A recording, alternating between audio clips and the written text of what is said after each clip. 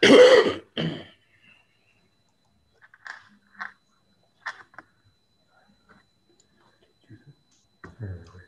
que si jamais tu as une coupure tout à l'heure, tu auras besoin. Voilà. On est maintenant en direct sur YouTube.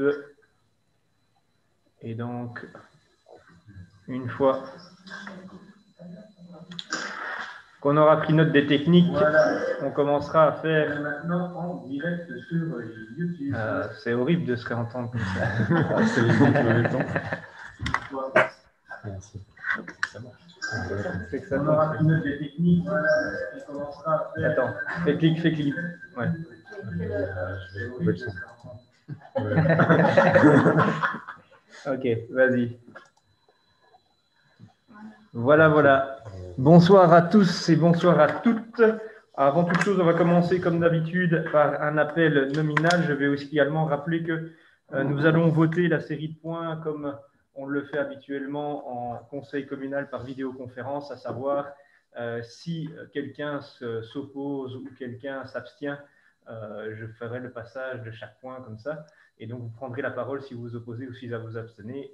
Et puis, il y aura peut-être des points où vous demanderez carrément le vote. Et donc, à ce moment-là, on, on votera euh, nominativement. Ça va? Alors, on commence par l'appel. Véronique Biordi, Présente. Vivian Deveau, Vivian Deveau. Il est là, mais il n'a T'as pas mis- trop Vivian Deveau. Micro. T'as pas allumé là-bas. Présent. Merci Vivian. Julien Jacquemin. Présent. Ensuite, nous avons Christian Binet. Présent. Christian Raoul. Lambert. Présent. Présent, aux présences. Catherine Abaru. Présent. Jean-Paul Domnager. Oui. Pierre Fec. Robert Rossman. Oui, je suis là. Je souhaite le bonsoir à tout le monde. Je viens d'arriver. Très bien. Bienvenue Robin. Isabelle Lardot. Présent. Sophie Aubertin. Présente. Ophélie Menon. Présente. Nicolas Beaumont. Présent. Stéphane Baudelet. Il est là. Stéphane Baudelet. Problème de- Présent. Présent. Il est présent. Très bien. Ensuite, Serge Carême. Vous m'entendez Présent. Ça va. On t'entend, euh, Stéphane. Donc, Serge Carême est présent aussi. Claude Laurent. Présent. Éric Janson. Présent. Présent maintenant. Stéphane Gauss. Présent. Luc Veiders. Présent. Jérémy Penquin.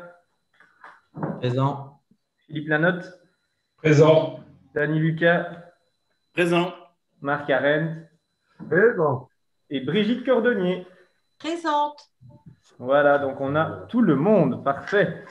Alors, je vous propose d'entamer malheureusement ce conseil communal par une minute de silence euh, en mémoire de, trois personnes ce soir. Nous avons l'ancienne conseillère communale de Rachecourt, Madame Palmyre Pechet d'Avreux. Il y a aussi euh, deux anciens membres de notre, zone de police, à savoir l'ancien commissaire en chef, Monsieur Émile Sac, et l'ancien premier inspecteur principal, Monsieur Jean-Luc Larue.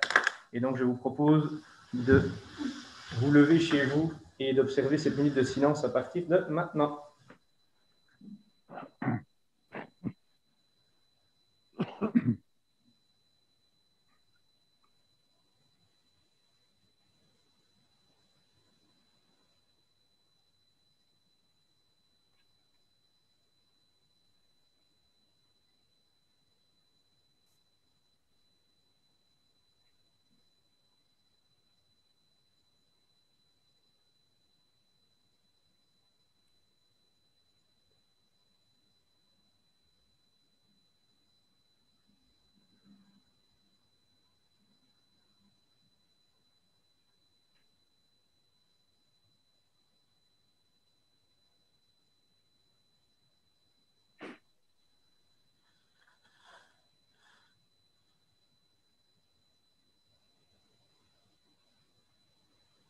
Merci.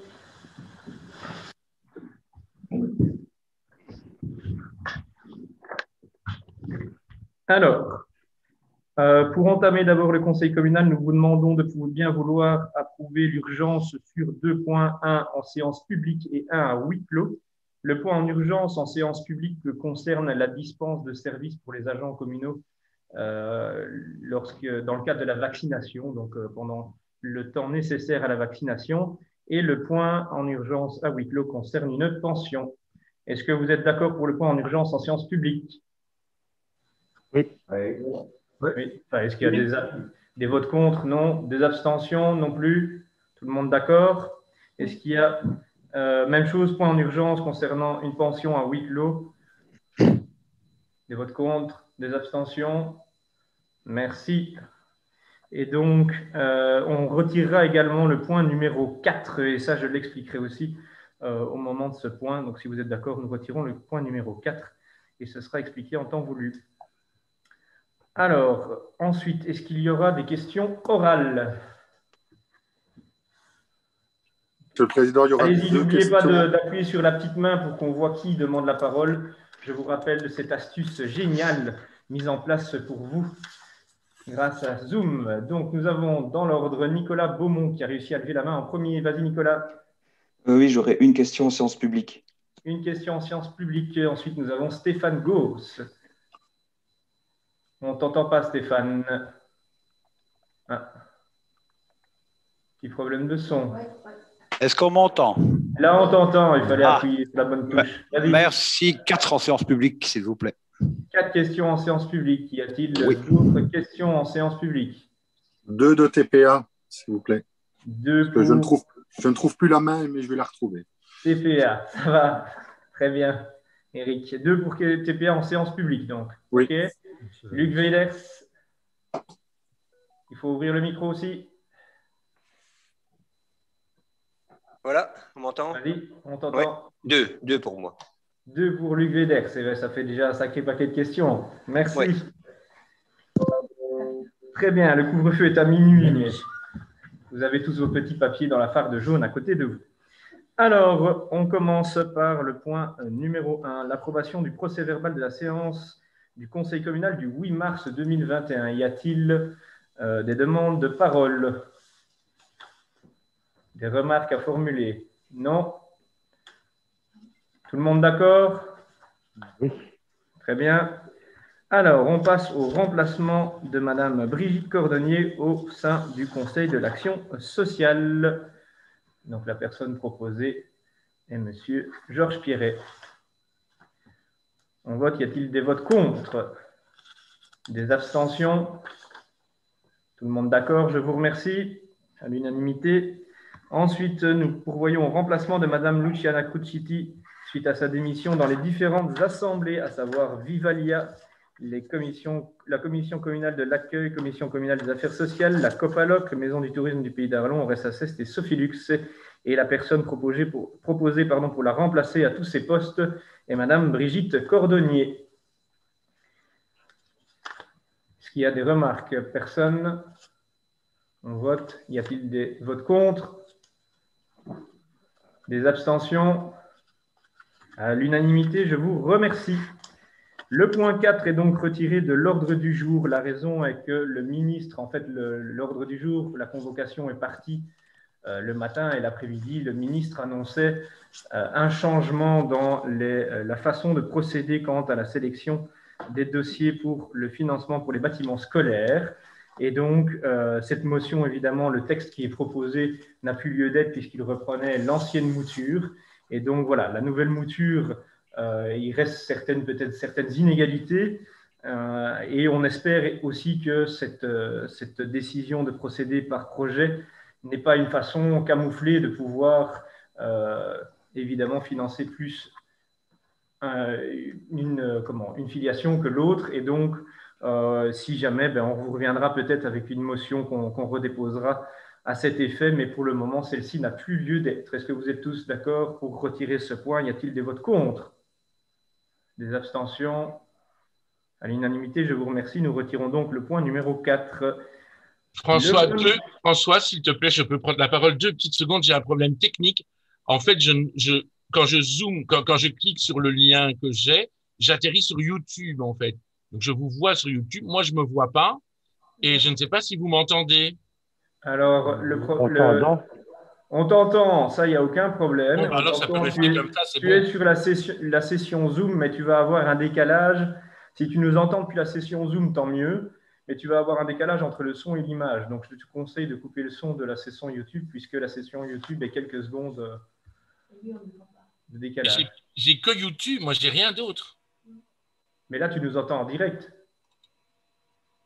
Bah oui, là, je t'entends parler, oui. Voilà, donc ce qui veut dire que tu, tu nous, tu nous entends depuis Zoom. Donc, tu as le son depuis Zoom, mais tu auras la vidéo sur YouTube, c'est pas grave. Ah, d'accord, ok. Ça va, j'ai compris. Mais vous me voyez? Non, on ne te voit pas. Et comment je dois faire? Parce que je me vois pas non plus, c'est hyper agaçant. Mais Je m'étais fait dois- beau pour ce soir et personne ne peut en profiter. C'est con. Écoute, Robin, ce que je Ouais. te propose... Le coiffeur? Non, même pas. Robin, ce que je propose pour pas qu'on puisse, qu'on puisse quand même avancer, c'est que Oui. euh, David Pires puisse te contacter ou essaye de, de pouvoir le contacter si tu as déjà son numéro. Sinon, David peut te contacter. S'il est encore là, David, euh, je pense que oui. J'ai mon on va demander à. David de pouvoir te contacter pour pouvoir euh, résoudre cette problématique. Ça va. Ça va? Ok, Je prends mon téléphone à côté de moi, c'est bon. Très bien. Voilà, on va voir si David Merci. vient. Sinon, s'il n'y a pas quelqu'un peut-être qui peut. Je le fais. Voilà, donc je propose qu'on continue avec le point numéro 5. Le point numéro 5, c'est une motion relative au management de Vivalia. Donc, on ne va pas euh, ressasser tout ce que nous avons euh, dit la dernière fois. Ce n'est pas l'objectif ici. C'est simplement une motion qui vient dans la lignée des décisions que nous avons prises en conseil communal. Euh, cette motion ben, fait état du management, comme on a parlé la dernière fois, à savoir la création de la place de conseiller stratégique mais aussi que euh, son recrutement se fasse dans les conditions du, de- du Code de la démocratie locale et euh, aussi le fait de, euh, comment, proposer de retirer le- les médecins, enfin en tout cas ceux qui sont, qui sont salariés chez Vivalia, de, du, comment, du conseil d'administration et donc ce conseil d'administration devant normalement être défini par le- les décrets et donc ce n'est pas vraiment du pouvoir du conseil d'administration de, de pouvoir passer ce genre de critères comme là. Donc nous, on, passe une motion, si vous êtes d'accord, euh, dans ce sens-là pour soutenir euh, tout ce qu'on a déjà pu dire jusqu'ici. Je vois que Jean-Paul Dondlinger a, pris, euh, a trouvé la main. Donc si Jean-Paul trouve la main, comme la dernière fois, tout le monde peut trouver la main. Donc n'hésitez pas à demander à Jean-Paul comment est-ce qu'on fait. Hein, Eric? N'hésite pas. Et donc, euh, vas-y Jean-Paul, on t'écoute. Est-ce que vous m'entendez? Oui, mais on t'entend de loin parce que tu n'as pas activé ton micro, on t'entend d'un autre PC. Voilà, Comme ça, ça va mieux? C'est mieux. C'est mieux. Voilà, donc euh, évidemment d'accord avec le contenu de la motion, qui est dans, le, dans la suite logique de ce qu'on a voté la fois dernière. Moi, simplement, j'interviens pour euh, demander si c'est possible un peu moins de condescendance de la part de certains élus à l'Assemblée générale, au Conseil provincial, envers les élus du Sud. Lorsqu'on dit euh, on va réexpliquer, on va devoir encore expliquer longtemps aux gens du Sud, je trouve ça purement euh, scandaleux. Je dis, avant qu'on explique aux gens du Sud, parce que les gens du Sud sont quand même pas tout à fait idiots, ils savent comprendre, j'aimerais bien que les gens du Sud puissent être entendus, notamment par le conseil d'administration de Vivalia. Merci. Parfaitement d'accord, Jean-Paul, avec cette remarque. Eric, je ne sais pas si tu voulais prendre la parole ou si tu applaudissais le fait que Jean-Paul a trouvé la main, lui. Oui, bah moi j'ai du mal cette fois-ci. J'avais trouvé la main avant, mais je ne la trouve plus. Alors euh, je vais applaudir pendant tout le conseil, mais ça sera pour, pour dire simplement que je lève la main. Voilà, tout simplement, ben voilà, moi je suis tout à fait d'accord avec cette motion-là, mais où j'ai un peu de mal, c'est de, euh, de voir que quand on décide de voter non et que d'autres communes nous suivent quand même, euh, d'arriver de nouveau, qu'on n'est de nouveau pas écouté. Et, euh, et ça, je trouve vraiment pas ça normal. D'accord, il y, y a eu quelques communes qui nous ont suivis, mais je pense qu'ils devraient quand même se remettre en question euh, sur ça. C'est un peu le but de la motion aussi, où là, vous le redemandez. Et à l'heure actuelle, je suis bien content de moi, pour ma part, de ne pas être apparenté à un parti. Parce que c'est vraiment, ça devient vraiment du n'importe quoi à l'heure actuelle. Voilà. Merci Eric et je peux bien comprendre ta remarque également. Et donc, je te rejoins bien volontiers aussi. D'autres remarques ou prises de parole sur le sujet? Non. Très bien, on vote cette motion. Y a-t-il des votes contre? Des abstentions? À l'unanimité, je vous remercie. Alors ensuite, on octroie un subside de 10 euros aux commises d'Arlon. Ça correspond simplement au montant euh, de la cotisation. D'accord? Est-ce qu'il y a des demandes de parole? Des questions? Non. On vote. Y a-t-il des votes contre? Des abstentions À l'unanimité, je vous remercie. Nous passons donc au point 7 avec l'arrêt des comptes annuels 2020 de la ville d'Aubange. Est-ce que Raoul fait peut-être un petit mot d'introduction? Et puis on laissera la parole oui, je vais... direction générale, euh, direction financière, pardon, pour présenter les comptes et la modification budgétaire. Donc euh, c'est une année un petit peu particulière puisqu'il y a un passage de, flambeau entre Corinne et Corinne et Antoine. Donc je pense que c'est aussi une année particulière pour moi, puisqu'il y a un passage de flambeau, entre Jean-Paul et, et, moi. Donc, c'est une année olympique. Donc, le flambeau, c'est quand même une, image symbolique pour cette année-ci. Euh, je tiens à remercier en tout cas Antoine et son équipe pour. Euh, est-ce qu'on est déjà sur la. Ah oui. Je pense que. La, Vas-y, continue, Christian, on t'entend. Oui, donc je tiens à remercier en tout cas Antoine et son équipe pour la, la confection des, comptes et autres modifications budgétaires euh, qui seront présentées à l'ordinaire et à l'extraordinaire.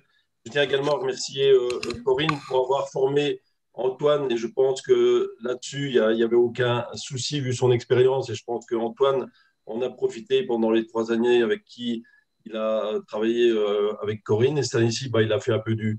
Il a travaillé plus ou moins seul, mais en tout cas, Corinne était toujours à quelques mètres pour l'épauler. Et euh, je remercie Corinne parce que bon, je la connais depuis que je suis conseiller communal, ça fait de longues années, mais je pense que je passerai aussi la parole après. Je pense que Jean-Paul aura un petit mot à dire également sur euh, la, sa connivence avec euh, Corinne au niveau des, finances, avec qui il a travaillé pendant de, longues années.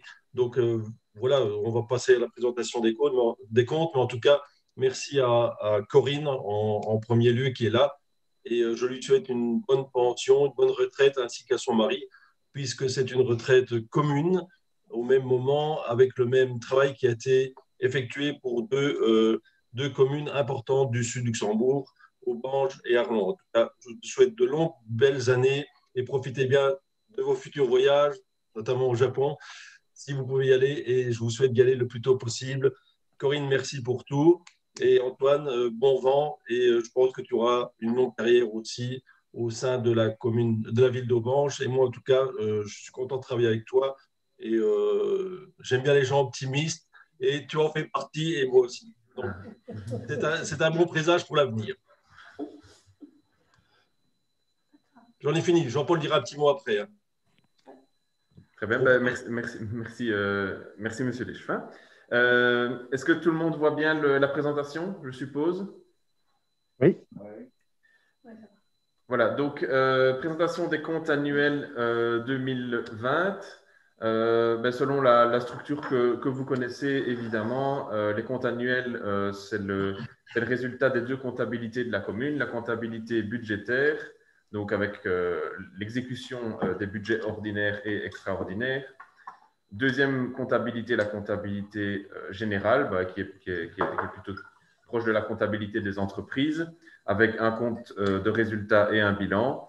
Et euh, dernier élément des comptes, euh, annuels, c'est la synthèse analytique. mais vous l'avez dans les, pièces annexes des comptes. C'est simplement une vue un petit peu plus, plus dynamique et un peu plus graphique de, de, tous les, de tous les chiffres qui sont, qui sont présentés dans les, dans les comptes, tant pour le, la budgétaire que pour la générale. Et donc, euh, voilà, je laisserai euh, ensuite euh, les, conclusions d'usage à, à, M. Lambert qui va s'exprimer au nom du collège communal. Alors, sans plus tarder, je commence par le compte budgétaire. compte budgétaire, on est, on est sur le dernier travail budgétaire de l'exercice 2020. Et on, va voir par la suite, puisque vous, savez que c'est le, point suivant à l'ordre du jour, euh, les résultats des comptes sont intégrés dans la première modification budgétaire. Donc, euh, euh, c'est à ce stade, c'est aujourd'hui que le lien se fait entre deux, exercices budgétaires différents, puisqu'on doit rectifier le, tir du, budget initial maintenant que les, résultats définitifs de 2020 sont connus. Alors, bon, quelques rappels, c'est les mêmes que l'année dernière, donc je ne vais pas vous, faire, vous faire un cours. Euh, le compte budgétaire, euh, c'est la clôture de l'exercice comptable. Euh, après avoir budgété, ici on est dans la phase réalisation, on constate ce qui a été réalisé, tant en recettes qu'en dépenses, tant au service ordinaire qu'au service extraordinaire. Et pour chaque service, ordinaire et extraordinaire, on dégage deux résultats, le résultat budgétaire et le résultat comptable. Alors, à commencer par le service ordinaire, donc, résultat budgétaire et résultat comptable. Euh, le point de départ, c'est le même, c'est les droits constatés. La différence, euh, c'est euh, au, niveau des dépenses, puisque pour le résultat budgétaire, on considère les engagements. Donc, les engagements, si le collège communal attribue un, marché, on, doit procéder en comptabilité à l'engagement. Donc, on réserve le crédit, on sait que ce crédit va être affecté à, à telle dépense par contre, on n'a pas encore payé la, facture. Euh, la facture, elle arrivera euh, X semaines, X mois plus tard. Euh, et donc, ça, c'est le, moment où la facture arrive et est comptabilisée, c'est l'imputation. Donc, on a toujours un résultat budgétaire qui est inférieur au résultat comptable, puisque les imputations sont toujours inférieures aux engagements. Donc, 72 000 euros, c'est le résultat budgétaire. 245 000 euros, le résultat comptable. Et de façon euh, tout à fait logique, la différence entre les deux résultats, 173 000 euros, ce sont des crédits qu'on a engagés, mais pour lesquels on n'a pas encore reçu euh, les, factures, donc on n'a pas encore imputé les dépenses. Et pour ce faire, on reporte les crédits de 2020 sur, euh, sur l'exercice 2021 pour pouvoir honorer les, les dépenses en question. Alors, euh, sur, ce, sur, ce, slide, vous avez euh, l'évolution sur les cinq derniers exercices euh, des deux résultats, donc résultat budgétaire, résultat comptable, budgétaire en bleu, comptable en orange à droite. alors, peut-être une chose qui pourrait vous, interpeller à la, vision de ce, graphique, c'est que le, résultat est, relativement faible par rapport, voire même très faible, par rapport aux exercices précédents donc 72 000 par rapport à 610 000 en, 2019 et 245 000 par rapport à 1 135 000 en 2019. Euh, Alors, euh, c'est important au moment de considérer ces, euh, résultats d'apporter une série de, précisions. pourquoi? Parce qu'on ne peut pas considérer le résultat budgétaire d'un exercice sans regarder les mouvements de, de, réserve, les mouvements de provision qui ont eu lieu au cours de cet exercice vous savez que les réserves et les provisions, euh, ce sont des, entre guillemets, des fonds qui sont hors budget. Ce sont les, réserves tant à l'ordinaire qu'à l'extraordinaire euh, et les, provisions pour, euh, pour des dépenses potentielles à venir. Donc, rapide, rapide comparaison entre 2019 et 2020 pour bien, pour, bien mettre en contexte ces résultats. Premier, premier, élément, les pensions et en particulier la cotisation de responsabilisation, donc qui est payée pour les pensions statutaires en 2019, il n'y avait pas de provisions qui ont été constituées pour honorer les futures charges de pension. Euh, et par ailleurs, il y a un prélèvement de, 164 000 euros qui avait été fait sur le fonds de réserve ordinaire pour assurer euh, le paiement de, la facture. En 2020, euh, grâce aux, marges budgétaires disponibles, il y a une provision de 150 000 euros qui a été constituée ben, justement pour, assurer ces, futures charges de pension pas, euh, les montants des charges de pension ne sont pas connus de façon précise, mais on sait qu'ils vont, euh, arriver, on sait qu'ils vont être conséquents. Donc, c'est vraiment utile de pouvoir constituer une provision pour, ce type de dépenses. Alors, deuxième poste de, pension, le deuxième pilier, qui est en fait la pension offerte aux, aux, agents contractuels. En 2019, il n'y avait pas de, pas de provisions qui ont été constituées. En 2020, euh, il y avait une, reprise de provision, donc normalement une, recette qui n'a pas été réalisée parce qu'elle n'était pas nécessaire, et 478 euh, 000 euros qui ont été euh, envoyés vers le fonds de réserve ordinaire. Donc ça, c'est une dépense sur l'exercice de 2020. deux derniers éléments, la régie communale autonome et la, la, politique hospitalière. Il n'y a pas eu de mouvement de provision ou de fonds de réserve en 2019. Par contre, en 2020, on a des provisions de respectivement 150 000 et 340 000 euros qui ont été constituées.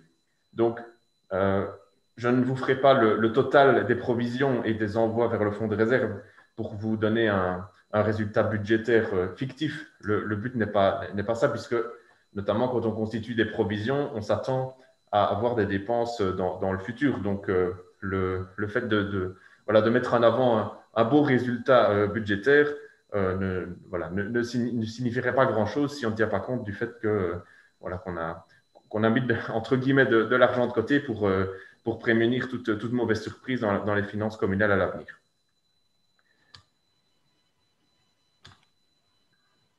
Donc maintenant que j'ai un petit peu, euh, je vais remis, en contexte ce résultat, je vais un petit peu le, le ventiler, le détailler, puisque euh, le, résultat de 72 000 euros, c'est un résultat global euh, qui se décompose d'abord d'un résultat aux exercices antérieurs, donc 2019 et, et années précédentes, euh, alors, qu'est-ce qu'on retrouve là-dedans? Ben, en, recette des exercices antérieurs, on a le boni de l'exercice précédent, de 2019. On a des rôles de taxes 19 qui ont été arrêtés en 2020.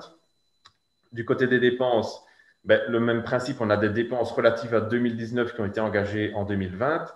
Euh, et on a, euh, ça c'est une, part importante, la facture de rattrapage pour le deuxième pilier de, pension qui a été honorée. Donc, euh, cette facture, c'était 1 million et 4 000 euros. Et on retrouve d'ailleurs, c'est ça qui, euh, qui, en fait vient équilibrer d'une certaine façon euh, cette, dépense importante, c'est un prélèvement sur le fonds de réserve, donc du, montant de la facture. Alors, pour, rappel, hein, cette, cette, facture d'un million d'euros qui a été honorée envers, le, envers, envers ETIAS, c'est pour permettre à tous les agents en, place au sein de la commune, sous statut, sous statut contractuel, si je puis dire, euh, ben, de, bénéficier euh, d'un deuxième pilier de pension depuis leur entrée en fonction. Donc, euh, il y a un rattrapage qui se fait jusqu'à jusqu'à 40 ans, si nécessaire, en fonction de l'entrée en, fonction de chaque agent. Alors, en prélèvement, toujours, mais du côté dépenses, mais c'est les, certaines marges budgétaires disponibles, je l'ai expliqué au slide précédent, puisque malgré le fait qu'un million d'euros ont été prélevés sur le fonds de réserve, euh, il a été euh, par ailleurs possible d'envoyer également 478 000 euros pour renflouer ce, fonds de réserve. Euh, et quand on, regarde ben, donc, un résultat négatif de, 600 000 aux exercices antérieurs, résultat positif de 450 000 suite au prélèvement, et un résultat de 215 000 euros à l'exercice propre nous donne le, le, résultat global de 72 000 euros. J'ai parlé des, exercices antérieurs et des prélèvements qui ont un impact euh, au global. Euh, maintenant, euh, on va voir un petit peu en détail ce qui s'est passé à l'exercice propre du côté des recettes et du côté des dépenses. À commencer par les recettes. donc, vous voyez ici l'évolution sur les cinq derniers exercices des recettes ordinaires à l'exercice propre qui, entre 2019 et 2020, ont augmenté de 660 000 euros. Euh, essentiellement tiré par les, recettes de transfert en hausse de 660 000 euros. Donc, qu'est-ce qui a augmenté? Mais c'est essentiellement le, fonds des communes et euh, la taxe additionnelle au précompte immobilier. Donc, on a cette augmentation malgré une baisse euh, du fonds des frontaliers en 2020 et une baisse de la taxe additionnelle à l'impôt des personnes physiques. On verra deux, trois, deux, trois graphiques après pour, pour voir ces évolutions poste par poste. Euh, alors, deuxième catégorie de, recettes, les recettes de prestations. Mais vous voyez que, comme chaque année, les recettes de prestations euh, et les recettes de, dette sont euh, bien, bien moins importantes que les recettes de transfert, mais elles comptent évidemment. Du côté des recettes de prestations, une hausse de 110 000 euros, essentiellement tirée par une hausse des, ventes de bois. Alors, petite précision quand même à ce sujet, euh, on ne pouvait qu'avoir une augmentation des ventes de bois, puisqu'en 2019, euh, les ventes avaient été annulées en raison des, diverses crises connues euh, sur, le, sur, le, secteur. Donc, on a eu en, quelque sorte un rattrapage en, 2020 avec plus ou moins une, double vente de, double vente de bois par rapport à ce qui se fait sur un exercice habituel. Alors, également du côté des prestations, une augmentation des, des locations immobilières. Et mais ça, c'est un, des, premiers effets, un des effets de la, crise sanitaire, euh, puisque les différents services communaux euh, comme notamment le, fait de, délivrer les repas euh, dans les écoles où l'accueil extrascolaire ont été largement, euh, largement entravés. Euh, donc, ces, ces, recettes sont logiquement en, en, recul. Et alors, dernière catégorie, les recettes de dette, les, donc, qui sont en, recul de, 100, de 106 000 euros. Euh, qui sont en fait le résultat d'une baisse des, des, dividendes reçus par la commune. Alors, comme je l'avais expliqué, quelques, recettes euh, principales mises en avant, avec l'évolution euh, sur les, derniers exercices, à commencer par le fonds des communes, bah, qui est en, en hausse chaque année de façon, de façon assez régulière. Les prévisions de la, région wallonne vont d'ailleurs toujours dans le sens d'une croissance pour les exercices à venir, mais ça, vous l'aviez déjà vu à l'occasion du budget initial 2021. Donc, augmentation de 115 000 euros pour le fonds des communes. C'est évidemment la première, première des recettes de la commune. 8 600 000 sur, sur 24 millions, à peu près, c'est de l'ordre de 30% des recettes communales. Deuxième, deuxième recette importante, le fonds des frontaliers, qui est une évolution un petit peu moins, un petit peu moins régulière que le, que le fonds des communes et qui, euh, qui est en, en, léger recul sur, sur 2020, donc moins 70 000 euros. Mais comme, comme, comme, je viens de le dire, budget initial 2021, vous avez vu que euh, la, la, commune devrait recevoir normalement un montant, euh, un montant plus élevé en 2021, ce qui est un petit peu euh, logique et lié à la, à la, au mécanisme de, répartition du fonds, puisqu'il est la masse globale, je veux dire le gâteau global est revu tous les trois ans, donc 2015, 2018, 2021 on est dans, des années, dans des années intermédiaires, je veux dire, pour 2019 et 2020. Alors, je continue euh, sur les recettes avec les, taxes additionnelles. En bleu, vous avez le prix compte immobilier. En orange, l'impôt des personnes physiques. Et en, gris, le, plus petit montant, euh, les taxes euh, additionnelles auto. Alors, le prix compte immobilier, il est en hausse de près de 300 000 euros entre 2019 et 2020. C'est tout à fait logique puisque 2020 était le premier exercice avec un, taux de la taxe additionnelle qui était, qui était revu à la hausse par rapport à, à 2019.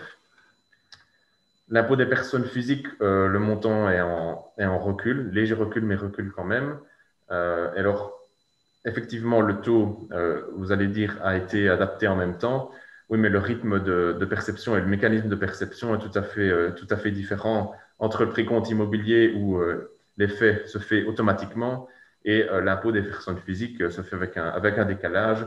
A un système d'avance, je ne rentre pas dans les détails, mais l'effet en tout cas d'une hausse du taux euh, ben, mettra, mettra plus, plus, de temps à se, à se révéler. Et euh, voilà, il faut aussi, pour ce qui concerne l'impôt des personnes physiques, tenir compte de la, dire, de la base de taxation et donc des, voilà, du, nombre de personnes qui effectivement euh, sont, sont, travailleurs belges et, euh, et, sont, sont, assujettis à l'impôt des personnes physiques en Belgique. Et alors, à titre d'information, vous avez l'évolution de ces, de ces différentes taxes sur la, sur la période. On voit qu'on a quand même une augmentation assez, assez significative du précompte euh, immobilier. Et voilà, la taxe, additionnelle automobile, on a une croissance d'année en année, mais qui est quand même assez, assez modérée. Alors, les taxes communales, maintenant, la fiscalité euh, locale, je, je, vais dire, avec euh, deux, des principales taxes, et euh, essentiellement la taxe sur la gestion des immondices, euh, qui est en, en, hausse entre 2019 et 2020, avec 100 000 euros de recettes en plus. Alors, petit élément à, à apporter à, à, la lecture de ce, de ce graphique, la taxe sur la gestion des, des immondices doit obéir au principe du coût-vérité, euh, que vous connaissez euh, certainement, avec euh, l'obligation pour les, les communes d'avoir un équilibre entre les recettes et les dépenses pour ce qui concerne la gestion des immondices. on verra d'ailleurs par, par ailleurs que les, les dépenses de, de, gestion des immondices sont également en hausse sur la, sur la même période. Et alors, même si le montant est, est, plus réduit pour la, pour la taxe euh, sur les égouts, on a, on a une hausse, mais le taux n'ayant pas, euh, pas évolué depuis, euh, depuis de nombreuses années, le, seul facteur qui peut faire évoluer le produit de, le produit de cette taxe, mais c'est simplement le, le, nombre de, de raccordements, le nombre de citoyens qui sont, euh, voilà, qui sont sur, le, sur le territoire communal. Dernier poste de, de recettes à, à, mettre en évidence, les recettes de dette et donc les dividendes.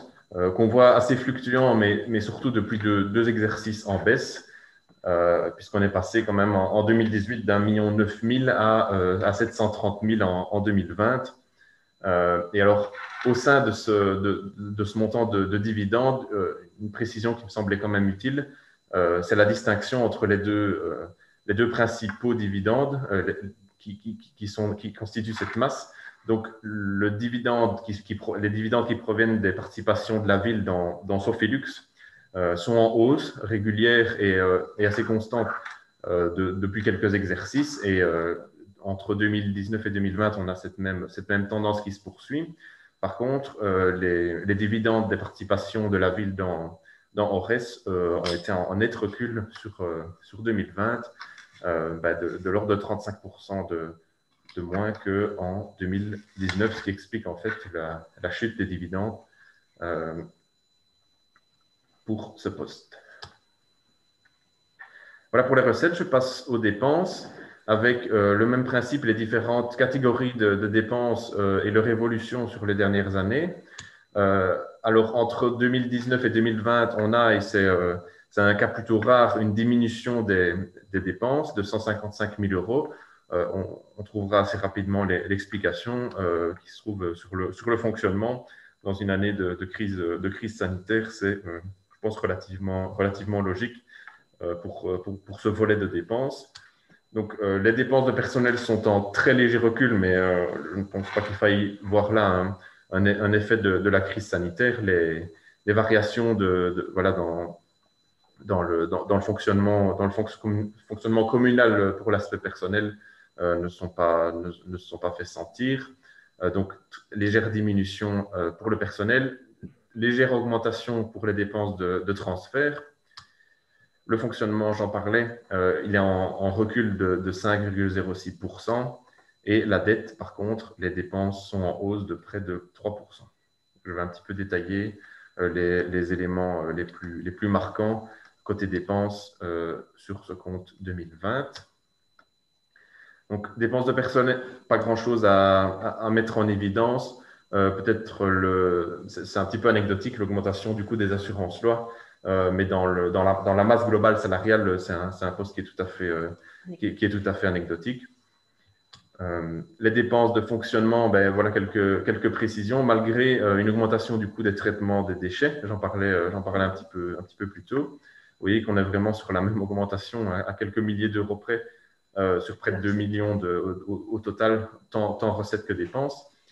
Euh, alors, pour, pour ce qui est vraiment du, du fonctionnement communal interne, ben, là, je pense qu'on on voit vraiment les, les effets de la, la crise sanitaire et, et- et d'une certaine, euh, d'un certain ralentissement euh, forcé de l'activité, avec des diminutions des coûts de, de téléphonie, de carburant, d'eau, des coûts d'énergie, donc chauffage, électricité, mazout, euh, euh, gaz, pardon, et euh, les, fournitures pour la voirie qui sont, qui sont en recul. Et ben, c'est un petit peu le, un petit peu le corollaire, l'augmentation des frais informatiques. On n'est pas ici sur les acquisitions, c'est, c'est- bien le budget ordinaire, mais malgré tout, de, plus de matériel, plus de logiciels, ça, ça augmente également les, les, coûts de, les coûts de maintenance, les coûts des programmes, etc. Et donc on a, on a ce, transfert qui n'est évidemment pas, voilà, qui, n'est évidemment pas neutre. euh, il, y a, malgré tout une, diminution des dépenses de fonctionnement. Et euh, donc, dernier poste, euh, dépenses de transfert en, légère hausse. Donc, malgré une réduction de la dotation à la zone de secours, puisque vous savez qu'il y a un transfert progressif qui est organisé entre 2020 et 2024 et qu'à terme, la, zone de secours devrait reprendre 60% euh, de- du montant de la dotation. Donc, sur euh, 2020, c'était la première année de réduction avec euh, une diminution de la dotation de 20%.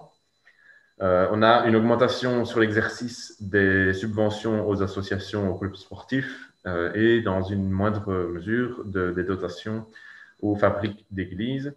Et alors, ben, ce qui explique que la, raison de dépenses de transfert qui ne recule pas plus que ça, malgré la réduction de la dotation à la zone de secours, euh, ce sont des, non-valeurs qui ont dû être euh, comptabilisées euh, par rapport à des redevances de voirie euh, de 2017. Donc, c'est un, élément tout à fait ponctuel euh, qui montre que sans, cela, les dépenses de transfert auraient été euh, en, diminution.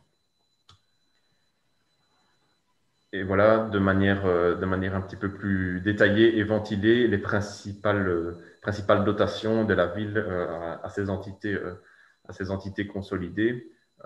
Donc, à commencer par le CPS, qu'on voit depuis, depuis trois ans sur une, bah, une, dotation tout à fait stable. La zone de police avec des, une dotation qui a augmenté fortement entre 2016 et 2018 euh, et qui, euh, sur 2019 et 2020, a été euh, simplement indexée, donc les 2% de croissance annuelle. la zone de secours, ben, on avait cette même tendance d'à peu près 2% de croissance annuellement, qui, est, qui, est, qui est ralentie, voire largement, largement freinée. suite à, ce que je viens de, vous expliquer. On arrive en 2020 à peu près à une dotation qui, était, qui était celui de, de 2016. Alors, les, les dotations pour les établissements du, du, culte, euh, ben, là, on a, on a, quelques variations d'année en année, mais globalement, euh, on se retrouve euh, à peu près autour des 80 000 euros comme, comme les exercices précédents. Je vous ai mis également pour information l'évolution sur la période. On voit que c'est essentiellement du côté de la, zone de police que la croissance de la, dotation s'est faite la plus, importante avec euh, également le, CPS, mais euh, comme, comme expliqué, qui est quand même relativement, euh, relativement stable depuis trois ans. Dernier poste de dépenses, les dépenses de dette, donc qui sont en hausse de près de 3%, et qui sont en fait le, résultat d'une augmentation ben, non négligeable de, de 4,6% du remboursement des tranches. Donc ça, c'est le remboursement de l'emprunt à proprement parler mais euh, cette, cette, augmentation a été, euh, a été tempérée par euh, une réduction des, des intérêts, puisque 2020 bah, a été encore une année avec des taux dire historiquement bas, et donc les, les intérêts de mémoire de la, payés par la ville en 2020 sont à peu près la moitié de ce qui était payé en, en 2016, donc il y a 4-5 ans, ce qui est évidemment une bonne, une bonne chose et, qui est déjà ça de, prix. Dernier point par rapport à la dette, euh, même si les montants sont anecdotiques, euh, dans, la masse totale de remboursement de dette, euh, il faut quand même noter une augmentation des intérêts créditeurs payés par la ville sur les crédits à court terme. Donc ça, c'est le financement de la ville de, ses, de ses besoins de trésorerie, puisque ben, la ville paye, paye ses dotations, notamment à rythme régulier, que ce soit au CPS ou aux zones de police, zones de secours, paye les salaires à rythme régulier, mais les recettes les grandes recettes de la ville euh, viennent à des, à des, moments particuliers de l'année, euh, donc euh, essentiellement en décembre. je, vous passe les détails, mais quoi qu'il en soit, les, les recettes n'entrent pas au même moment que, que, les, dépenses ne sortent, et donc la, la, ville est contrainte de réaliser des, crédits à court terme pour, pour assurer cette, cette trésorerie. Voilà pour les dépenses et voilà pour le service ordinaire. Euh, un mot maintenant sur le résultat euh, budgétaire extraordinaire. Même principe que pour l'ordinaire, donc droit constaté moins engagement, avec un résultat de 1 728 000 euros en budgétaire et un résultat comptable de 6 354 000 euros. J'expliquais l'année passée qu'on avait régulièrement des résultats euh, négatifs à l'extraordinaire ben, pour la, simple et bonne raison que les, projets extraordinaires s'étalent sur, euh, sur, plusieurs années, que les engagements et les imputations ne se font pas, euh, ne se font pas du, jour au lendemain comme, pour l'ordinaire et qu'on a régulièrement des décalages entre le moment où les recettes sont comptabilisées et le moment où les dépenses sont comptabilisées. Donc, on peut tout à fait avoir un exercice, un, un, exercice déficitaire et, et l'exercice d'après un, un, résultat, un résultat positif. Ben, évidemment, les résultats enfin, les, les, projets extraordinaires, comme ils se, ils se déroulent sur plusieurs exercices, euh, toujours un petit peu difficile de lire un résultat extraordinaire et d'en tirer une conséquence. Euh, ce, qui est, ce qui est certain, c'est qu'au moment de, de réaliser les, les, comptes, tous les projets individuellement sont, sont équilibrés et qu'il y a une, vérification systématique euh, d'équilibre projet par projet. Euh, et c'est justement pour ça qu'on on le verra plus tard, euh, des, des, modifications assez, assez importantes sont réalisées en modification budgétaire extraordinaire suite, ben, suite au compte pour équilibrer tous les projets individuellement. Donc, le, le, détail du, du, résultat budgétaire à l'extraordinaire, je ne vais pas entrer dans, le détail de tous les chiffres, simplement peut-être montrer le, je pense aussi un, effet de la crise, sanitaire en, sur, l'avancée des, différents projets, puisqu'on voit que ce sont essentiellement des projets des exercices antérieurs qui ont été euh, réalisés. On voit 10 millions 5 et 8 millions 6 en, en, recettes et en dépenses aux exercices antérieurs et, entre guillemets, seulement 2 millions euh, de, de, réalisation euh, à l'exercice propre.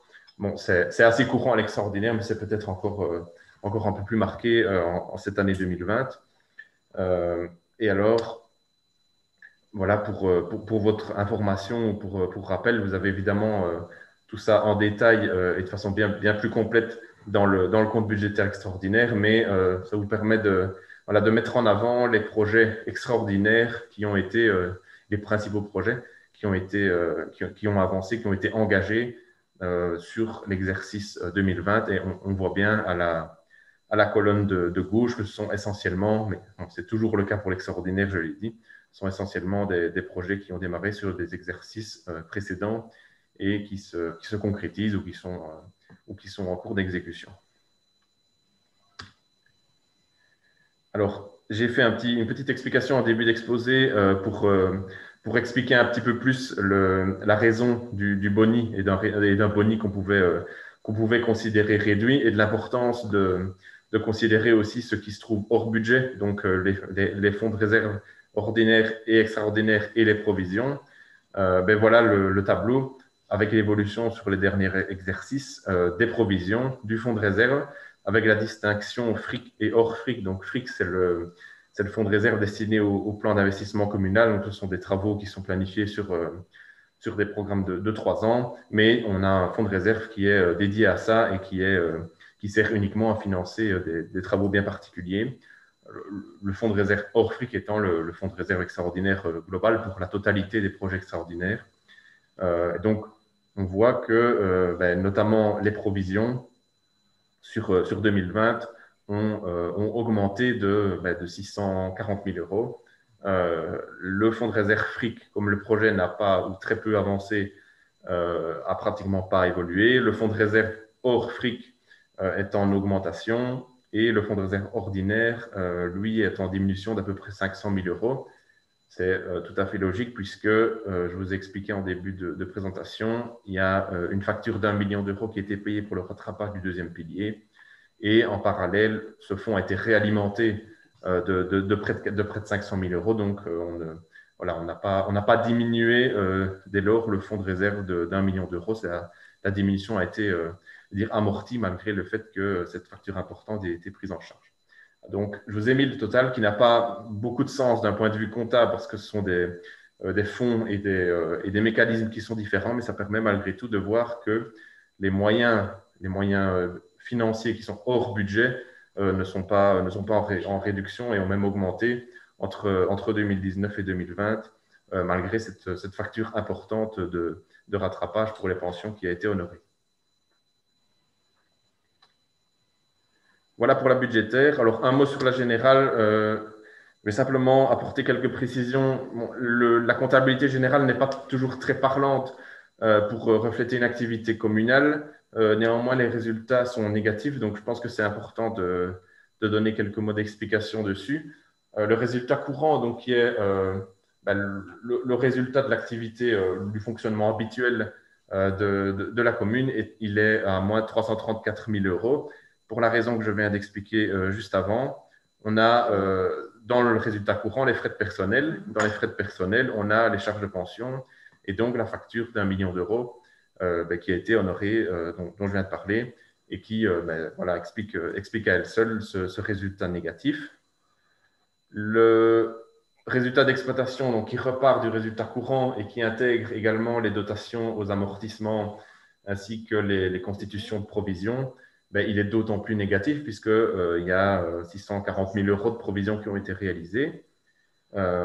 Et alors, on va passer au slide suivant. Malheureusement, c'est un peu, illisible parce qu'en 2019, on a une plus-value exceptionnelle. Je ne sais pas si vous vous en souvenez, mais euh, du, coup, la lecture graphique est un, petit peu compliquée. Mais on voit malgré tout qu'en 2020, on a un résultat exceptionnel. Donc, c'est la troisième ligne en bas. Euh, c'est le, bâtonnet gris. Euh, résultat exceptionnel qui est positif. Ben pourquoi? Parce qu'on a prélevé dans notre, enfin, sur notre fonds de réserve donc, c'est une recette.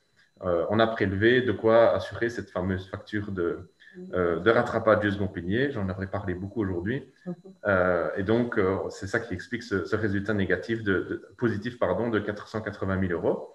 Et donc, quand on compile tous ces résultats, ben, on a un résultat d'exercice de moins 300 000 euros.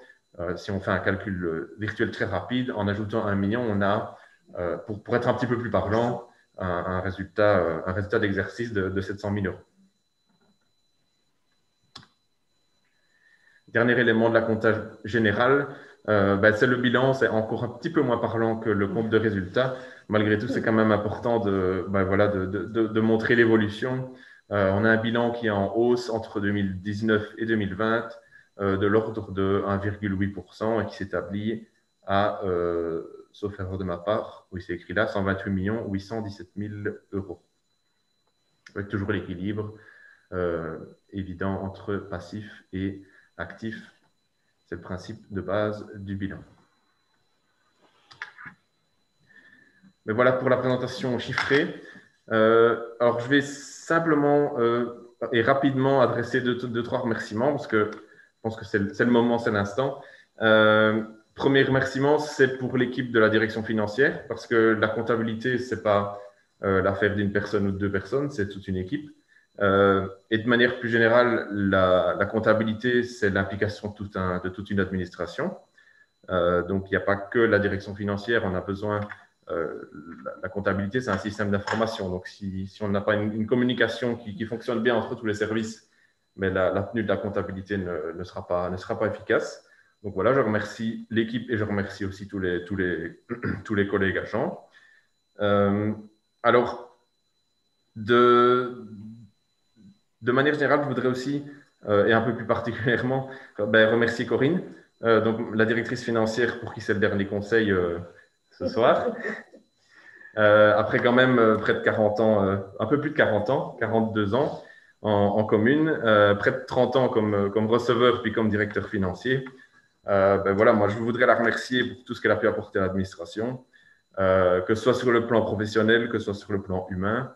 Je pense qu'en termes de, de- voilà, le respect des personnes, le respect des citoyens, je pense que c'est une de ses grandes qualités. Et, euh, et voilà, avec toujours la bienveillance et, le- et la volonté de, de, de poursuivre l'intérêt général. Donc euh, ben voilà, moi je lui souhaite euh, la meilleure des retraites et d'en profiter euh, largement parce que c'est amplement mérité. Voilà pour moi. Merci beaucoup. Voilà. Un petit mot encore, Raoul, ou bien on passe? Oui, ben, je vais faire le, le- le commentaire comme, en- comme Antoine l'a- spécifié. En tout cas, merci Antoine et toute son équipe et merci de nouveau à Corinne.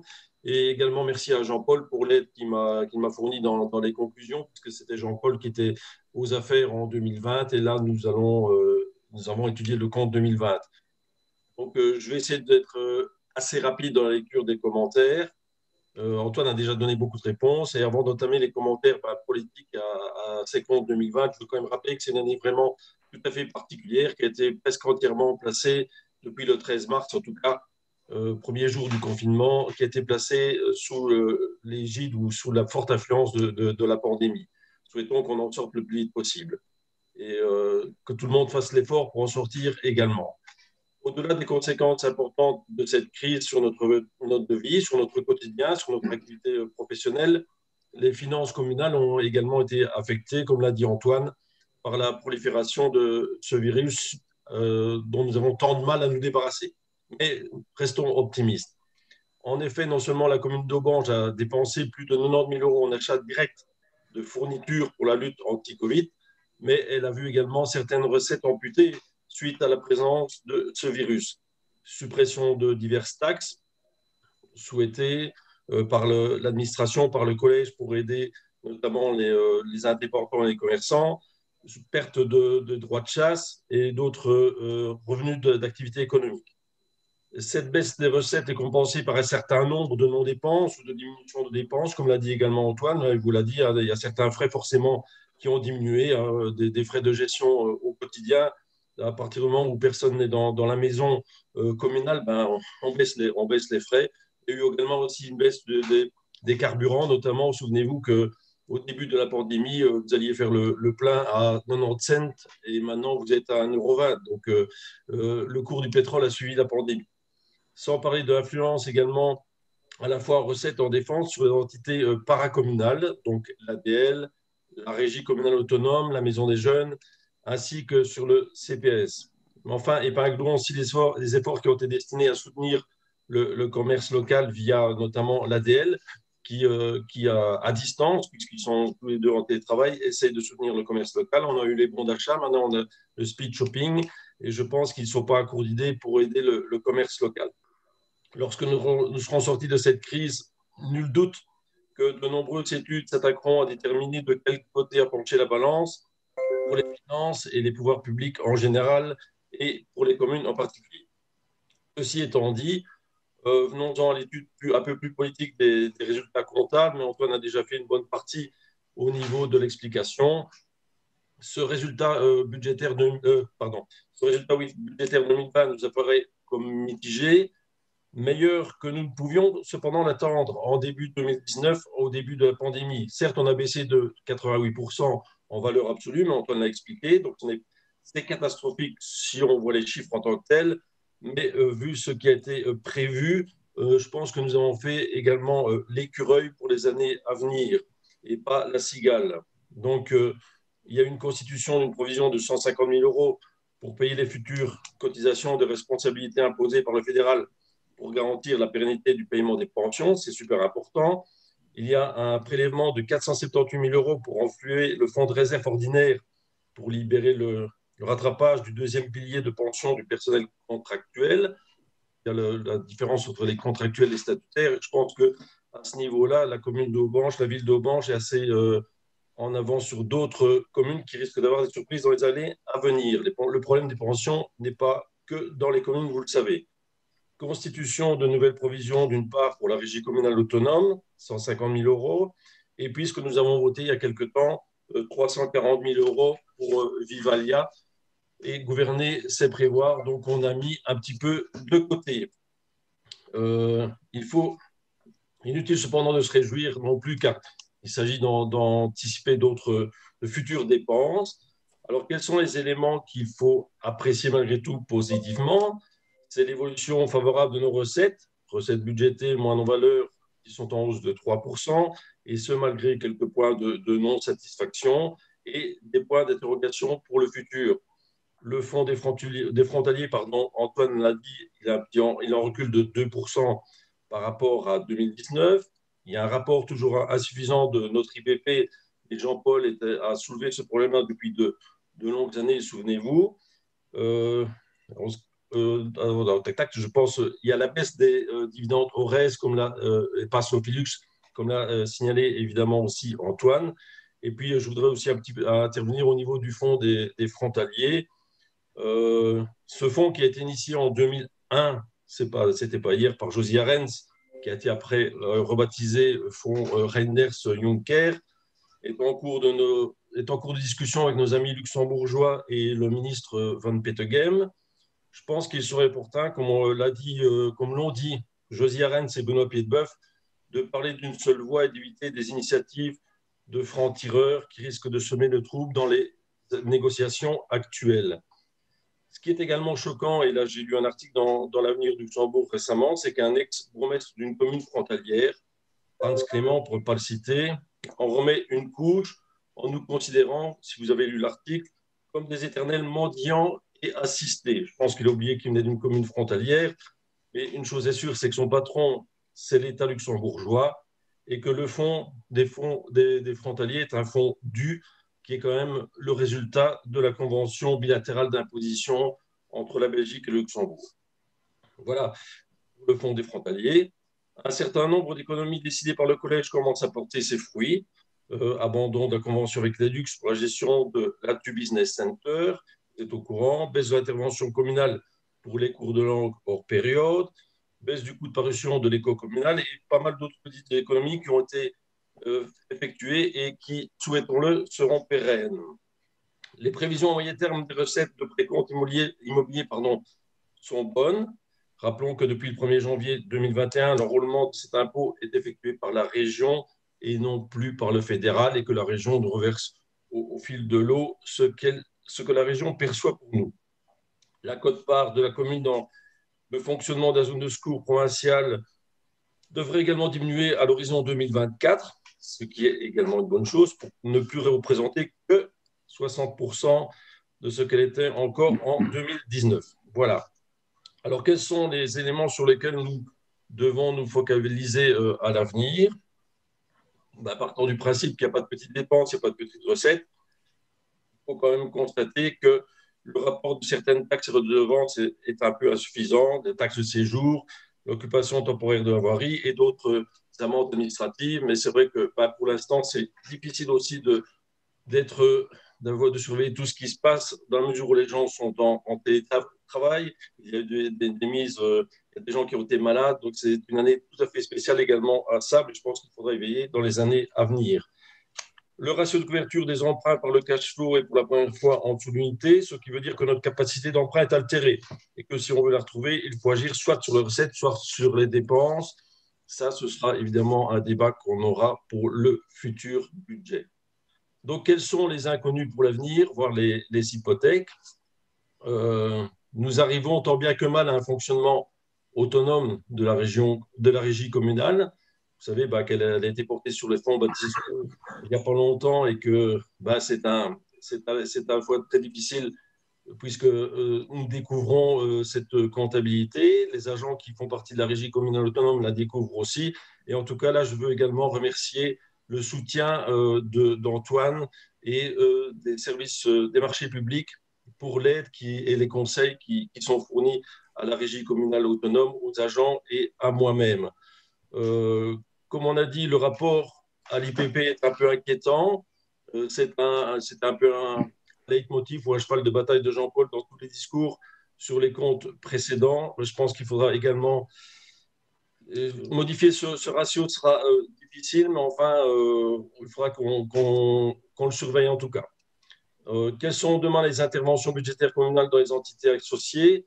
On a parlé de la zone de secours mais le CPS pour l'instant, donc, euh, bah, c'est très stable quand même depuis, que le home est, construit, donc pourvu que ça dure. Il faudra surveiller également les fabriques d'église, les SBL paracommunales, mais enfin, je pense que tout le monde a un œil et tout le monde est sensible, surtout dans cette, dans cette année un peu particulière. Donc, avant de conclure définitivement l'analyse de ces comptes, euh, deux petits mots sur l'extraordinaire. Simplement pour dire que là aussi, ben, l'influence de la crise sanitaire s'est nettement fait sentir, euh, notamment au le, nombre de- d'entreprises adjudicataires ont utilisé, ben, je ne vais pas dire que c'est l'excuse du Covid pour expliquer certains retards. Donc, euh, je pense que la population est aussi un petit peu agacée par ces retards, mais ce n'est pas dû au service de la, ville d'Aubanche. Mais bon, voilà, on, subit tous les problèmes de ce euh, foutu virus. Et je pense qu'il y a quand même quelques euh, belles ré- réalisations qu'il faut épingler, notamment ben, l'achèvement des travaux de la rénovation de l'ancien hôtel de ville de Rachecourt, dont tout le monde se plaît à euh, dire que c'est une belle réalisation. Euh, la mise en conformité des différentes plaines de jeu, on en a encore parlé ce matin au collège, le curage préventif des égouts, et espérons que 2021 puisse voir repartir les travaux indispensables à la modification du visage de notre ville. Hein, citons par exemple ben, la, la place verte à Atu qui, euh, espérons-le, va, se terminer, la place euh, du kiosque à Lanzy, les châssis à la salle polyvalence d'Aubanche, ainsi que les bâtiments, euh, que le- les châssis du bâtiment Odyssée à Batincourt, le parvis de l'église à Lanzy, la fameuse liaison cyclopédestre qui fait l'objet de beaucoup d'attention tant dans les collèges que dans, le, que dans les différents conseils, le cimetière de Guerlange, la rénovation de, logements d'insertion, et voilà, et voilà. Donc il y a pas mal de, projets qui sont en cours malgré cela, malgré la situation. Il faut aussi relever les 30 000 euros que nous avons accordés au budget participatif euh, citoyen qui a, très bien marché et parce que bah, ce sera relancé pour l'année qui vient. Donc, en conclusion, certes, les finances sont saines.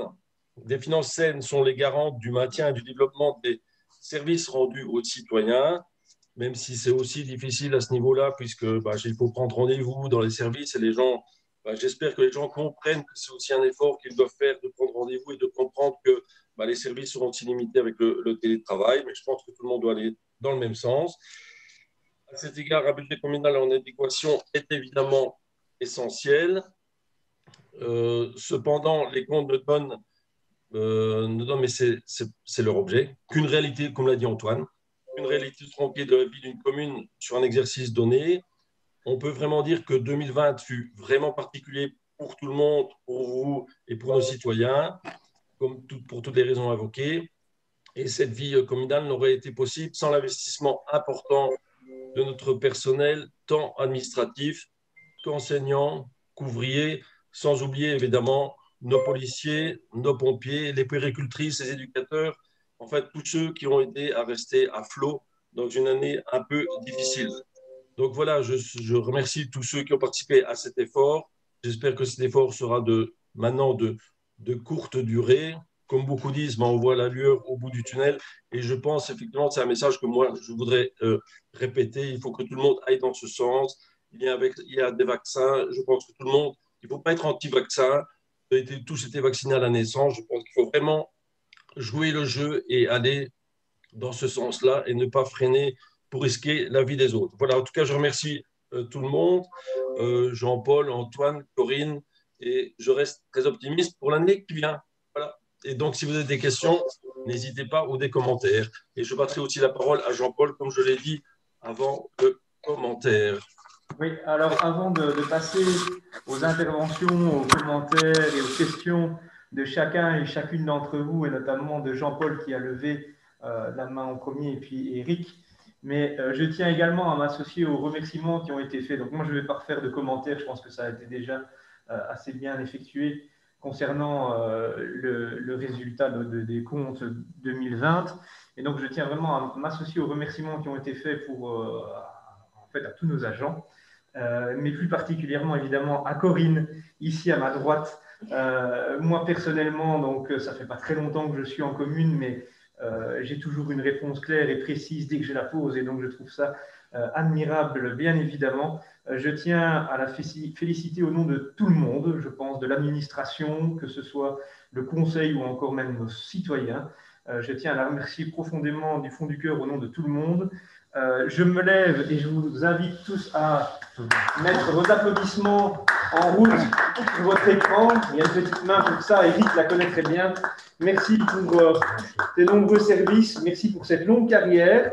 Virtuellement, je t'offre des cadeaux, mais nous aurons l'occasion évidemment de fêter Corinne euh, lors de différentes occasions, euh, notamment en collège, sachant que Corinne, c'est son dernier conseil, mais elle n'est pas encore tout à fait retraitée puisqu'elle termine ce mois d'avril congé bien mérité de toute façon, mais elle termine ce mois d'avril en attendant euh, son, en effet, son homme à la maison, puisque malheureusement, le bourgmestre d'Arlon n'a pas décidé de le laisser tranquille avant la fin du mois. Voilà. Voilà, donc je propose maintenant qu'on puisse passer aux interventions de tout le monde. Euh, et on va commencer par quand même Jean-Paul qui avait levé la main en premier, mais cette fois-ci c'est lui qui avait applaudi et Eric qui a trouvé la petite main. Ils ont inversé les rôles, je pense qu'ils ont changé de PC. Vas-y Jean-Paul, si tu peux ouvrir ton micro. Ah oui, je redemanderai aussi que tous ceux qui n'interviennent pas, je vois que Marc Arendt et Julien Jacquemin ont leur micro d'ouvert. Fermez votre micro parce que euh, ben, je pense que c'est Marc, on a entendu que tu avais reçu un petit SMS ou une petite notification d'email. Comme ça, ça permettra à chacun de garder sa vie privée. Vas-y Jean-Paul, nous t'écoutons et puis on passera la parole à Eric. Et avant d'adresser mes remerciements à Corinne, je vais faire euh, deux, trois commentaires sur le compte. Et donc, je partage évidemment, euh, puisque j'y ai participé aux, conclusions de, euh, de Christian Lambert, moi, j'attire vraiment l'attention du Conseil sur, et je suis curieux de voir quels seront les rapports, les recettes d'IPP, pas l'année prochaine, mais dans les exercices qui vont suivre, puisque, comme Antoine l'a expliqué, ce sont des recettes qui ne sont pas nécessairement perçues. C'est un système d'avance qui vient encore celui-là du fédéral. Euh, et donc, ce sont des recettes qui sont un peu d'un exercice à l'autre, qui sont un peu divergentes mais je serai vraiment attentif aux, aux, aux recettes d'IPP dans les exercices futurs parce que si ça ne devait pas augmenter, je pense que le phénomène que j'ai soulevé à plusieurs reprises, effectivement, à savoir qu'on a une population active, qui est de plus en plus une population active de frontaliers et de moins en moins une population active de résidents qui travaillent en Belgique, je pense que euh, ce phénomène-là, en tout cas, euh, s'il ne doit pas nous inquiéter encore, doit euh, nous rendre très attentifs à la situation. Et donc, je pense que les solutions, elles sont, elles sont à la fois simples à dire et difficiles à mettre en place. Je crois qu'il faut absolument continuer les, les, projets essentiels de la rénovation urbaine avec des, des, investisseurs privés afin que manifestement euh, une population qui a des revenus puisse revenir dans la commune afin de renflouer un peu ses recettes d'IPP. Ça, c'est une première chose. Et une deuxième chose, je crois vraiment qu'il faut continuer, mais ça, je parle plutôt pour le précompte immobilier, je crois qu'il faut vraiment continuer à faire notre travail que nous avions entamé voici deux ans de contrôle cadastral. Ça, ce n'est pas du tout populaire, ce que je dis là, mais je pense qu'il faut le faire parce qu'il y a entre citoyens de la commune d'Aubanche et entre citoyens qui habitent des entités rurales et des entités plus urbaines, il y a des différences qui sont aujourd'hui inadmissibles. Voilà. Euh, concernant le, fonds des frontaliers, je me rallie évidemment totalement à ce qu'a dit euh, Christian. Je pense qu'il faut laisser négocier, j'allais dire, les grandes personnes. Il n'y a rien de péjoratif dans ce que je dis là. Mais je pense que plus on fait des commentaires, alors que parfois on n'y connaît rien du tout, plus on fait des commentaires sur ce dossier, plus les négociations seront difficiles. Et je pense que si l'ancien bourgmestre de Martelange a fait cette sortie dans la presse, comme Christian l'a très bien dit, son patron, c'est l'État luxembourgeois. Et donc, pour moi, il y a anguille sous roche. Et le fameux projet où le fonds des frontaliers serait remplacé par un autre fonds des frontaliers qui serait lié à des investissements, à des investissements, donne aux communes, ne donne aucune assurance aux communes qui touchent au fonds des frontaliers qu'elles auront un retour juste. Parce qu'effectivement, euh, monsieur, je ne sais plus son, nom, monsieur Franz Clément, ce que nous demandons, ce n'est pas monde. Ce que nous avons enfin obtenu de haute lutte, c'est la justice, l'équité fiscale entre travailleurs frontaliers et travailleurs euh, qui payent leur IPP en Belgique. Alors voilà ce que je voulais dire concernant les comptes. Concernant euh, mes remerciements à Corinne, je pense qu'après tout ce qui a été dit, Corinne, euh, je ne sais pas rajouter des remerciements aux remerciements. Et donc, je vais rappeler un peu. Je vais. Non, non, non. ne vous inquiétez pas. Je, vais rappeler un peu, parce que finalement, euh, on, l'a dit à plusieurs reprises, on a une carrière parallèle. Moi, j'ai fait 40 ans de politique, et vous, vous avez fait 40 ans, un peu plus, de euh, carrière à la commune d'Aubanche. vous avez toujours fait euh, carrière au niveau du service des finances, mais pas toujours comme directrice financière. Moi, je vous ai connu lorsque j'étais jeune conseiller communal de l'opposition, quand vous travailliez avec Danny Lansens, un grand monsieur également que je salue, euh, au service des finances. Et effectivement, que ce soit Danny ou que ce soit vous, lorsque j'avais une question, euh, j'avais une réponse qui était toujours claire.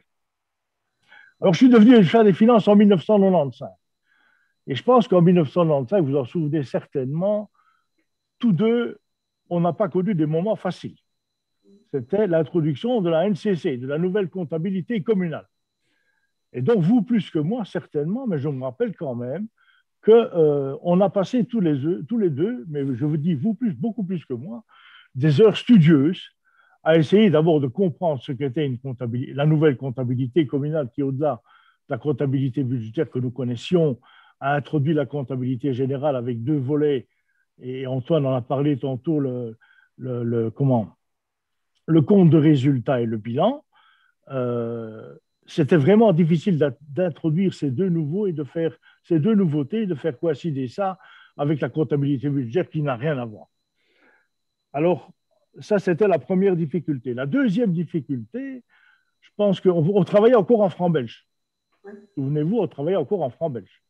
Et donc, je me souviens de ces séances de préparation du budget, parce qu'on avait tous les deux la même optique, à savoir ne pas agir sur les recettes et aller le moins souvent possible dans la poche du citoyen, on faisait des réunions de préparation de budget et on raclait vraiment les fonds de tiroir. Et les fonds de tiroir, à l'époque, c'était quelques milliers de francs belges par-ci et quelques milliers de francs belges par-là. Et on arrivait toujours à mettre notre budget en équilibre. Et rétrospectivement, je pense qu'on peut en être fier. Alors, ça ne veut pas dire qu'entre nous, il n'y a jamais eu de haussement de ton. Il y en a eu. Je me souviens notamment, et je pense que Véronique s'en souvient aussi, l'introduction de la nouvelle loi sur les marchés publics. Qu'est-ce que j'ai pu râler? Qu'est-ce que j'ai pu râler sur vous parce que vous, étiez là pour, euh, pour défendre la nouvelle loi? Et moi je comprenais je comprenais pas pourquoi il fallait faire demander trois offres pour acheter des oranges ou pour acheter des clous ou pour acheter des vis.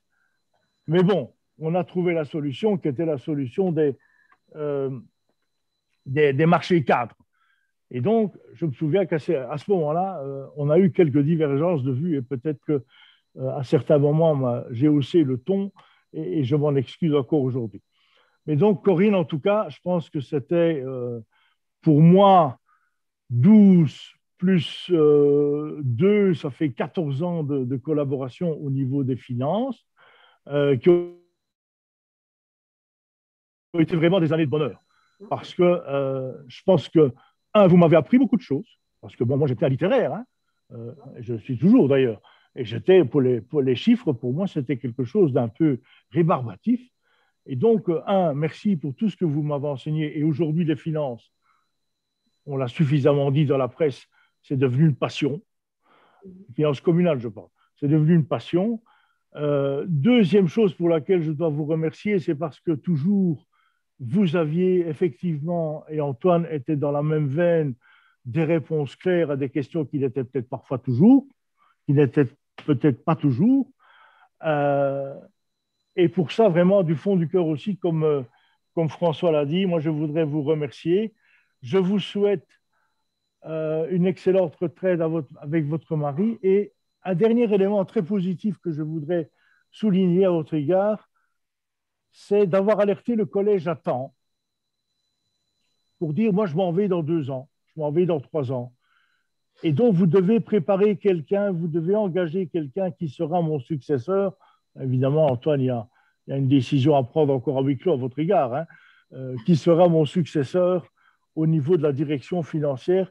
Et ça, je pense que c'est vraiment le fait de, de quelqu'un de grand. Vous êtes une grande dame, parce que c'est quand même rare des gens, en général, quand on s'en va, on dit adieu, adieu tout et débrouillez-vous. Eh bien non, vous avez dit euh, la commune, c'est pas quand moi je serai plus la commune devra continuer. Et je pense que c'est un signe de d'intelligence et de grandeur de préparer quelqu'un à, à, la succession de quelqu'un qui s'en va. Voilà, Corinne, merci. Mais comme je dis, François, mon cadeau personnel viendra aussi en temps voulu. Merci Corinne. Merci à vous aussi. On passe la parole à Eric après ce moment avec Jean-Paul. Voilà, ben, je vais être beaucoup plus court parce que comme euh, Jean-Paul l'a dit, tout a été dit. Euh, je vais peut-être quand même me répéter, répéter quand même une certaine chose, c'est que Corinne, ben, on a travaillé quelques années ensemble en tant qu'échevin et puis conseiller de l'opposition. À chaque fois que j'ai pu euh, poser une question en étant dans l'opposition, j'ai toujours eu une réponse très claire. Ça, je pouvais te le dire, te dire merci. Jamais rien caché. Euh, ça, c'est fantastique. Euh, maintenant, au sujet d'Antoine, ben, je vois que tu lui as bien appris. Euh, il part sur une bonne ligne de conduite. à l'ancienne aussi, il va prendre ses marques pour donner un nouveau potentiel, des nouveautés, j'espère. Euh, voilà, euh, je ne vais pas aller plus loin sur ça. J'aurais une remarque simplement au niveau des dividendes euh, qu'ils ont diminué d'Ores. Ils ont diminué, ce n'était pas dû au remplacement des luminaires sur la commune? Non, ça n'a rien à voir. Ça n'a rien à voir? Non, ça n'a rien à voir. Ah ben ok, voilà. Eh ben voilà, j'ai ma réponse. sont distribués d'après les, les participations dont, dont dispose la, la, la, la ville d'Aubange. Mais il y a aussi une influence euh, vraisemblablement suite à la diminution du, des, des coûts, des prix qui, euh, qui ont été mis. Euh, M. Dandelager pourrait peut-être donner plus. Ores, Ores- Ores est une entreprise commerciale. Oui. Et donc, Ores, pour pouvoir distribuer des dividendes, il faut qu'Ores ait des résultats qui sont des résultats. Je ne vais, pas- je vais pas commencer à pleurer sur le sort d'Ores, hein. Euh, mais les, les dividendes que touchent les communes sont fonction évidemment des résultats annuels d'Ores, qui est une société commerciale comme une autre. Mais ce qui est rassurant, c'est que Sophilux nous a toujours garanti d'un an à l'autre une augmentation des dividendes. Sophilux, je parle. Une augmentation des dividendes de 2%, ce à quoi ils se tiennent. Merci. Ça sera tout. Très bien, Eric, merci. Euh, Véronique. En ma qualité de chef de groupe du groupe Intérêt Général, c'est bien évidemment aussi euh, et personnellement que je tiens donc à remercier Corinne pour toutes les années donc euh, passées euh, en commune. Et puis, alors, on n'a peut-être pas mentionné, c'est vrai que comptable spécial également à la zone de police, mais donc euh, voilà une tâche euh, qu'elle a donc remplie euh, avec toutes les qualités qu'on lui a décrites précédemment. Et je vois aussi ben, voilà, les qualités d'Antoine au fur et à mesure de ces années. et j'espère, voilà, comme l'ont dit ceux qui m'ont précédé, bien que toi, Corinne, ainsi que ton époux, allez profiter pleinement de votre retraite. Et on aura l'occasion au collège de pouvoir voilà, échanger également. Merci. Merci. Merci, Véronique. D'autres demandes de prise de parole? Non. Véronique, tu peux baisser ta petite main. On peut du coup passer au vote concernant l'arrêt des comptes annuels 2020 de la ville d'Aubange. Et donc, y a-t-il des votes contre? Des abstentions? À l'unanimité, je vous remercie. Et on passe au point numéro 8, l'approbation des modifications budgétaires ordinaires et extraordinaires. Numéro 1 de la ville d'Aubange, comme l'a déjà introduit euh, tout à l'heure la direction financière ainsi que l'échevin en charge. Euh, il y a notamment l'intégration des euh, résultats des comptes 2020, mais je vais laisser Antoine vous présenter cela, qui sera suivi d'un petit commentaire de Raoul. Raoul, on peut passer directement la, parole à Antoine, je suppose. Ok. Et donc Antoine va vous présenter cette modification budgétaire numéro 1 de l'année 2021.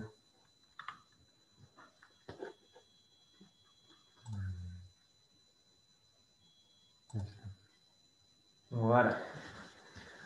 Voilà, donc euh, comme, euh, comme vient de le, dire monsieur, monsieur le bourgmestre, euh, la suite logique euh, des comptes annuels 2020, euh, c'est la modification budgétaire numéro 1 de l'exercice euh, 2021, qui vient en quelque sorte rectifier le tir par rapport au, budget initial, puisque entre-temps, on connaît un, un résultat définitif de l'exercice 2020 et on vient l'intégrer dans l'exercice suivant, donc 2021.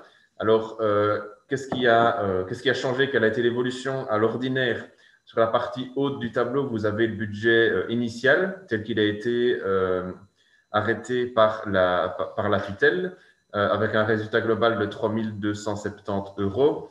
Et entre le budget initial et la modification budgétaire, ce qui a changé, c'est essentiellement aux exercices antérieurs. C'est tout à fait logique puisqu'on est venu intégrer le boni de l'exercice 2020 et euh, de façon euh, un, petit peu plus euh, marginale, quoique, euh, des rôles euh, de taxes de 2020 qui sont arrêtés sur euh, 2021. Et en, parallèle, côté dépenses, euh, ben, c'est toujours le, même principe euh, des, majorations euh, selon euh, les, factures euh, de, de 2020 qui ont dû être réalisées pour, euh, pour ajuster les, les crédits euh, sur base des, euh, euh, de ce qui était constaté au compte. Donc, euh, c'est essentiellement ça qui fait évoluer le, résultat qui passe de 3 200 euros à 76 728 euros. Euh, vous voyez qu'à l'exercice propre, euh, on n'a pratiquement rien qui change. Alors, euh, les dépenses euh, à l'ordinaire, un, un récapitulatif par, euh, par groupe économique Donc, vous voyez, c'est la première ligne en gras, le total à l'exercice propre des dépenses qui est en recul de 56 000 euros, qui est le résultat d'une augmentation des dépenses de personnel, euh, une diminution des dépenses de fonctionnement, 42 000 euros, une diminution des dépenses de transfert de 32 000 euros et une diminution des dépenses de dette de 15 000 euros. Euh, mais euh, aux exercices antérieurs, donc ça c'est les, les, les, dépenses en, question de, de, de, 2020 qui ont, qui ont induit une rectification sur, sur la modification budgétaire, une majoration de ces dépenses-là qui, au total, au global, euh, amène euh, une augmentation des dépenses d'un peu moins de 60 000 euros. Alors, quelques euh, éléments à, à, mettre en avant. Ben, aux exercices antérieurs, on a notamment une augmentation des dépenses d'éclairage public.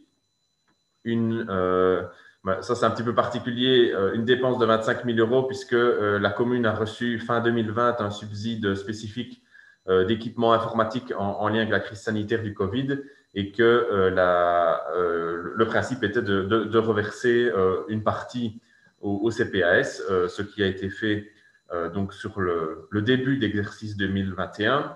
Également une, une, majoration de crédit pour les achats de sacs poubelles, puisqu'il fallait équiper la commune en stock suffisant pour assurer la distribution début, début 2021, et bah, notamment des prestations également de, de fossoyage qui sont en hausse. Euh, sur l'exercice euh, précédent. Alors, euh, au, à l'exercice propre, quelques, quelques, éléments à mettre en avant. Bah, les dépenses de personnel qui augmentent. Vous savez que généralement, les adaptations sur le personnel se font majoritairement en modification numéro 2, puisque à ce moment-là, on a une vue un petit peu plus claire sur, sur ce qui se passe sur les différents crédits de, de dépenses et ce qu'on a, qu'on a pu constater au cours de l'exercice.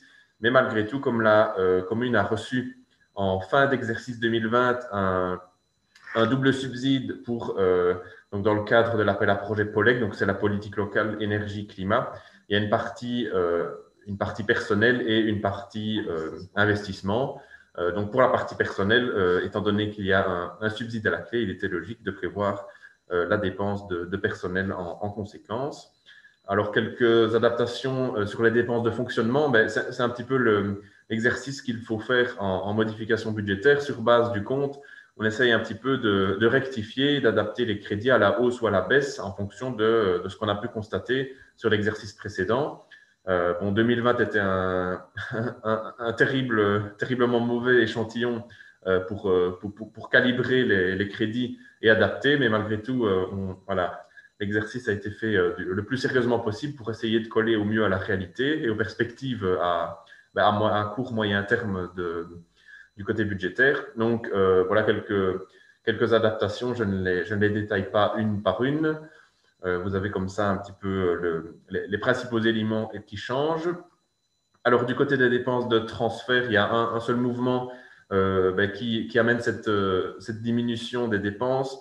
Euh, c'est le, subside de 40 000 euros qui avait été prévu au budget initial pour que le centre sportif local puisse euh, honorer ses derniers engagements avant le passage en régie communale. Euh, et donc, comme la totalité n'était pas nécessaire pour ces engagements, le, crédit peut être, a pu être réduit.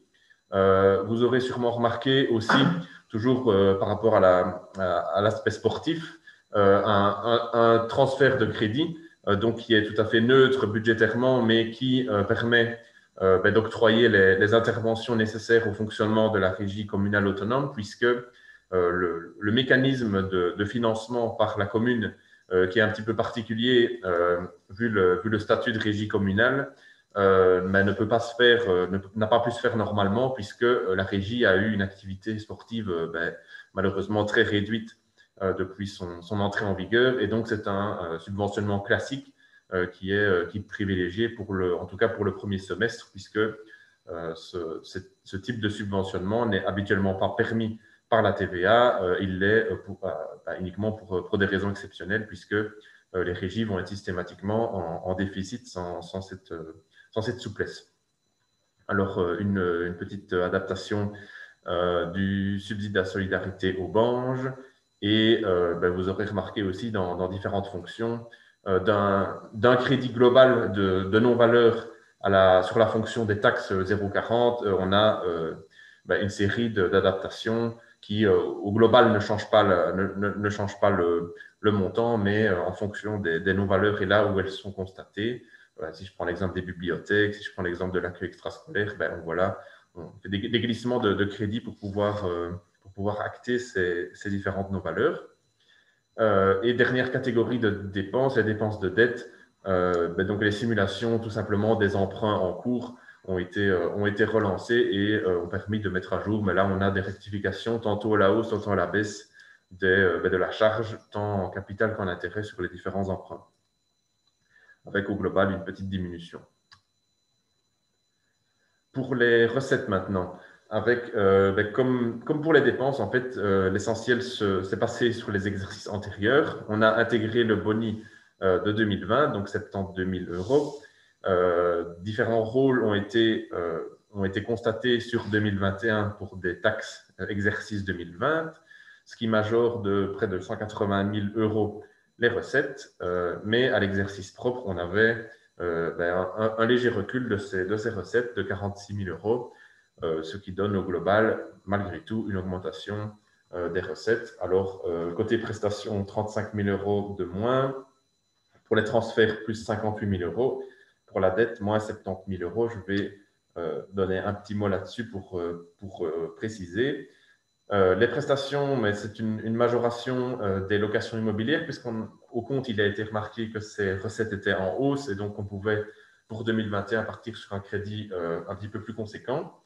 Euh, du côté des, repas scolaires, euh, je ne l'ai pas évoqué pour les dépenses, mais euh, ben, compte tenu du fait que les repas scolaires n'ont pas pu être délivrés euh, comme, ils auraient pu l'être sur un exercice normal, euh, ben, les dépenses de, de, fourniture ont été baissées, mais les recettes, évidemment, de, refacturation des repas ont été baissées en conséquence.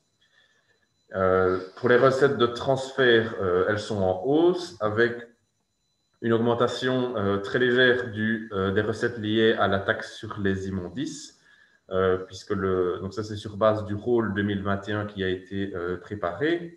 Les ventes de sacs qui sont également en hausse, pareil, je, je ne l'ai pas évoqué précédemment, mais on a, a des dépenses qui, qui, sont correspondantes à cette, hausse de recettes. et alors, un, point sur les taxes, euh, ça n'a pas d'effet euh, budgétaire, mais malgré tout des, adaptations de crédit, puisque le Conseil communal a décidé pour 2021 de euh, supprimer, en tout cas de suspendre la taxe sur les débits de boissons, la redevance sur les marchés et sur le placement des terrasses, et que parallèlement à ça, la région wallonne s'est engagée à compenser ben, la perte de recettes qui en, découlerait. Également des adaptations euh, donc à la fonction 767 des bibliothèques qui ont euh, euh, qui sont vues attribuer une reconnaissance donc avec un subventionnement en termes de personnel et de fonctionnement revu à la hausse et également pour l'accueil extrascolaire bah, c'est une recette qui n'est jamais garantie en début d'année, qui n'est donc jamais inscrite au budget initial, mais la recette a été, a été perçue et donc il était nécessaire de régulariser euh, pour ce qui concerne les crédits. Du côté euh, de la dette, mais ça également, c'est le, le, résultat de ce qui était présenté sur le compte, euh, puisque 2020 a vu des dividendes ORES en baisse. la prévision budgétaire de 2021 devait être alignée pour ne pas avoir une, mauvaise surprise au compte, au compte 2021, se rendre compte qu'on n'a pas perçu l'intégralité des dividendes prévus. Alors, l'extraordinaire, euh, même principe. Sur la partie haute du tableau, vous avez le budget initial et en bas, vous avez euh, les adaptations en, modification budgétaire. Euh, et de nouveau, ben, ce sont essentiellement les exercices antérieurs qui ont été impactés. je l'ai expliqué en fin de présentation sur les comptes. chaque projet dans le cadre des comptes est, passé en, revue, chaque projet extraordinaire. Il y en a il y en a environ 80, je pense, qui ont été, euh, qui ont été passés en revue. Et pour chaque projet, euh, il y a une vérification de l'équilibre recettes-dépenses, euh, de ce qui a été comptabilisé effectivement. Et il y a la nécessité, l'obligation d'avoir un équilibre sur le, financement des différents projets extraordinaires. Et donc, réinscription de recettes ou réinscription de, dépenses en modification budgétaire pour, euh, pour atteindre cet équilibre. Alors, je ne vais pas les passer tous en revue, simplement pour donner deux, petits exemples, un, de chaque sens. Euh, le projet Interreg pour la, mobilité douce, les, les, subventions ont été annoncées et comptabilisées sur des exercices antérieurs, mais le projet, en tout cas, les, dépenses du, projet n'ont pas été toutes réalisées. Et donc, au, moment de faire le, le compte 2020, on a des recettes supérieures aux dépenses et donc il faut réinscrire euh, des dépenses sur 2021 euh, pour atteindre cet équilibre.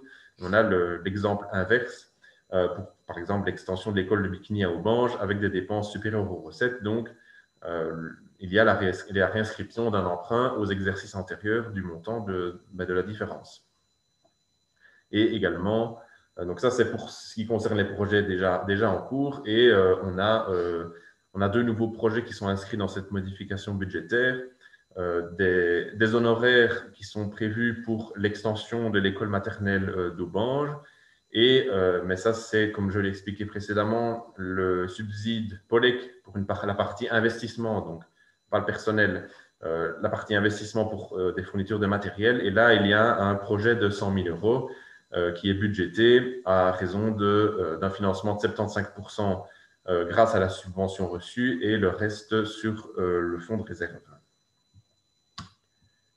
Donc voilà les principaux, les principaux éléments à, à mettre en, évidence pour cette modification euh, budgétaire et je vais céder la parole à M. Leschevin. Vas-y Raoul. Donc, encore une fois, merci Antoine. Donc, c'était euh, très clair et je pense qu'Antoine a expliqué toutes les euh, variations dans la première modification budgétaire de, l'année. Je voudrais juste revenir sur euh, l'augmentation des frais de, personnel. On en avait un petit peu parlé en collège. Donc, comme, comme l'a dit Antoine, on rectifiera tout ça à la deuxième modification budgétaire qui aura lieu à l'automne, puisque toutes les embauches prévues sont dans, dans le, le budget de 2021, évidemment. Et pour l'instant, on a, on a, pratiqué à quasi pas d'embauche, donc que ce soit le, juriste ou la juriste et d'autres postes. Donc ces, postes sont inscrits dans, dans les frais de, personnel, mais pour l'instant n'ont pas encore été utilisés. On ne sait pas quand ils seront utilisés cette année-ci. Par ailleurs, c'est une question qui avait été aussi euh, posée entre nous en, réunion de préparation de, ce conseil. Euh, lorsqu'on a fait le, budget 2021, euh, nous avions la, situation d'avoir deux directeurs généraux, une directrice générale et un directeur général, et on ne savait pas sur quel pied danser, puisqu'on ne savait pas si le poste directeur général allait rester ou pas. Donc, son salaire a quand même été prévu sur l'année 2021, ce qui représente quand même salaire et charges patronales, plus ou moins, Antoine, tu me dis si je me trompe, 146 000 euros donc, euh, ces chiffres sont, dans les dépenses de, frais de, personnel. Donc, euh, voilà. Donc, Antoine a été très, très clair dans, toutes les euh, variations. Pour évidemment, comme il a dit, bah, les cantines scolaires, 40, 50 000 euros de recettes, mais 50 000 euros de, dépenses parce qu'il n'y a pas eu de, cantine. vous voyez l'effet l'effet Covid dans, ce, dans ces modifications budgétaires, qui est un petit peu, particulier, évidemment. le glissement des 225 000 Concernant la RCA, ben, on l'a fait peut-être un peu trop vite. Euh, on a voulu être plus catholique que le pape, je dirais, parce qu'on euh, s'est dit qu'il faudra faire attention. Vous savez que la, RCA est sujette à la, est assujettie à, la TVA, donc on a voulu éviter de, de, virer, de, virer des aides à la RCA euh, en se disant ben, que la, TVA viendrait mettre son nez, mais en fait, on a été un peu trop vite et je pense qu'on est très, très, très clair et très transparent à ce niveau-là et on ne sera ni embêté par la TVA ni par la tutelle. Voilà les, points que je voulais euh, signaler pour l'ordinaire. Quant à l'extraordinaire, euh, bah, Antoine a, relevé évidemment les frais d'honoraires du, euh, du projet de la rénovation de l'école maternelle de, la rue du Stade à, Aubange. C'est un projet qui a été, dont les marchés ont été passés en 2017, donc c'est quand même un, projet qui est un petit peu ancien. Euh, il est un peu ressorti euh, comme ça hors de l'eau, un peu comme le Covid est arrivé, on ne s'y attendait pas. Et donc, euh, cette somme très, très, très conséquente fait quand même, est l'objet de discussions au sein du, collège et avec la, société qui, qui, est auteur de, de projet. Et donc, nous avons été très surpris par la hauteur des honoraires qui sont partis sur une base qui ne, qui, ne, qui nous a surprise, qui nous a surpris, pardon. Donc, euh, ceci a déjà été revu par l'auteur de projet qui a avisé le marché public qu'il allait faire une note de crédit d'environ 170 000 euros. Donc, euh, ce qui a été prévu par Antoine est déjà euh, une belle poire pour la sorte, je vais dire. Et je pense que l'auteur de projet a, déjà fait un peu marche arrière suite à, notre, pression. Et euh, je pense que c'est un, sujet que nous allons suivre, évidemment, dans les jours et les mois qui viennent. Voilà, j'ai pas d'autre chose à rajouter. Antoine a été très, très clair. Donc, si vous avez des questions beaucoup plus techniques ou autres, n'hésitez pas. Voilà pour les deux présentations des modifications budgétaires, les deux premières modifications budgétaires. Merci Raoul. Et on passe à la précision de Christian Binet en premier lieu, euh, donc l'homologue et l'homonyme de Christian Lambert. Vas-y Christian. Oui, est-ce que vous m'entendez? Parce que j'ai dû passer sur mon smartphone parce que je perdais la connexion sur l'ordinateur. Ça va?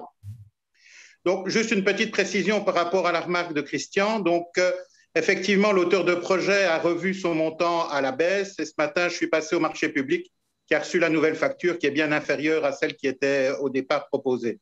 Donc, euh, les frais d'auteur de projet seront plus étalés dans le temps que c'était initialement prévu par l'auteur de projet. Merci Christian. D'autant plus que le projet, je le précise aussi, sera adapté en fonction de la fréquentation scolaire. Donc, euh, c'est un projet qui ne sera concrétisé que dans quelques années au minimum. Donc, euh, voilà. Tout à fait. Merci Christian pour ces précisions. Juste, encore, juste encore que, que, nous soyons bien clairs, nous ne sommes pas contre la philosophie du projet. Hein. Nous sommes intervenus pour le, le, le coût de, pour la réaction sur les honoraires, en tout cas, ce n'est pas contre le projet, que les choses soient bien claires dans, dans l'intervention. C'est contre les honoraires qui étaient vraiment euh, un peu trop vite anticipés et vite, euh, vite réclamés. Voilà. Merci Raoul. Donc, on passe maintenant aux questions. Si Christian Binet veut bien baisser la main, qu'on puisse voir. Si ça, je, je suis en train d'essayer. Voilà. En principe, c'est fait. Merci. Y a-t-il des questions? Des prises de parole? Non, il n'y en a pas. J'ai encore, encore, une petite précision que Antoine euh, m'avait donnée. C'est euh, pour répondre à Eric euh, Janson, euh, Ores n'est pas du tout transparent dans, dans les dividendes. Donc, euh, Antoine peut me confirmer qu'on a reçu bah, la semaine dernière encore euh, 46 000 euros de, de dividendes.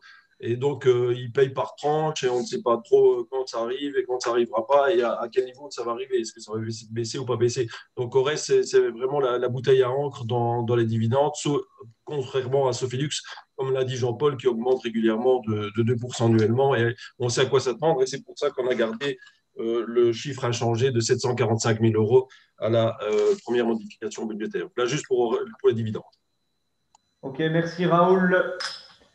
S'il n'y a pas de demande d'intervention ni de question, je propose qu'on passe au vote.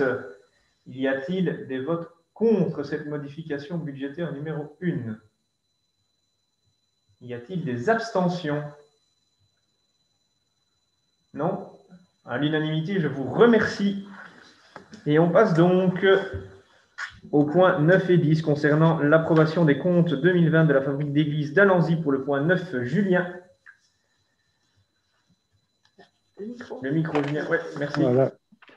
Voilà. la fabrique d'église euh, d'Alanzy tout d'abord. En recette 48 670 euros, en dépenses 33 345, ce qui nous donne un boni de 15 324 euros. Pour la fabrique d'église d'Aix-sur-Cloix, en recette 18 389 euros, en dépenses, 8 375 euros, ce qui nous laisse un boni de 10 000 euros tout rond. Voilà, j'aurais peut-être dû attendre le vote sur Alanzi avant de passer avec Surcloix. Pas de souci, pas de souci. On va les voter de toute façon un par un. Est-ce qu'il y a des demandes euh, d'intervention, des questions, des remarques à formuler dans le cadre de ces deux euh, comptes 2020 de fabrique d'église qui sont euh, plus brefs à présenter que le compte de la commune? Ouais. Certain. Non, pas de demande de parole. Alors, on passe au vote sur le point numéro 9 en premier, approbation des comptes 2020 de la fabrique d'église d'Alanzy. Y a-t-il des votes contre? Des abstentions? Christian euh, tra Oui, traditionnelle abstention, puisque c'est régi par le code Napoléon qui date de deux siècles. Je pense que ah. vous savez pourquoi je m'abstiens. On attendra que tu redeviennes Napoléon, Christian, pour pouvoir changer cela. Et donc, une abstention pour Christian Binet, pas d'autres abstentions. Euh, donc, à l'unanimité, à l'unanimité, moins une voix pour Christian Binet. Je vous remercie. L'approbation des comptes 2020 de la fabrique d'église d'Aix-sur-Cloix. Je suppose le même vote, mais on va quand même le voir. Des votes contre Non. Une abstention pour Christian Binet Oui. Et donc, à l'unanimité, moins une voix pour Christian qui s'abstient. Je vous remercie. On passe à la décision d'octroyer un subside de 300 euros à l'ASBL L'Églantine. Et c'est Catherine Barry qui va vous présenter ce point. Oui, voilà. Donc, euh, l'Églantine organise trois centres d'accueil de jour pour personnes âgées et pour personnes en perte d'autonomie. Un se situe à Differt, un autre à Bastogne et encore un autre à Bertry. Fin 2020, ils ont lancé un projet de rénovation de leur bâtiment de Differt, principalement pour leur salle d'activité et leur cuisine. Ils recherchent ici, bien sûr, des donateurs euh, qui les aideront, euh, à, financer leur projet. Donc, euh, moi, je me suis permis de téléphoner à la SBL et donc, ils ont, hors Covid, bien entendu, 15 résidents, enfin résidents, 15 personnes participant à leurs activités pour une moitié d'Aubanjois. Euh, donc euh, voilà, 6-7 aubangeois euh, fréquentent régulièrement les glantines de Differt. Donc ici, ce soir, ben, en guise de soutien, on vous propose de, faire un, don à une hauteur de 300 euros, en sachant que nous versions aussi les années précédentes cette somme-là. Voilà. Merci Catherine. Est-ce qu'il y a des questions, des prises de parole? Non, on peut passer au vote.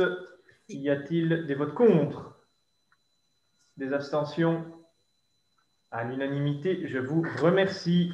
Budget participatif, on passe au projet de skatepark à Alanzy dans le cadre du budget participatif où on vous demande euh, d'approuver, un, la modification du lieu du projet et deux, le report évidemment du coup du délai pour concrétiser euh, ce projet et on le passerait euh, du 3 avril 2021 au 30 avril 2022, soit une grosse année plus tard pour pouvoir réaliser ce projet en attendant évidemment euh, la partie que nous allons vous proposer plus tard. Mais donc l'idée vient du fait que euh, on a été abordé notamment par le, DNF, donc département nature et forêt, euh, concernant la possibilité de faire une réserve naturelle au crassier. Donc les, projets au crassier étant abandonnés, nous sommes partis sur un nouveau projet au crassier dont on vous aurez des nouvelles dans le futur et euh, il y a notamment cette idée de réserve naturelle euh, par le, département nature et forêt euh, qui le gérerait pour nous, dans lequel on pourra évidemment y faire des aménagements. Le tennis est aussi en train de, de certaines choses pour des aménagements futurs. Et donc, dans cette logique de pouvoir créer un endroit dédié aux loisirs et au sport, on a posé à la réflexion du collège communal et donc à votre réflexion aussi ce soir, de pouvoir déménager le skatepark d'Alanzy qui se trouve en centre-ville et donc qui euh, amène parfois des désagréments à certains riverains euh, qui sont, euh, proches du skatepark et de pouvoir le réaliser à côté des terrains de tennis sur le crassier. donc on vous redonnera évidemment au, moment des, réalisations et ainsi de suite, des propositions de ces projets, des emplacements bien plus précis etc. Mais évidemment, ça tient compte des demandes d'un peu tout le monde. Euh, c'est pour pouvoir évidemment aller dans le bon sens. Et donc, pour pouvoir y arriver, on vous demande du coup euh, ces, deux, euh, ces deux approbations, donc un peu du report du budget participatif pour ce projet précisément. je vais laisser d'abord Raoul peut-être rajouter quelque chose à cela, puisque c'est à lui qu'on a demandé d'aller démarcher les jeunes qui avaient reçu ce subside pour, projet pour le projet de budget participatif. Pardon. Et donc, euh, Raoul, si tu sais nous faire peut-être un petit commentaire, comment ont accueilli les jeunes euh, cette idée? Comme, vous l'avez dit, Président, en fait, on est allé voir avec, euh, Christian et les, ouvriers communaux et Adrien Espagnard sur le site du, tennis. Effectivement, il y a le projet du tennis qui est des terrains de padel qui sont prévus à, à plus ou moins long terme ici, le skatepark serait situé sur la partie haute du, tennis, donc ne gênerait pas les compétitions du, euh, euh, club de tennis. Euh, ce serait dans un endroit qui est un peu plus calme et l'endroit est vraiment plus aux, gens qui ont porté ce, projet. effectivement la, raison principale, c'était d'éviter les nuisances au, centre d'Alanzy. Donc, le, le, le skatepark d'Alanzy, centre-ville, centre-village, je veux dire, derrière l'hôtel de ville, est abandonné et se fera sur le, le site euh, du, du Crassier, en contrebas du, du Crassier. C'est vrai que c'est un, très bel endroit et qui est très accessible. Et en plus, les gens qui fréquenteront, fréquenteront pardon, le, le skatepark pourront aussi profiter bah, de la cafétéria du, euh, du tennis club. Et euh, c'est une situation, c'est un endroit qui se situe aussi sur le chemin euh, piéton- cycliste, la liaison Musson, Musson à Nancy, donc et pas loin de la gare, c'est très accessible à tout le monde, tant à pied qu'en qu'en voiture, qu'en vélo, tout ce qu'on veut. Enfin, je pense que c'est un, un beau projet là-bas. Voilà, plus la remise en vigueur des, bassins euh, concernant euh, notre passé minier. Et donc, évidemment, si on vous propose de, postposer euh, le projet participatif ici, c'est pour la bonne raison que les structures, euh, parce que les, les- personnes ont évidemment déjà fait les démarches pour se renseigner sur les structures à mettre en place, et c'est du béton imprimé. Donc, évidemment, du béton, euh, c'est définitif. Et donc, on aimerait bien que ce- cet investissement définitif se passe au lieu définitif. Et comme, comme ils sont évidemment d'accord pour cela, euh, on, on- va euh, aller dans ce sens-là. Eric, une question? Oui, ben moi, je, sur le fond, je suis tout à fait d'accord parce que l'idée de base, pour ma part, c'était de le mettre dans cet endroit-là. Où, euh, où je tique un petit peu quand même, c'est que euh, quand le projet-là a été étudié pour le mettre au centre du village, euh, comme vous l'avez dit, Président, euh, à la base, tout le voisinage était d'accord d'avoir ce fameux euh, skatepark derrière l'hôtel de ville, l'ancien hôtel de ville. Et là, maintenant, vous dites que voilà, ça fait un peu de bruit, ça dérange ici et là. Mais voilà, je veux dire, on, peut changer d'avis, mais si à chaque fois c'est comme ça quand on avance dans, dans un projet et puis qu'on recule par après, on n'avance jamais correctement. hein. C'est un peu dommage. Maintenant, Surtout maintenant- qu'il y a quand même des, il y a quand même eu, il y a quand même eu des frais euh, d'aménagement, je veux dire, euh, qui ne sont pas perdus parce qu'on peut en faire un parking maintenant dans, dans l'idée, mais avant c'était quand même une place euh, verte où on a tout enlevé, on a mis quand même du macadam.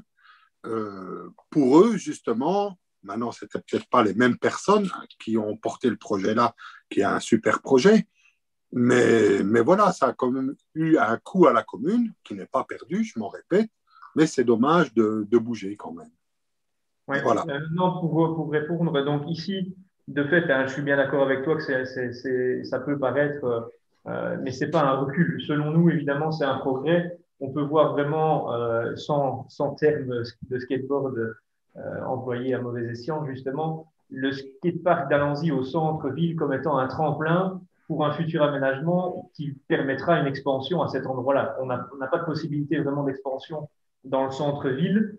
Euh, de fait, on a eu aussi, puisque lors du budget participatif, les citoyens étaient tous amenés à s'exprimer sur les différents projets et on a eu sur cette proposition-là qui a été sélectionnée comme troisième, je le rappelle, et donc il y a eu le reste du subside à hauteur d'environ 10 000 euros. Euh, on a eu quand même des, remarques de citoyens qui, en effet, nous disaient, ben voilà, on a des dérangements qui sont dus, enfin, que ce soit de bruit ou d'autres nuisances, mais, euh, mais donc voilà. Donc évidemment, on en tient compte. On tient compte aussi d'un développement futur à cet endroit-là pour essayer de regrouper un maximum ben, les loisirs et les sports, comme on l'a dit tout à l'heure, avec notamment mettre à profit la, la liaison cyclable et ainsi de suite, plus la découverte de nos patrimoines miniers. Donc on essaye vraiment de faire euh, tout d'un coup. Et donc je pense que ça a vraiment beaucoup de sens de tout regrouper à, à cet endroit-là, comme tu le disais aussi, Henri. Bon. Euh, mais, mais donc, il faut vraiment le voir ici comme une possibilité d'extension et vraiment un développement de, de ce skatepark. Je veux dire, on va, ce qu'on va mettre ici en place cette année avec euh, et, et l'année prochaine avec euh, avec le skatepark au niveau du budget participatif, ben, ça leur permettra dans le futur, je sais pas moi, dans 2, 3, 4, 5 ans, en fonction de comment ça prend aussi, de pouvoir encore euh, s'étendre à cet endroit-là. Alors, on prend les Jean- interventions de François, j'ai encore une petite euh, précision euh, pour répondre à Eric. En fait, bah, la, la surface de, de l'actuel skatepark, évidemment, euh, c'est macadamisé. Maintenant, tu as raison, Eric. Et euh, il y a quand même une demande aussi des, des bibliothécaires et euh, des gens qui se garent au centre euh, d'Alandy euh, de- d'aménager cette- toute cette partie-là. En fait. Euh, Donc, les bibliothécaires sont demandeuses d'une d'un parking correct. Euh, ici, on évite la- la- le voisinage des, des gens qui viennent au skatepark. Et le vendredi soir, notamment, bah, en temps normal, il y a aussi les répétitions des, des harmonies et ce parking est, est complet tous les vendredis soirs.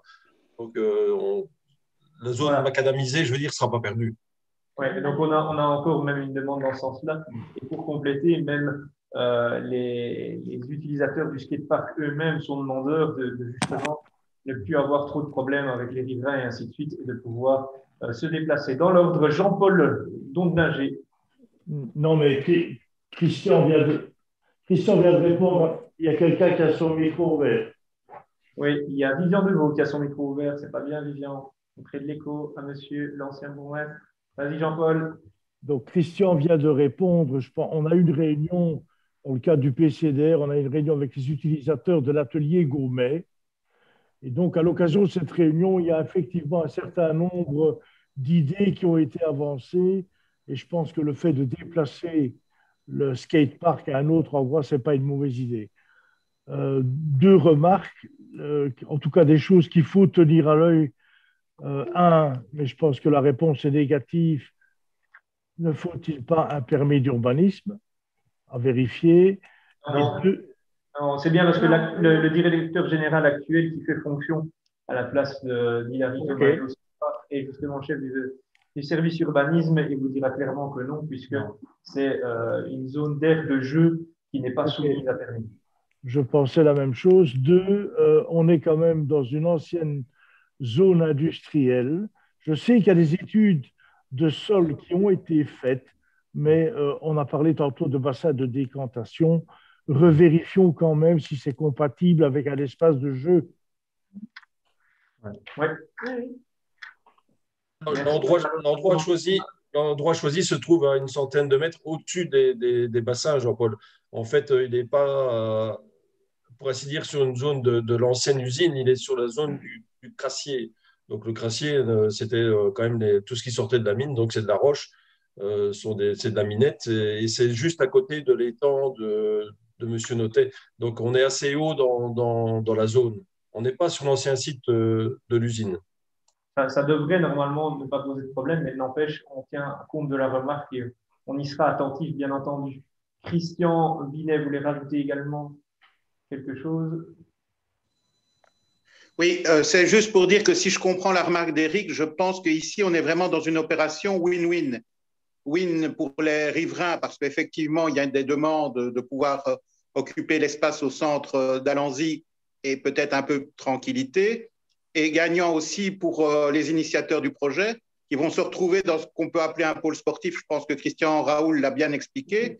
Et puis, effectivement, comme tu l'as évoqué, François, il y a l'aspect développement du patrimoine et du tourisme avec le parc naturel de Gaume et nos amis de la minière, où il y a un potentiel aussi, je dirais, au niveau loisir. Donc, euh, je pense que la nouvelle localisation est un bon choix et une opération gagnante euh, pour l'ensemble des partenaires. pour tout le monde. Est-ce que Julien pourrait fermer son micro, Julien, parce que tu l'as laissé ouvert depuis les fabriques Non Si, si, il est ouvert. Peut-être sinon tu peux regarder toi pour le fermer.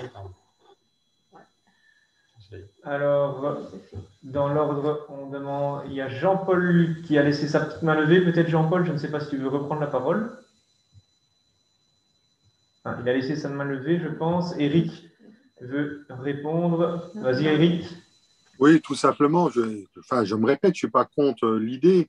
Euh, pour moi, c'est une très, très, très bonne idée. Mais simplement, à l'époque, il fallait faire quelque chose d'imminent, de tout de suite. Il ne fallait pas attendre. L'idée, c'était de le mettre déjà à l'époque au crassier. Il, fallait réagir tout de suite. On a fait un projet au plus vite. Euh, maintenant, je vois que ça dérange. Je peux le comprendre, tout à fait d'accord. Mais je pense que cette fois-ci, on on avait vraiment bien réagi. Euh, euh, Catherine vient de lever la main. C'était justement avec elle que je, je discutais à ces moments-là. Voilà, je pense qu'on a bien réagi à ce moment-là. Maintenant, c'est vrai, euh, je l'ai toujours dit, l'endroit là était peut-être mal choisi. Pour moi, il devait être en haut au crassier avec d'autres activités. Eh ben, je suis content maintenant que, qu'une idée de mon projet euh, soit réalisée en haut au crassier. Voilà, merci. Voilà, tu vois, donc on rencontre vraiment ce que, ce que, ce que tu présentais à l'époque et donc c'est clairement pas une remise en question de ce qui s'est, ce qui s'est fait. Justement, c'est la continuité, entre guillemets, de ce projet qui peut enfin se développer à cet endroit-là. Catherine oui, donc moi, bah oui, effectivement, Eric, euh, je, soutenais et je soutiens toujours ce projet. Euh, j'avais vraiment envie de le voir se réaliser, c'est vrai, au plus vite. Nous avons donc tous soutenu euh, enfin, cette décision et, décidé de le mettre à cet endroit-là. À ce moment-là, bah, on n'en voyait pas vraiment d'autres. Mais ici, c'est vrai qu'il y a un super projet qui est vraiment en réflexion, là, sur le, sur le Crassier à. Mais il faut savoir que les jeunes qui, à l'époque, pratiquaient le skate et le roller, euh, ne sont plus les jeunes maintenant qui le pratiquent. Donc c'est une autre bande de jeunes aussi, euh, voilà, qui, qui, ont, qui sont tout à fait euh, en adéquation avec le nouveau projet et qui sont même contents et, soutenants. Et donc nous, on veut aussi les soutenir. Donc voilà, ce ne sont plus non plus les, les, mêmes jeunes, on va dire, d'Alanzy. donc voilà, mais du moment qu'on a effectivement un skatepark sur Alanzy pour pouvoir faire bénéficier nos jeunes de la commune dans en intégralité. Voilà. Ok, alors il y a Dani Lucas qui applaudit. Alors je ne sais pas si c'était pour féliciter Catherine de son commentaire ou si c'était pour prendre la parole. Vas-y, Dani. Voilà, simplement de, savoir si effectivement la date du 3 avril, euh, pardon, du, 30 avril sera bel et bien respectée, si d'ici là on aura la présentation du nouveau projet, et, si, si, on peut savoir ce qui va se passer et s'il y aura d'autres pôles d'intérêt, ça c'est un. Deux, on parle de, bétonner juste, euh, juste aux frontières d'une zone naturelle. Peut-être qu'il y a d'autres moyens ou d'autres matériaux peut-être à utiliser et à inclure. Pourquoi pas? Je ne sais pas, tant, qu'on est sur, un, projet d'intégration et là un, concept plus, plus général euh, de, de, pôle d'activité, euh, tous âges et toute activité justement. Euh, donc, à quand le, nouveau projet et sa présentation Et est-ce qu'on tiendra bien le 30 avril 2022 pour, euh, bah, pour ne pas avoir une autre génération passée? Voilà, et donc comme expliqué euh, tout à l'heure, les projets vous seront. Donc moi j'ai présenté ici ce qui, ce, qui va, enfin, ce qui est proposé en tout cas pour le moment, mais de manière plus grossière, hein, puisqu'on n'a encore aucun plan, aucun développement, rien du tout. on en est simplement à l'idée, hein, au processus d'idée, et de euh, vous proposer cela, évidemment, pour avancer. Le fait de voter cela aujourd'hui, ça va être pouvoir nous permettre d'avancer sur, euh, sur le sujet. Et donc, clairement, l'objectif, c'est de tenir cette date. Est-ce qu'on va y arriver? On l'espère bien. Euh, si on n'y arrive pas, ben, et clairement, il faudra repasser une décision en conseil communal pour pouvoir encore reporter peut-être les dépenses si jamais euh, la dalle n'était pas faite. Mais je pense que c'est quelque chose qu'on pourra quand même tenir. je m'en référerai évidemment et je, je suivrai notre nouvel échelon du sport pour la réalisation de cela. Concernant ta remarque concernant la dalle en béton, euh, il faut savoir que pour des skateparks en eux-mêmes, euh, c'est pas un skatepark où on peut proposer des dalles béton gazon, des dalles gazon, ce genre de choses. C'est évidemment pas possible. Le skatepark, pour pouvoir faire du skateboard, ça se fait sur euh, du béton assez particulier, hein, qui a des propriétés qui nous permettent évidemment de rouler. Il faut éviter toute aspérité pour ne pas accrocher dedans et ainsi de suite. Donc, c'est quelque chose d'assez spécifique qu'on ne sera évidemment pas contourné. Euh, tout comme des terrains de tennis sont aussi faits dans, dans, des, dans des, matières spécifiques, comme les terrains de paddle, etc. Et donc, euh, oui, en effet, ça va être euh, du béton. Euh, je te l'accorde. Maintenant, euh, il faut commencer, il faut, faut quand même. Euh, moi, j'ai envie de dire, on est bien respectueux de la nature dans, dans tous nos projets et dans celui-là, on le sera également mais il ne faut pas non plus arrêter et dire d'un coup, on, stoppe complètement le béton et on ne fait plus de projet, notamment de ce type-là. Je pense que c'est une excellente idée de se déplacer à cet endroit-là. Et, oui, un skatepark, c'est du béton. Ça, on ne pas, on sera pas y couper. Hein. Je veux dire, c'est l'élément principal du skatepark. je voyais plus une, une, réflexion sur l'intégration dans, dans, ce site naturel. C'est euh, ah ben c'est l'objectif. Hein. L'objectif, ça va de, de pouvoir faire, euh, de pouvoir vous proposer une intégration complète d'une localisation spécifique où on regroupe tout, euh, les loisirs, le sport et aussi un petit peu de, patrimoine pour pouvoir faire quelque chose justement de, très intéressant, d'attractif, qui permettra notamment aux gens qui, ben, viennent faire du skateboard également d'être dans, un cadre, ça c'est une première chose, mais que ce soit le tennis, le skateboard, les gens qui s'y baladeront pouvoir avoir accès à la réserve naturelle qui est à côté et justement de proposer une réserve naturelle pour mettre en valeur et protéger ce qui se trouve juste à côté. C'est bien ça l'objectif de la réserve naturelle. C'est vraiment vers ça qu'on va. Donc euh, oui, l'idée sera vraiment d'intégrer ce skatepark dans ce projet euh, plus global. Tout à fait. Moi, en tant que président de la Maison du Tourisme, je suis le premier à soutenir ce genre d'initiative. Hein. Euh, plus, plus, on a d'activités sur, sur, sur la ville d'Aumange, mieux c'est. Très bien, Annie, merci. Alors, on passe à la question ou à la remarque de Stéphane. Euh, je veux juste rebondir sur. On m'entend? Oui. Parce que j'ai un mauvais retour. Euh, Catherine, qui a prononcé nos jeunes. Ça, ça m'embête. Parce qu'on connaît ce problème à Aubange, en face du terrain de foot de la Reza, où il y a ce petit terrain de, de football synthétique qui est envahi par ce qui n'est pas nos jeunes. Et nos jeunes n'ont plus droit à l'accès, n'ont plus droit à la parole. Qu'est-ce qu'on fait au skatepark si ça se reproduit? Donc là, juste pour euh, intervenir, ici, quand on parle de nos jeunes, ce sont bien des jeunes qui ont pu prétendre au budget participatif. Donc c'est clairement des jeunes qui font partie de la commune ou de moins d'associations au niveau de la commune pour pouvoir y prétendre. Donc ça, clairement, c'est des jeunes de la commune. C'est clair et net. Et donc, on est certain, et surtout dans le cadre du tennis et ainsi de suite, que l'objectif premier de ce skatepark ne sera évidemment de ne pas répéter euh, les problèmes de bande de jeunes qu'on peut constater à l'heure actuelle. Et je suppose que ce sera peut-être l'une de vos questions en fin de séance. Mais de fait, on va y travailler, on y travaille toujours et, euh, on essayera de, mettre les sécurisations en place qui, seraient nécessaires. Mais au niveau du skatepark, personnellement, je ne me fais pas euh, de, de, mauvais sang à ce niveau-là. J'aurais plutôt tendance à me faire du mauvais sang pour les problèmes qu'on a actuellement à résoudre. Ok, merci. D'autres interventions? Sinon, on peut passer au vote. Et donc, pour euh, cette approbation de modification du lieu du projet et du report du délai pour le budget participatif concernant le projet du skatepark à Alanzy, y a-t-il des votes contre? Des abstentions? À l'unanimité, je vous remercie. Ensuite, l'approbation de la convention de cession des droits de pêche communaux avec l'ASDL la Fario. Et c'est Vivian qui va vous présenter cela d'une main de maître. Vivian, c'est à toi. Voilà, donc on vous propose une convention pour céder le droit de pêche à la société de la Fario. Donc, comme explication, euh, il faut vous dire que la commune d'Aubanche est propriétaire des terrains qui jouxtent les cours d'eau, la Messancy, le Brûle, la Chière et la Batte, dans lesquels la pêche est autorisée. Le droit de pêche dans ces voies non hydrauliques appartient aux propriétaires riverains attendu que la commune d'Aubange ne souhaite pas exercer elle-même son droit de pêche, et attendu que le décret de la région Wallonne prévoit qu'en cas où on n'exerce pas notre droit de pêche, celui-ci doit être cédé à la fédération de pêche agréée du sous-bassin ou à une société de pêche qui adhère. Et étant donné que la société Lafario a marqué son intérêt pour avoir la cession exclusive du droit de pêche sur toutes ces rivières, donc c'est-à-dire exclusif qu'aucune autre société de pêche ne pourra se faire agréer par la fédération. Donc ça représente environ 30 euh, km de berge. Euh, la société de pêche assurera l'empoisonnement elle-même. Elle pourra délivrer, donc la pêche ne pourra se faire qu'avec un permis euh, délivré par l'État belge et une cotisation à la Fario. La convention serait pour un premier terme de 10 ans. Euh, elle assure également le, balisage par des panneaux qui signalent que la pêche est réservée. Donc, en poissonnement, j'ai dit.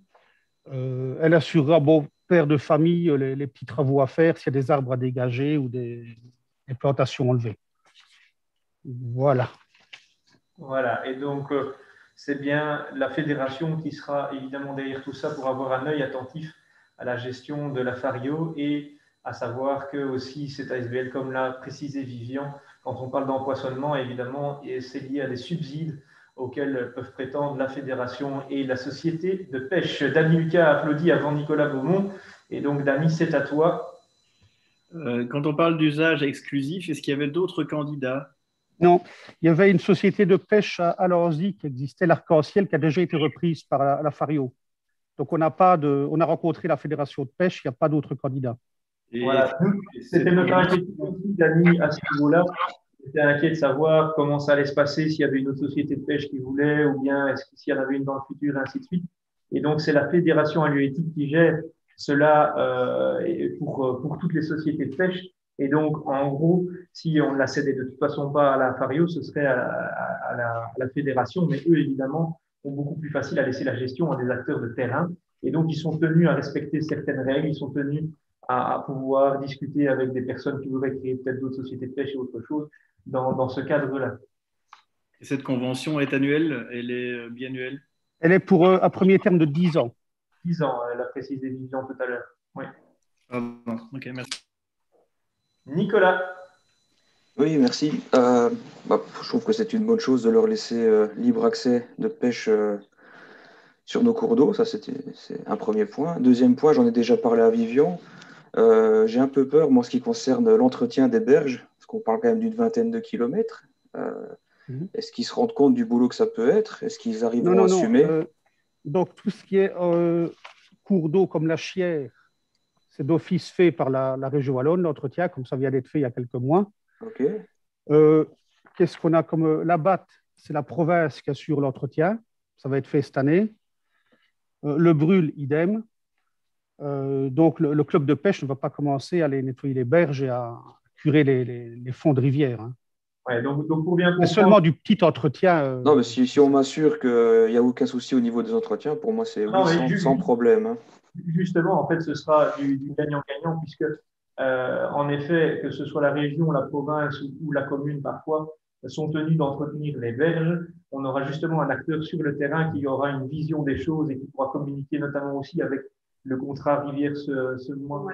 Euh, laisse pour pouvoir euh, gérer tout ça et donc ça nous permettra d'être beaucoup plus attentifs à, à, la gestion des berges. Et donc justement, ça va dans le bon sens. Exactement, dans le bon sens, on va faire revivre nos rivières. C'est une très bonne chose. D'autres demandes de parole? Non. Nicolas, si tu sais baisser la main pour essayer d'éviter une mauvaise compréhension des choses. Voilà. S'il n'y a pas d'autres demandes de parole, alors nous pouvons passer au vote. L'approbation de la convention de cession des droits de pêche communaux à la SVL Lafario. Y a-t-il des votes contre? Des abstentions? À l'unanimité, je vous remercie. Encore Vivian pour le point numéro 14, qui est un gros point évidemment, comme chaque année, qui est le programme des travaux d'entretien extraordinaire des voiries 2021. Vivian, voilà, donc une liste a été dressée par le service auteur de projet et le collège. On a chiffré pour 2,5 millions d'euros. Il fallait faire des choix pour entrer dans le budget de 500 000 euros, suivant l'urgence et la nécessité. Donc, je tiens à préciser que l'entretien extraordinaire porte sur des travaux de rénovation de parties de voirie et de trottoirs, et non sur des travaux importants qui nécessitent des études approfondies avec des contraintes techniques conséquentes. Par exemple, lorsque ces travaux nécessitent des modifications du coffre de voirie en le relevant, des créations de trottoirs lorsqu'il y a présence d'un pétran. Ce genre de travaux peut être repris dans le prochain pic 2022-2024. Donc, je pense ainsi à, la, Batacourt, la rue des Sept Fontaines, depuis le centre du village jusqu'au début de la rue Croix-Rouget. C'est un projet qui était chiffré à plus ou moins 700 000 euros. Idem pour la rue des Vergers à Lanzy, c'est un projet d'environ 300 000 euros. Euh, la descente de la rue du Moulin vers Rachecourt, 280 000 euros. Donc, c'est des projets qu'on ne peut pas mettre dans l'entretien extraordinaire. Ça nous mangerait tout le crédit tout de suite. Alors, il y a également des, trottoirs, enfin des voiries et des trottoirs. Par exemple, à Aubanche, les rues du Brûle, Mertz, Couturier, Schmitt, c'était chiffré à 150 000 euros. On a le quartier du Homme-Lorrain à la rue des Lilas, la rue des Roses, rue Jean Jaurès, 230 000 euros. Donc, ces trottoirs et cette voirie pourront être également repris soit dans un pic ou intégrés progressivement dans des entretiens extraordinaires. Alors, il y avait également une question sur la sécurisation de la descente du calvaire à Lanzy. Alors, il ne serait pas judicieux de prévoir ces travaux dans l'entretien extraordinaire, le morceau de piétonnier qui relierait la rue du Moulin à la rue de l'Abîme. Ce travail nécessite la réalisation d'un levé de terrain, une étude très poussée. La situation topographique est compliquée. Il y a un talus, un fossé, une forte déclivité. Donc, on propose de réaliser cette étude en même temps que celle pour le dossier de mobilité douce 2020 Musson-Batacourt, dont nous allons recevoir un subside de 500 000 euros. En ce qui concerne la rue Clé vers la rue des Prunelles, Prunelles il avait été promis l'an dernier de la mettre à l'entretien extraordinaire 2021. mais vu que le quartier est toujours en pleine construction, au risque de voir une nouvelle voirie détruite par le passage d'engins de chantier de camions, il faut attendre la fin de l'aménagement complet du quartier. Actuellement, nous parons au plus pressé en réparant les nids de poules. Donc, ce qui a été retenu dans les travaux pour 2021, c'est des voiries dégradées dont l'espérance de vie est encore de quelques années. La rue de Longeau a tu 147 040 euros. C'est une route qui est fortement faïencée. L'eau pénètre, elle fait gonfler en cas de gel et c'est le début des nids de poules. Rue des Jardins, 82 407 euros. C'est une route qui est fortement déformée, notamment à cause du passage de nombreux camions de livraison pour la zone commerciale. Rue de la Fosse à Rachecourt, 71 000 euros. Nombreux nids de poules, les bords de route sont défoncés, le croisement est très difficile. Il faut créer une bande de contrebutage de chaque côté. Les derniers travaux d'entretien de cette route remontent à 1999. En ce qui concerne les travaux de réfection de trottoir, il y a la rue du Patelou à Guerlange, 28 435 euros. Il s'agit d'uniformiser les trottoirs et d'en créer dans les zones où il n'y en a pas. Je vais également ajouter que certains quartiers ont peut-être des trottoirs en mauvais état, mais ils existent. Dans l'urgence, au répare. Alors, à tout cela, il faut ajouter 39 300 euros pour la problématique Walter, c'est-à-dire le supplément pour l'évacuation des débits de terre de voirie, qui seront certainement repris en classe 5 et donc assez cher. Donc, dans la liste, vous allez me dire, il n'y a rien sur Aubanche. Mais il faut savoir que dans le pic 2019-2021, il la rue des Hirondelles et la rue des Merles, 750 000 euros. La rue de la Cité pour 860 000 euros. La rue Gilet pour 305 000 euros. Donc 1 915 000 à Aubanche. On vient également de terminer le quartier Bikini pour environ 1 200 000 euros.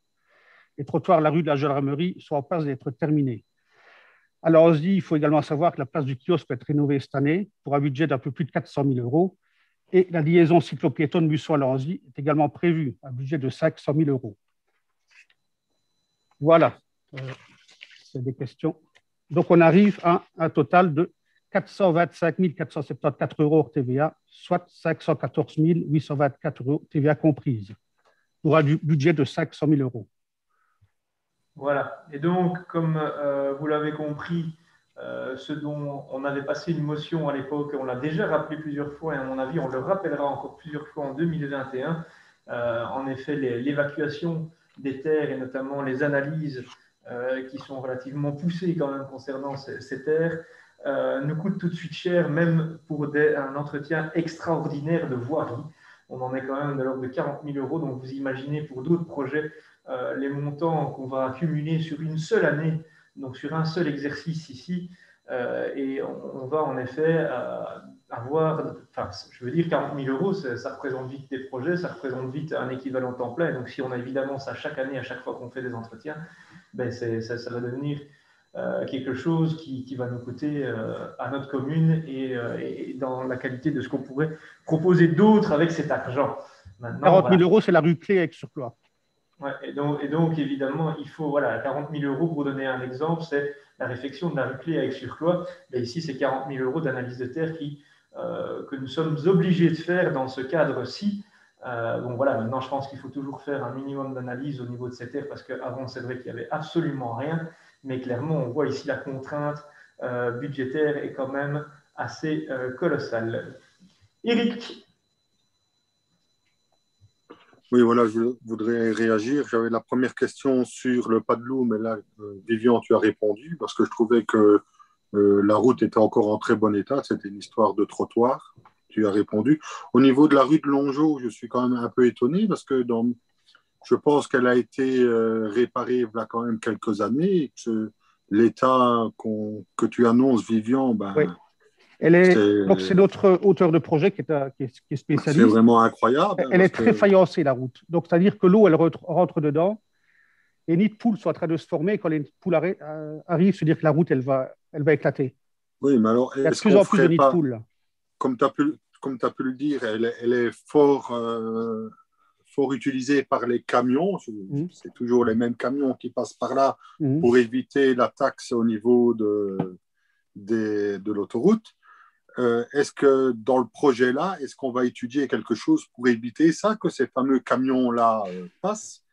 Et de voir aussi si on va étudier au moins la vitesse, parce que beaucoup de gens se plaignent aussi de la vitesse de ces rues-là. Est-ce qu'on va travailler comme euh, à la rue du Pas de Loup en, en faisant des, des parkings euh, euh, altérés, en sachant qu'en faisant ça, on va perdre des places de parking aussi Donc, justement, pour répondre à.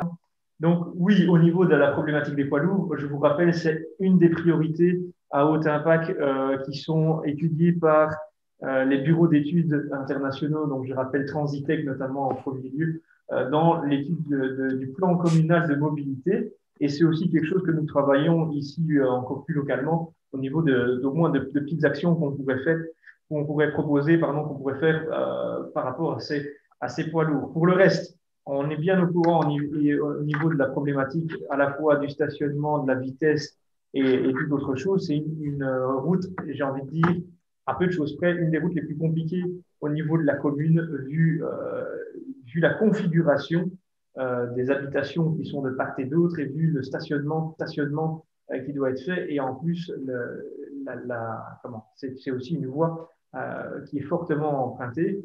Et donc là-dessus, souvenez-vous, on vous avait proposé, mais donc on attend euh, de pouvoir voir comment réaliser ça de manière vraiment pratico-pratique, parce que c'est quelque chose d'assez euh, d'assez compliqué, mais on vous avait proposé euh, peut-être des aménagements à la fois de casse vitesse et en même temps du, euh, allez, un redessinement des, des, places, des zones de stationnement.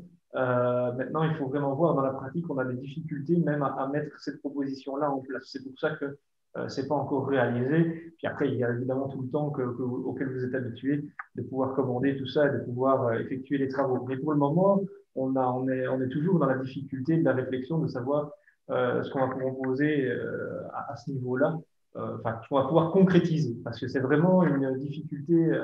et, et, Madame Le Mans, que vous connaissez bien maintenant, de, la région wallonne, nous a aussi clairement dit que c'est des solutions qui sont difficiles à mettre en place et c'est difficile de pouvoir proposer quelque chose de cohérent sur, sur toute cette, cet axe-là. Et donc, clairement, on y travaille et, et l'objectif, c'est bien cela aussi. Hein, quand on parle uniquement quand on reprend la problématique des poids lourds, ce sera pour éviter d'avoir de, de, de nombreux frais de dégradation de, de, nos axes routiers que nous subissons malgré nous euh, par ce, ce charroi euh, quotidien. Donc oui, peut-être euh, un petit mot de, de, la part du directeur général qui aimerait donner une précision à ce niveau-là, puisque c'est lui qui suit notamment cette problématique. Donc au, au niveau de, des études terrain, on est allé avec Madame Le Mans sur la région Wallonne pour essayer de voir ce qu'on pouvait faire avec des, donc des chicanes de type euh, pas de loup. Le problème, c'est qu'il y a également des bus qui passent à la rue de Longeau. Et donc, des bus, euh, légalement parlant, quand on doit mettre des distances entre les chicanes, sont beaucoup plus imposantes que euh, pas de loup où euh, il y a un bus de temps en temps. Là, rue de Longeau, c'est des bus continus. Et on a chiffré à 23 places de stationnement manquante si on met donc des, euh, des chicanes. Donc 23 places de stationnement sur la rue Longeau avec très peu d'espace pour se parquer d'un côté de la rue. C'est euh, une mesure difficile à mettre en place techniquement. C'est pour ça qu'on vous avait proposé à l'époque des cases vitesse, mais les cases vitesse, même chose. On a un peu des difficultés à pouvoir bien les positionner en fonction notamment des priorités euh, à ce niveau-là. D'autres choses encore à ajouter Non, c'était bon non, c'est bon. Ok. Alors, avant Jean-Paul, il y avait, j'ai vu que Dany Lucas applaudissait encore une fois. Dany, ce serait pas mal de pouvoir trouver la petite main parce que sinon, à chaque fois, les autres conseillers se demandent ce que tu fais. Euh... L'important, c'est de se faire entendre, c'est très bien. Ouais, euh, ouais. Je vais aller voir avec Vivian. Tu, par, tu parlais d'Aubange et notamment mmh. de, la, de, la, rue Schmitt et, et des autres travaux ben, en suspens et donc qui prendraient, qui prendraient leur cours. Euh, le, à, à, leur moment ou le, le, le, cas échéant il y, a, des perspectives Il y a un calendrier déjà Donc ici, euh, euh, moi j'avais inclus la rue du Bru, la rue Mertz, rue Couturier, rue Schmitt, c'est le quartier là. Grosso modo, c'est chiffré à 150 000 euros. Donc ça peut être euh, soit mis euh, l'année prochaine à l'entretien extraordinaire 2022, parce que je pense qu'il faut tout faire en même temps, pas faire un petit, morceau dans chaque rue ou alors on le met dans le, pic 2022-2023. Ça, serait réalisé en 2023 si ça se passe au pic. Mais ça, ici, comme c'est là, on, pense le mettre l'année prochaine euh, à l'entretien extraordinaire. Si, on parle de, chicane, le, le, centre d'Aubange et la montée vers, euh, vers l'église, euh, on, on, a des, des, des, chicanes qui sont régulièrement défoncées avec des, des panneaux il y a une, une, réflexion avec des bacs, euh, des bacs à fleurs, où, comme on est dans, sur, un, sur un centre, un, en centre de, village. Peut-être avoir la même, la même option qu'une rue du Pavelou, par exemple, pour, beaucoup, plus massive que des panneaux qui sont régulièrement détruits, remis en, fonction et ainsi de suite.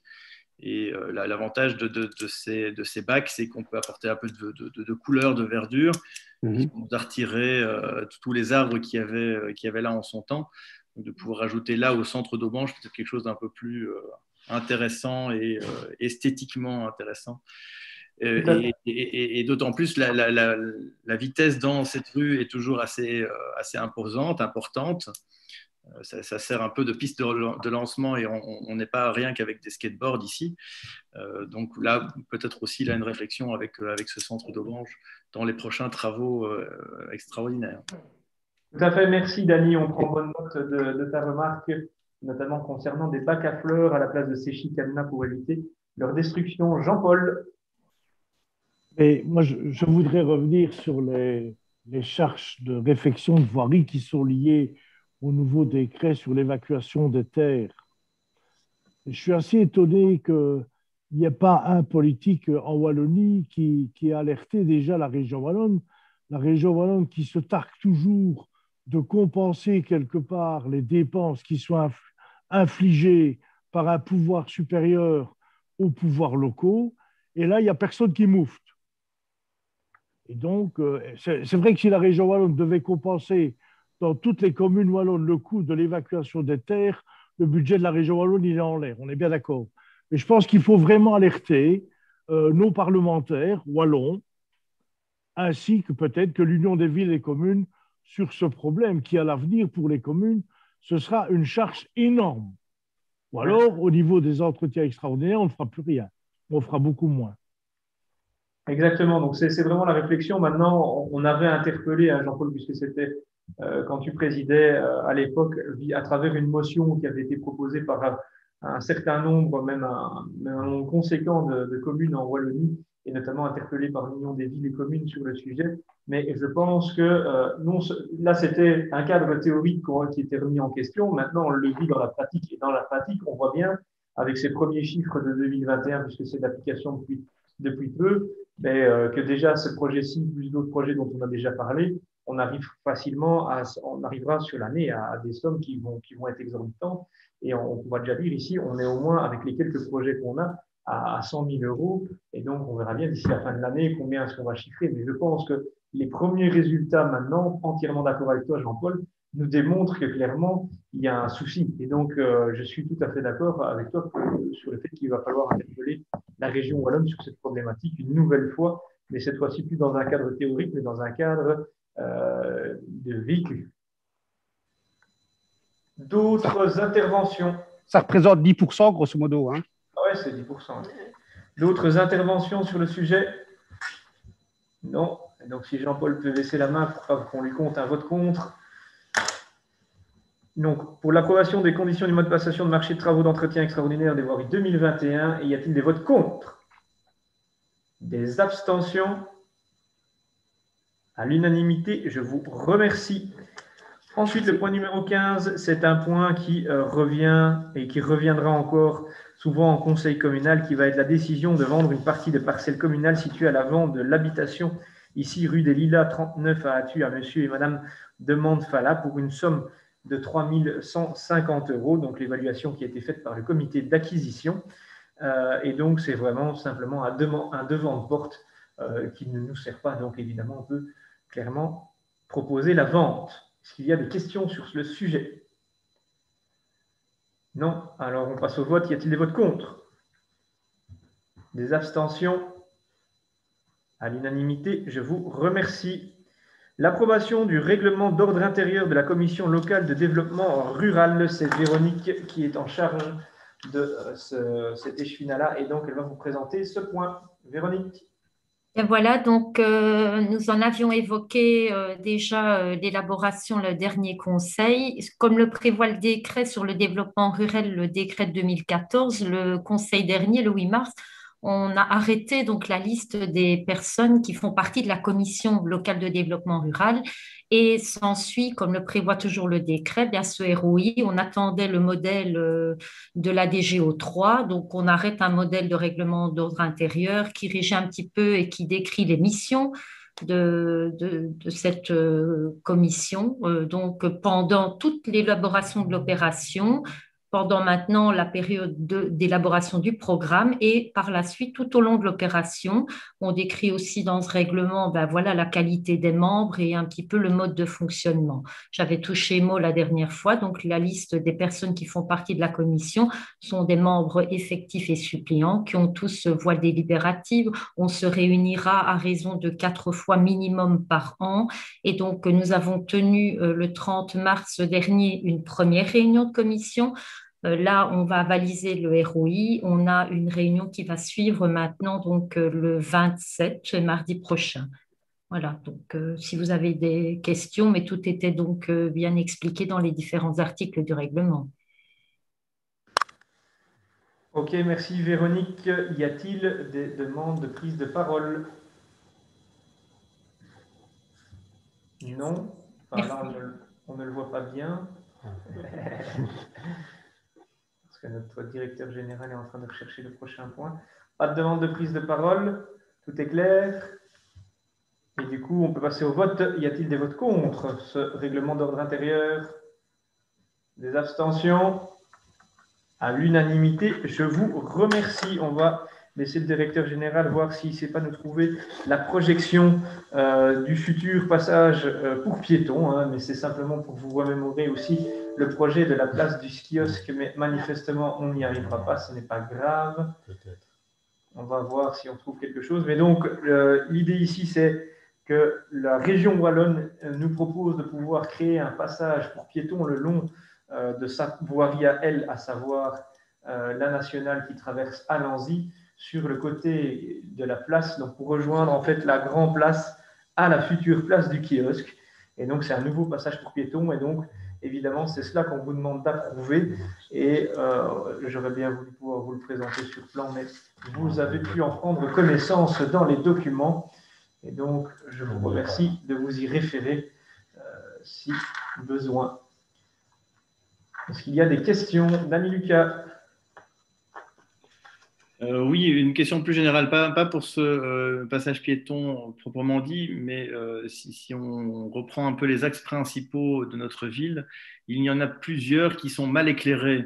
C'est-à-dire qu'en journée, on a une certaine attention, mais, mais de nuit, il y a un mauvais éclairage sur certains qui peuvent, bah, en, tout cas, ne pas rassurer le piéton, qui ne se sent pas en, bonne visibilité. Alors parfois, il peut-être simplement changer le type d'éclairage puisqu'il y en a certains qui sont vieillissants et, euh, plus adaptés, notamment au niveau des angles, et, de pouvoir vraiment bien éclairer la zone euh, piétonne et non pas euh, élargir sur les, les, 20 mètres de part et d'autre. Voilà. Oui, donc tout à fait. Hein, c'est quelque chose de un qui est en train, c'est le processus est en cours au niveau du, changement des, des, vieilles ampoules en LED. Donc ça, c'est quelque chose déjà qui va être fait et qui viendra en effet euh, un peu nous conforter, enfin régler un petit peu cette problématique. L'autre, l'autre chose, c'est euh, une justement des, des, remarques qui avaient été faites par euh, la dame qui nous a présenté, enfin dans, dans le présentement du, dans la, pardon, dans la présentation du, euh, du plan communal euh, de la mobilité, on a le bureau d'études ICED qui, euh, qui fait justement l'étude de tous les passages piétons, de tous les axes cyclo-piétons et qui, euh, qui, a mis en évidence non pas que des problèmes d'éclairage, il y a notamment cela, mais aussi des problèmes parfois de signalisation, euh, d'accessibilité, euh, simplement un passage piéton et ce genre de choses. Euh, et donc, clairement, c'est dans la réflexion, c'est euh, dans le pipe pour une amélioration. Mais de nouveau, les axes principaux, et on est bien d'accord, il y a certains, certains passages pour piétons qui sont relativement mal éclairés, et là, c'est de nouveau la région qui a la main pour pouvoir euh, les changer, même si on leur a déjà euh, signalé quelquefois. Ils sont en train notamment de mieux signaler, de mieux signaler pardon, le, passage pour piétons dans, dans la côte d'Atu vers Aubange, euh, à hauteur des terrains de tennis. Euh, et donc là, c'est quelque chose qui est en cours, mais voilà, c'est une demande qui date d'il y a deux ans déjà, Donc à ce niveau-là, on, est vraiment, on a vraiment hâte que le PCM puisse sortir ses effets pour pouvoir euh, demander à la région wallonne de pouvoir suivre toutes ces demandes sur ses propres axes. Merci. Pas d'autres interventions? Non Alors, on vote. Y a-t-il des, votes contre? Des abstentions? À l'unanimité, je vous remercie. Au niveau du personnel, la première proposition, c'est la fixation des conditions de promotion au grade d'agent technique en chef au niveau D9 pour la ville d'Aubange. Donc, à savoir que nous avons des agents euh, qui peuvent prétendre à cette, promotion et qui sont simplement dans les euh, clous pour pouvoir euh, l'obtenir. Des questions. Je vois que Philippe Lanotte a une question. Oui, donc on avait abordé ce point-là, il me semble, il y a, quelques temps déjà, où on demandait, enfin, il y a des examens qui devaient être faits. Euh, donc, on abandonne carrément le fait de faire appel à des candidats extérieurs ou euh, c'est, ça sera parallèle à ce qui avait été décidé auparavant Alors, ça, c'est, donc, c'est une autre question concernant, pas tout à fait la promotion ici, mais concernant le poste de chef du service travaux, c'est bien de ça dont tu parles. Oui. Euh, et donc, à ce niveau-là, à l'heure actuelle, euh, il n'y a rien qui est nécessairement abandonné, puisqu'il nous, nous, faut toujours euh, avoir un chef au niveau du service travaux. Mais l'idée étant que la personne faisant fonction actuellement donne clairement satisfaction. Et donc, on, on, va essayer de pouvoir voir comment proposer comment, de nouvelles conditions de, de et il faudra aussi euh, probablement une promotion euh, à ce niveau-là y a carrément un recrutement. Et donc, euh, ce sera proposé en temps voulu. Mais donc, de fait, l'idée d'avoir un chef de service travaux n'est pas abandonnée. Mais le recrutement d'un chef de, service travaux, là, dans le direct, est abandonné. On a d'autres recrutements, on en, parlera juste après, qui sont, entre guillemets, plus urgents puisque la personne actuelle donne satisfaction. Ok. Enfin, moi, personnellement, je, demanderai le vote parce que je pense qu'on ne doit pas euh, fermer la porte à des gens qui. Juste pour, bien expliquer, ceci n'a pas de rapport direct avec le, le, recrutement d'un chef de service travaux. Hein. Ici, c'est la promotion d'agents qui ont droit à cette promotion, entre guillemets. Donc, ce n'est pas tout à fait euh, le, point dont tu parles, mais le point dont tu parles, euh, jusqu'ici, on n'a pas trouvé de candidat satisfaisant à pouvoir prendre le, poste de chef du service travaux. Et donc, euh, on a celui qui fait fonction à l'heure actuelle qui donne satisfaction. Et donc, à revoir dans le futur, euh, si on aura de nouveaux peut-être candidats qui, seront peut-être plus légitimes à ce poste-là que ceux qui sont, qui, sont présentés jusqu'ici, ou bien si la personne faisant fonction, enfin, il pourra participer à ce recrutement, il n'y a pas de raison, euh, sera peut-être sélectionné. Je n'en sais rien, on verra bien qui sera sélectionné. Et donc, ce sera mais pas le, c'est pas, c'est pas du tout ce point-là dont il est question aujourd'hui. Non, c'est d'ordre général. Ici, c'est d'ordre général. C'est le cadre prévoit qu'il y a un poste de niveau D9 et donc il peut y avoir une promotion d'agent technique au niveau D9 euh, pour la ville d'Aubange. Et donc, c'est des agents qui ont droit à être promus ici. Donc, peu importe que ce soit chef ou pas chef du service travaux, ils ont droit à cette promotion au niveau D9. Ok, mais euh, oui, donc parce que, enfin, moi, je vois mal, en fait, si maintenant on fait la promotion d'une personne et qu'on met euh, en, chef du, service travaux, euh, comment si on fait un recrutement extérieur par après, euh, c'est une double fonction, non? Non, c'est pas la même chose. Non, non, pas du, tout la même, pas du tout le même poste? Non, non, c'est pas, le même poste, en fait. ok, ça va. La promotion, c'est ça, c'est uniquement pour les statutaires. Donc, ce sont des gens qui sont okay. Statutaires. Alors, rien n'empêchera ces, ces personnes-là, en effet, de prétendre ah après au poste de chef de service travaux en, en, se proposant même en interne ou peu importe. Mais aura lieu, du coup, de toute façon, un examen. Donc, ici, ça n'a rien à voir avec ça. C'est la promotion vraiment euh, qui est prévue dans le cadre statutaire. Ok, ça va, merci. Du coup, est-ce que tu demandes un vote séparé ou pas? Euh, oui, parce que moi je vais. Euh, euh, oui, oui, oui. un, vote. séparé pour Philippe Lanotte et peut-être d'autres personnes du groupe TPA. Philippe, ou, à savoir Oui, donc on va voter nominativement du coup sur ce point. Alors, euh, si je peux avoir peut-être la liste, comme ça sera plus facile. Donc, Véronique Bienvenue. Euh, Vivian Deveau. Oui. Julien Jacquemin. Oui. Christian Binet. Oui. Christian Raoul Lambert. Oui. Catherine Anne Baru. Oui. Jean-Paul Dondelinger. Oui. Pierre Feg. Oui. Robin Rossement. Oui. Isabelle Lardot. Oui. Sophie Aubertin. Oui. Ophélie Menon. Ophélie Menon. Est-ce qu'on l'a perdue Elle s'était déconnectée. Ah non, elle est là. Fais oui de la tête si tu veux, comme ça on te voit. Parce qu'on ne t'entend pas. Voilà, ok, oui, merci Ophélie. Alors, Nicolas Beaumont. Oui. Stéphane Baudelet. Oui. Serge Carême. Oui. Claude Laurent. Oui. Éric Janson. Abstention. Stéphane Gauze. Oui. Mais, ah, ah. Stéphane Gauss, oui. Oui, il est là, oui. Luc Weiders. Oui. Oui. Euh, Jérémy Penquin. Abstention. Philippe Lanotte. Abstention. Dany Lucas. Abstention. Marc Arendt. Marc Arendt. Le micro, s'il vous plaît. Micro, Marc, s'il te plaît. Ou un oui de la tête. Abstention. Abstention. Abstention. Ah, J'ai essayé, de- j'ai toujours essayé de lui, on ne sait jamais. Et Brigitte, Abstention. abstention. Ok, merci. Donc le point est approuvé avec l'abstention du groupe TPA. Ensuite, Hmm tu peux baisser la main, euh, Philippe, si tu veux bien. Alors, on passe ensuite au- à l'approbation de la convention de prolongation du plan stratégique de sécurité et de prévention pour la période du 1er janvier 2021 au 31 décembre 2021. Donc, c'est quelque chose qu'on passe euh, chaque année, j'ai envie de dire. Donc, euh, les objectifs dans cette convention sont repris l'organisation, la formation, le suivi administratif et les communications euh, concernant. Hmm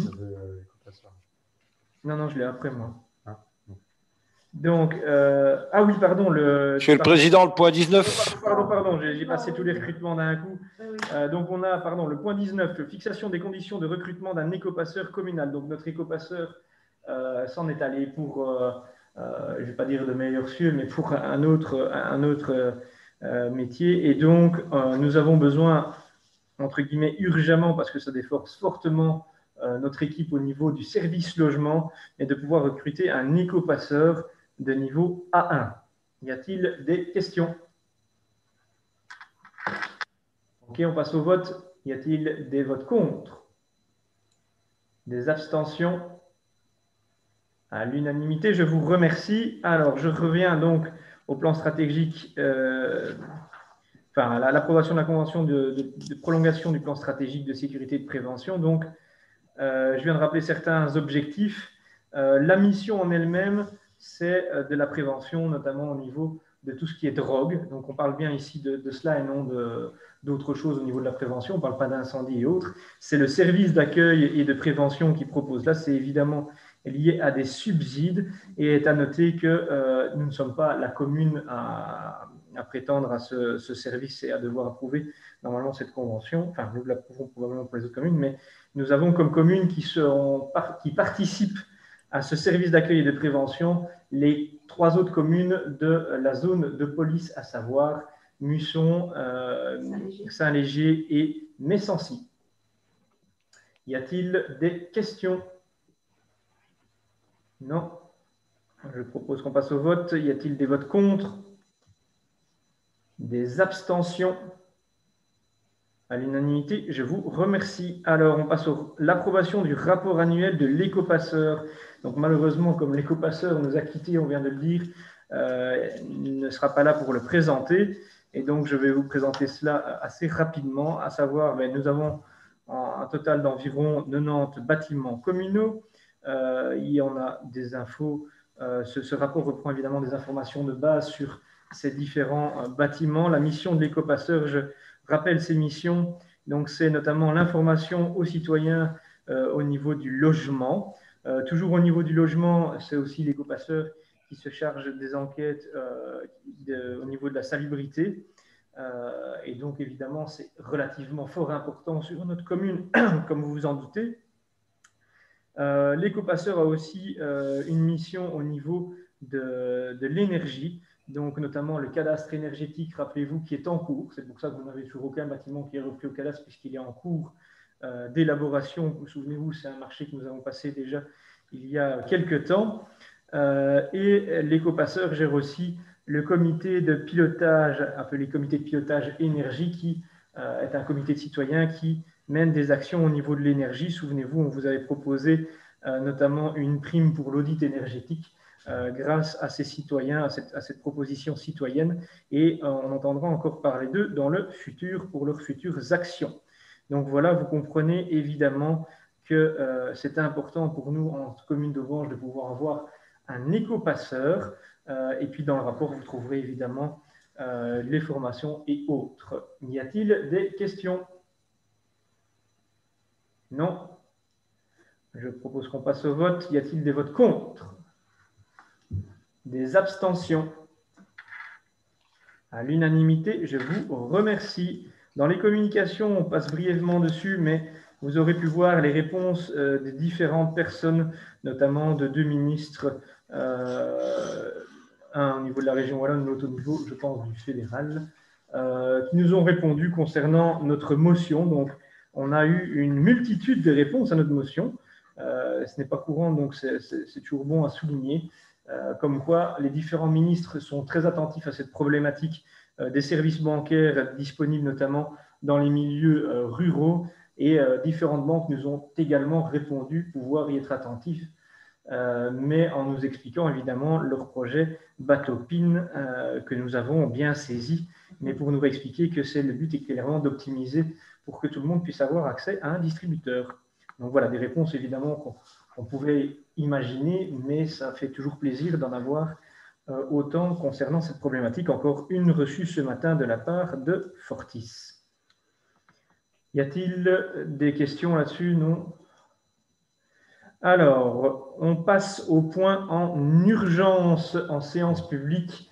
Donc, ce point en urgence, c'est un point qui euh, permet d'autoriser euh, les agents communaux les agents administratifs au niveau communal, de pouvoir avoir une dispense, de bénéficier d'une dispense de services euh, non compensés, donc euh, qu'ils ne doivent pas compenser euh, lors de leur vaccination, c'est-à-dire le temps nécessaire à la vaccination sont compris dans ce temps le temps de trajet et le temps de se faire vacciner. Y a-t-il des questions? On le passe évidemment en urgence parce qu'on l'a reçu euh, très récemment, hein, que, nous avions cette possibilité de le faire. Et donc, c'est une circulaire qui date de vendredi, donc on vous le propose maintenant directement. OK, y a-t-il des votes contre? Des abstentions? À l'unanimité, je vous remercie pour nos agents communaux de bien prendre soin d'eux. Et nous avons une multitude de questions ce soir et nous allons commencer par la question du groupe euh, Intérêt général de Nicolas Beaumont.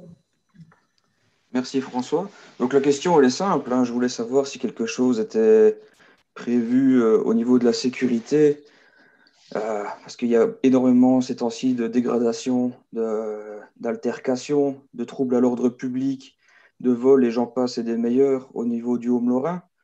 Donc c'était euh, il y a un an au niveau du cimetière et de la rue du Centre, et tout s'est délocalisé vers le haut d'Atu. Et donc, je voulais savoir si quelque chose était prévu au niveau de la zone pour euh, remédier à ça, parce que les citoyens en ont marre, les citoyens en ont, et les riverains, on commence vraiment à avoir peur et en ont vraiment marre. Donc, j'aimerais savoir si quelque chose est prévu. Merci. Voilà, donc on est en, coordination avec la police sur le sujet, bien évidemment. Hein. on est bien au courant de la problématique euh, qui commence vraiment à, en effet, embêter plus d'une personne. J'en ai encore eu une au téléphone euh, ne fût-ce que tout à l'heure concernant cela. Alors c'est une problématique qu'on retrouve avec des bandes euh, de jeunes. Euh, on la retrouve sur Assu, mais également sur Aubange.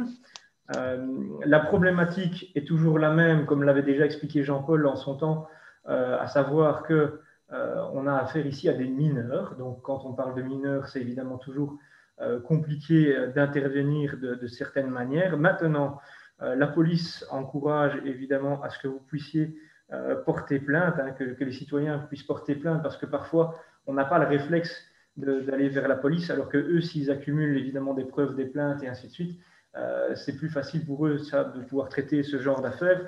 La deuxième chose, c'est que de fait, il est prévu, on, on, en a déjà parlé plusieurs fois en collège, et à chaque fois, on met des caméras en place et on essaie de déplacer les caméras mobiles là où ils pourraient euh, se trouver là où ils pourraient agir. Euh, souvenez-vous, on a eu une dégradation au niveau d'un arrêt de bus à Aubange, mais on a déplacé une caméra là, il y a eu de nouveau une dégradation, et donc ben, voilà, ils ont, ils ont été euh, pris par, euh, sur le fait par la caméra, donc c'est en cours de procédure.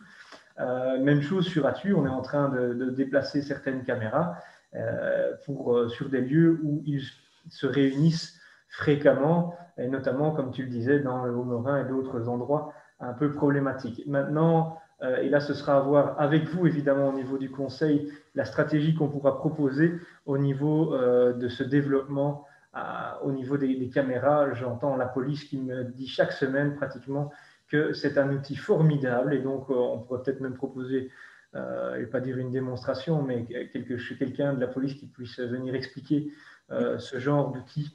Euh, mais c'est quelque chose qui fonctionne relativement bien et avec lequel on peut pouvoir signaler et observer justement un certain nombre de faits de manière, entre guillemets, euh, pas dire indirect, mais justement sans être présent sur place, ça nous permet une plus grande envergure, on va le dire comme ça, euh, pour pouvoir observer ce qui se passe et toutes ces problématiques-là. Et donc, euh, c'est quelque chose, mais bon, même si des mineurs sont pris sur le fait, ça reste une problématique puisque ce sont des mineurs. Mais on y travaille fortement et donc c'est quelque chose qui est, qui est relativement compliqué à traiter pour notre zone de police, qui, qui évidemment fait un maximum, essayer de se coordonner un maximum dans les effectifs qu'ils ont. Je conçois tout à fait que la problématique soit compliquée à gérer pour eux et, pour euh, les, membres du collège de zone, ou, même pour toi à titre personnel, François. Mais je veux juste conclure par une chose, c'est que les gens ont peur, et une personne qui a peur réagit parfois de manière euh, dont il n'aurait pas fait en, temps normal. Et j'ai pas envie un jour d'ouvrir la Meuse ou l'avenir du Luxembourg et de dire qu'il y aura eu euh, un drame quelque part, parce que les gens, je t'assure, quand tu te fais réveiller à 4 heures du matin parce que tu as deux jeunes dans ta cuisine, euh, enfin, voilà, on a de la chance certaines fois qu'il n'y a, pas plus de réaction de ça que ça de, la part de certains citoyens. Ouais, ouais, Et moi, je ne vous parlerai pas d'autres affaires qui ont déjà eu lieu. Oui, bien sûr.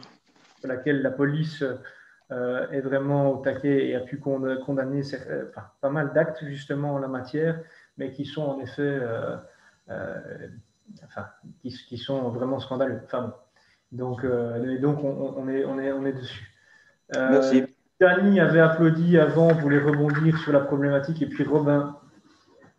Oui, si, si la pose de caméra, effectivement, est un, est un bon outil, euh, ça, peut parfois faire déplacer le problème. Nicolas en faisait état d'un point vers un autre, mais bon, il faut bien commencer quelque part. Et après, pour, le principe du, mineur qui, se fait coincer, identifié, euh, est, quelles sont nos actions peut-être euh, au préalable, je n'excuse euh, aucun fait, aucun acte, bien évidemment, mais est-ce qu'on se donne aussi les moyens d'aller sur le terrain, non pas avec un képi Est-ce que nos éducateurs de rue peuvent ou, pas faire, faire, levier? Est-ce qu'on est bien armé de ce côté-là? Euh, pour, pour, avoir ces discussions ou pour prendre le problème d'une manière différente. La, répression est de toute façon incontournable, c'est certain. On ne peut pas dégrader bien public, on ne peut pas rentrer euh, chez autrui, c'est certain. Euh, mais ça, c'est le volet répression. Est-ce qu'on a déjà des pistes sur, sur la prévention? Alors, disons-le honnêtement, hein, on manque, ça c'est pour rebondir juste sur le côté répressif, on manque clairement de moyens, que ce soit au niveau de la police, de la justice, etc., pour évidemment toujours à arriver à aboutir sur ce genre d'affaires. Et donc ça, c'est un, un, autre niveau que ça se joue, j'ai envie de dire, euh, pour cela. Dans l'ordre d'idées que tu évoques, Dani, et je laisserai euh, Christian Binet répondre sur les éducateurs de rue en, eux-mêmes. Euh, bon, c'est vrai, pas toujours bien équipés peut-être, mais par contre, on, a différentes idées, il y a différentes choses qui se font. Avec le Covid, rien n'a été facilité, comme toujours, mais ce n'est pas une excuse. Euh, et donc, je laisserai Christian rebondir là-dessus. Dans cet ordre d'idées-là, euh, j'ai proposé au collège, enfin le collège a proposé de pouvoir étudier la possibilité de mettre des aménagements, euh, comme on le voit parfois dans les plus grandes villes, à savoir du sport public, des aménagements sportifs à utiliser dans les places publiques, comme euh, on voit parfois des bancs de musculation, des, euh, ce genre de choses-là. Donc ça, c'est une première chose, puisqu'on le sait, c'est ce que tu, tu, veux évoquer ici, au-delà d'avoir de, de, de, un côté répressif, on cherchera aussi, entre guillemets, à pouvoir ben, proposer des choses qui permettent aux jeunes de, peut-être se défouler, des, des, choses qui les occupent et qui, pendant qu'ils font ça, évidemment, ne font pas autre chose. Et donc, on espère, mais clairement, on ne solutionne pas la problématique juste avec cela, mais on espère déjà avoir un plus. Et comme vous le dites, c'est vraiment, il faut bien commencer quelque part à notre niveau, et à notre niveau, on met vraiment euh, toutes les ressources en place qu'on pourrait, euh, qu'on peut même, euh, pour pouvoir résoudre cette problématique. Christian, concernant les éducateurs de rue. Oui, euh, donc euh, je suis assez d'accord sur l'idée du, préventif, même si le répressif est souvent nécessaire. Au niveau du préventif, ben, il y a les limites d'abord dues au Covid. Il faut bien reconnaître, par exemple, que la maison des jeunes, les maisons des jeunes, si je compte celle d'Aubange et d'Atu, elles sont quasiment à l'arrêt depuis le début de, la crise et suite aux conditions qui sont imposées, c'est un problème. On a un éducateur de rue, c'est pas c'est pas la solution, je dirais, à tous les problèmes, mais bon, euh, ils font ils font de leur mieux et je pense que il faut pas non plus généraliser. On a des groupes de jeunes qui posent problème, c'est loin, très loin d'être la majorité des jeunes. Donc je pense aussi qu'il euh, ne faut pas stigmatiser toute une catégorie pour des éléments, disons, compliqués. Et ouais. puis, euh, étant donné la mobilité de ces jeunes, ils ne sont pas tous mineurs. Hein, je tiens quand même à le préciser, parce qu'on constate quand même qu'ils sont assez mobiles. Donc, euh, ça veut dire qu'ils ont aussi des véhicules. Hein. Oui, mais ils sont transportés. Donc, ça, justement, pour rebondir sur ce que Christian vient de dire, à savoir que euh, même si peut-être certains jeunes peuvent faire partie, euh, entre guillemets, comme disait Catherine tout à l'heure, de nos jeunes, comme l'a très bien relevé Stéphane également tout à l'heure, il y a aussi des jeunes qui ne sont pas des jeunes de la commune, et, qui viennent sur le territoire. Ce qui rajoute évidemment à la difficulté. Imaginez bien un mineur français interpellé sur le territoire belge, c'est pas quelque chose de, de, de, facile à gérer hein, en termes de, conditions et de, tout ce d'actions qu'on pourrait avoir au niveau répressif. Donc c'est, ça rajoute à la difficulté. Mais le fait qu'il y en a qui sont motorisés, il y en a d'autres qui sont amenés simplement par le, leurs parents aussi. Donc euh, il, y a, y a tout un, dialogue à avoir probablement aussi avec les parents. C'est une question également d'éducation. Avant de passer la parole à Catherine et encore à Nicolas, il y avait Robin qui avait applaudi pour pouvoir prendre la parole. Vas-y, Robin. Oui, merci. Je voulais juste rebondir là-dessus, dire un petit mot. J'ai été, euh, vous le savez ou vous ne le savez pas si je vous l'apprends, euh, j'ai été conseiller d'arrondissement d'aide à la jeunesse pendant 12 ans, en même temps que conseiller CPS. Donc ces gamins à problème, je les ai connus petits. Je les ai vus petits et Marc Arène confirmera, on a vu les mêmes et on les voit maintenant grandis et on les retrouve euh, effectivement, mais c'est toujours des mêmes groupuscules. Hein. Ils sont pas, ils se font entendre, mais ils ne sont pas 50 non plus. Le problème, c'est que à l'aide à la jeunesse, moi j'ai toujours entendu euh, pas de répression, de la prévention, de la prévention et encore de la prévention. Il y a un moment, la prévention, on ne peut plus la faire. Il y a un moment où il faut discipliner. Alors moi, j'avais dit, mais disciplinons les parents, parce que quand le gamin de 14-15 ans traîne dans la rue à 23 heures, moi j'estime que c'est les parents qui sont responsables, c'est pas le gamin. Seulement pour éviter les conflits, etc. Alors on le laisse faire un peu ce qu'il veut et on le laisse s'élever tout seul. Et j'avais dit à l'époque, et je me suis fait traiter de nazi, parce que j'avais dit, ce qui serait bien, c'est que les parents qui ont des problèmes avec les gosses comme ça qui n'arrivent pas à les tenir à la maison, on leur sucre les allocations familiales pour payer les dégâts qu'ils ont faits pendant le temps qu'il faut. Croyez-moi qu'à ce moment-là, les parents vont réfléchir deux fois et vont réagir. Hein. Le problème, c'est la prévention. Les éducateurs de quartier, c'est super. Moi, j'en ai connu, mais des mecs géniaux. Mais ils n'y sont quand même pas arrivés. Parce que ces gamins-là n'écouteront jamais un éducateur. Ils n'ont déjà pas peur de la police. Ils ont posé, ils avaient mis des photos sur Facebook qui ont été très vite enlevées, mais qu'on a vu passer, ils ont posé devant la voiture de, police avec des doigts en l'air, le cul à l'air devant, pendant que les policiers étaient en train d'acheter des frites chez DeWitt. Ils sont posés comme ça devant le combi. Donc il n'y a plus de respect de cette partie-là. Mais c'est une infime partie. Parce que quand on en parle à Atu, on a l'impression qu'ils sont 2000. Ils sont une vingtaine. Hein. Ils sont une vingtaine parce que c'est toujours les mêmes. Hein. Moi, je les vois circuler ici au centre-ville le soir. Alors, tu parlais maintenant, Nicolas, qu'il y avait beaucoup pour le moment de dégâts plus vers le sud à Tu. Pourquoi? Parce que c'est là-bas qu'ils habitent. Quand il fait très froid et qu'il pleut, ils descendent pas. Et une fois qu'il va faire beau, vous allez voir que le problème va se déplacer à la Grand Rue, au rallye et dans les coins sombres. Le rallye, c'est parce qu'il y a un coin sombre à l'arrière qui donne sur le cimetière. Donc, vous allez les voir se déplacer en fonction de la météo. C'est aussi simple que ça. Alors, si moi je l'observe, la police peut l'observer, tout le monde peut l'observer. Et je vous garantis que c'est comme ça que ça se passe. Alors, on ne fera pas la société, c'est comme ça, il faut faire avec. Mais c'est vrai qu'il y a un moment, il faut de la répression. C'est très bien d'avoir été en préventif, mais ça fait tellement d'années qu'on fait de la prévention et qu'on voit aujourd'hui que ça n'a servi à que dalle. Ben, il y a un moment, il faut peut-être aller un peu plus loin hein, et se réunir autour d'une table avec la police, avec les services d'aide à la jeunesse et voir tous ensemble et se dire, ben tiens, peut-être qu'on pourrait un peu durcir le ton. Je ne dis pas qu'il faut les tabasser au milieu de la rue, hein, mais un peu durcir le ton, ce serait pas mal quand même. Hein, parce que sinon, bah, on, va les laisser faire. Et comme disait quelqu'un qui avait beaucoup d'humour, c'est la porte ouverte à toutes les fenêtres. Et euh, voilà, je veux dire, il n'y a plus rien qui les arrête. Hein. Ils ont quand même explosé une conduite de gaz à côté du rallye. Si la conduite n'avait pas, nous on l'avait coupée parce que comme il n'y avait plus de théâtre, etc., elle était coupée. Si elle n'avait pas été coupée, les côtes du centre, elles sautaient à côté. À Aubange, en face de la pharmacie Kirsch, exactement la même chose parce qu'ils avaient détruit la cabine de bus. Quinze jours après, ils s'en sont pris au, terrain de foot. Euh, Isabelle est là, elle peut confirmer. Donc il y a eu le terrain de foot. Et puis la semaine après, comme si ça ne suffisait pas, ils s'en sont pris à la cabine de distribution de gaz qui se trouve juste en face de la pharmacie, à côté de la cabine de bus qu'ils avaient destroyée 15 jours avant. Donc je veux dire, il y a un moment où ça va monter, ça va monter.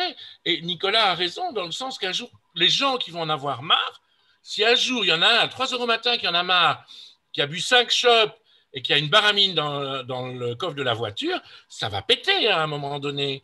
Et, ça aussi, c'est notre devoir d'essayer d'éviter ce genre de situation, parce qu'on y court, on y court et vite. Hein. Une fois que le beau temps va revenir, vous allez voir qu'ils vont descendre et ça va repéter dans tous les coins. Enfin, dans tous les coins, toujours au même coin en tout cas.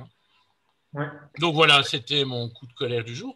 Mais je, je, tenais à le dire. Moi, je pense qu'à un moment donné, la prévention, c'est très bien.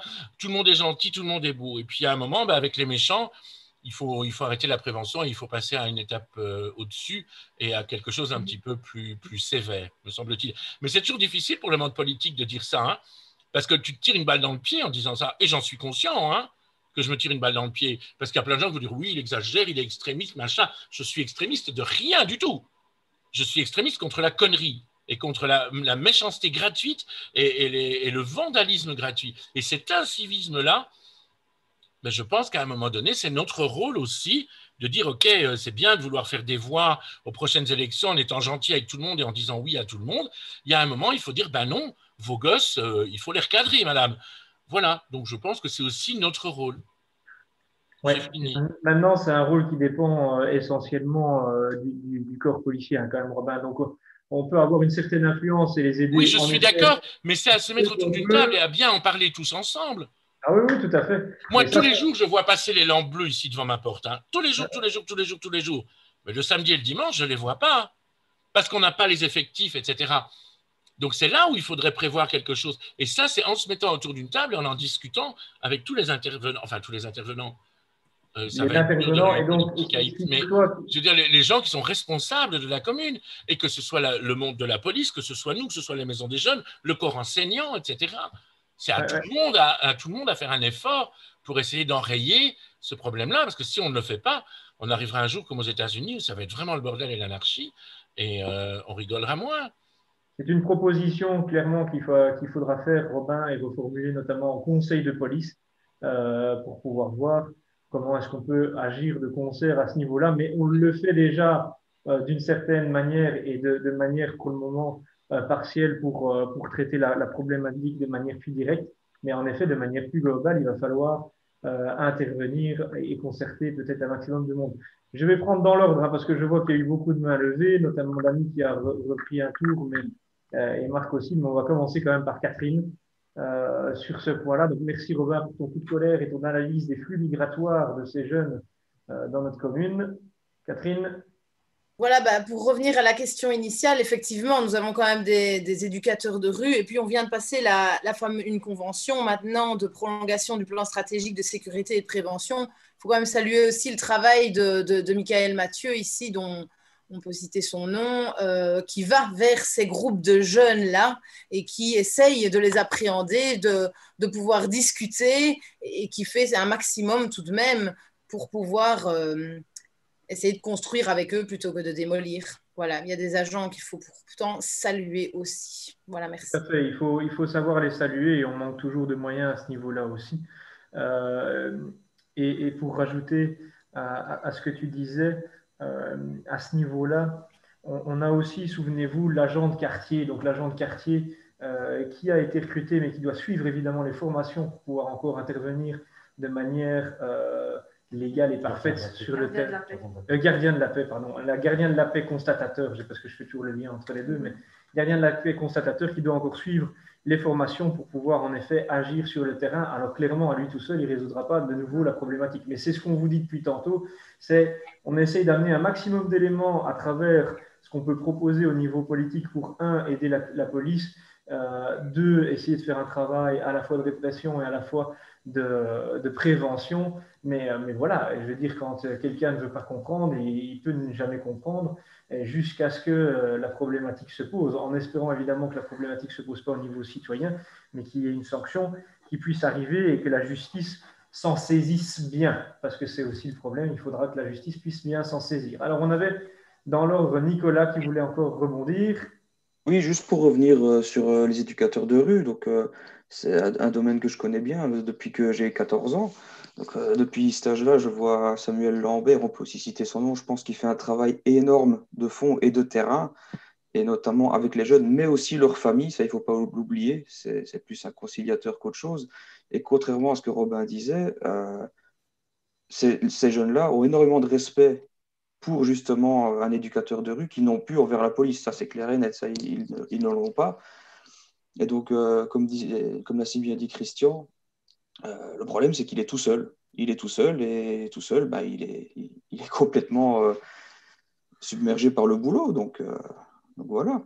Mais oui, c'est vrai, durcir le ton, je suis aussi d'accord avec euh, Robin, durcir le ton. Je n'ai jamais mis en cause le travail des éducateurs de rue. Hein. Ah, je ne dis pas ça, Robin. Je, n'ai jamais mis en cause les éducateurs de rue qui font un travail exemplaire. Et je connais Michael très très bien et je sais qu'il fait un boulot de titan. Mais ça n'a pas empêché que pendant qu'il était dans le bureau en haut au rallye, ils étaient en train de destroyer la porte des WC et les coulisses euh, en bas. Hein. On ne parle pas des mêmes. Hein.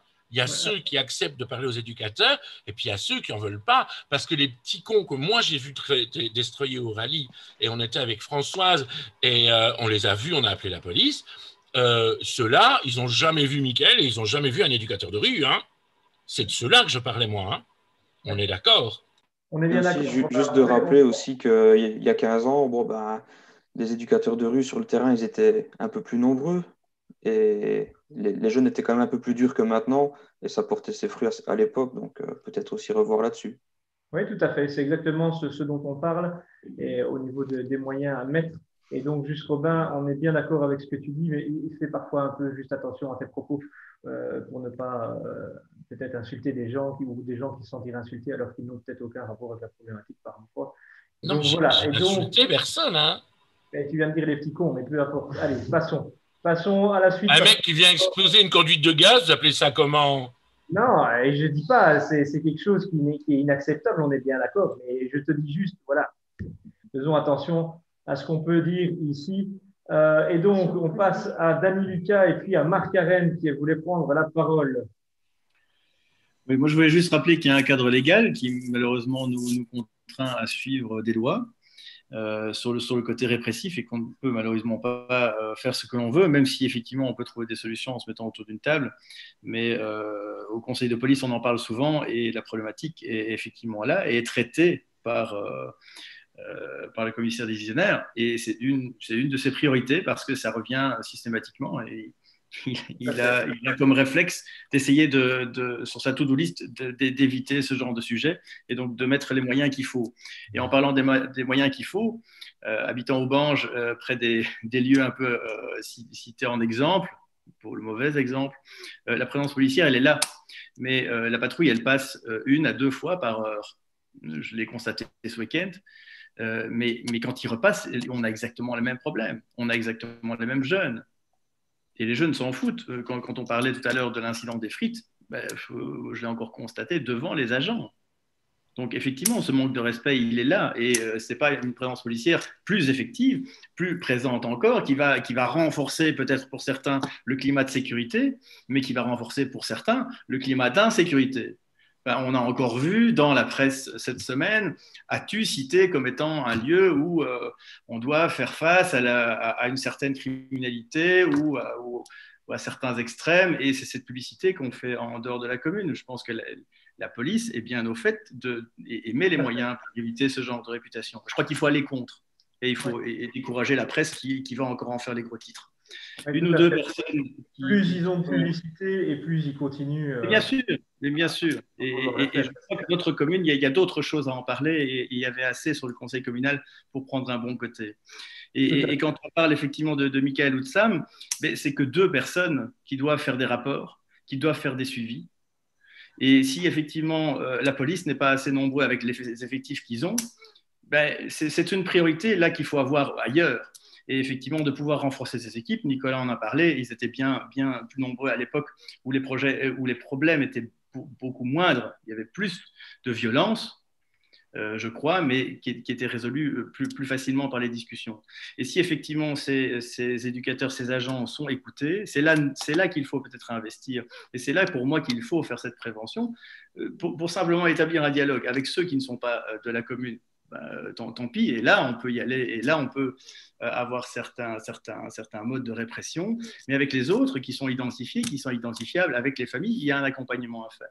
Et c'est pas simplement la violence ou c'est pas simplement le bleu dans la rue qui va faire euh, se sentir meilleur. Et encore une fois, on peut, on peut avoir des, des, pelotons en faction euh, dans l'ensemble de, de, la ville, parce que dans l'ensemble de la ville, on a ce genre de soucis. On ne résoudra pas les problèmes, on les déplacera. Et, quand on parle des, agents de quartier, euh, pardon François, je te coupe, mais quand on parle des agents de quartier, on en a parlé souvent, on a parlé aussi d'un autre mode de, ronde, c'est aussi dans les priorités du, chef de corps, et, le retour peut-être d'un garde champêtre ou des, des, personnes en tout cas qui circulent dans la rue, qui, peuvent en, tout cas constater, alerter ou, euh, ou intervenir.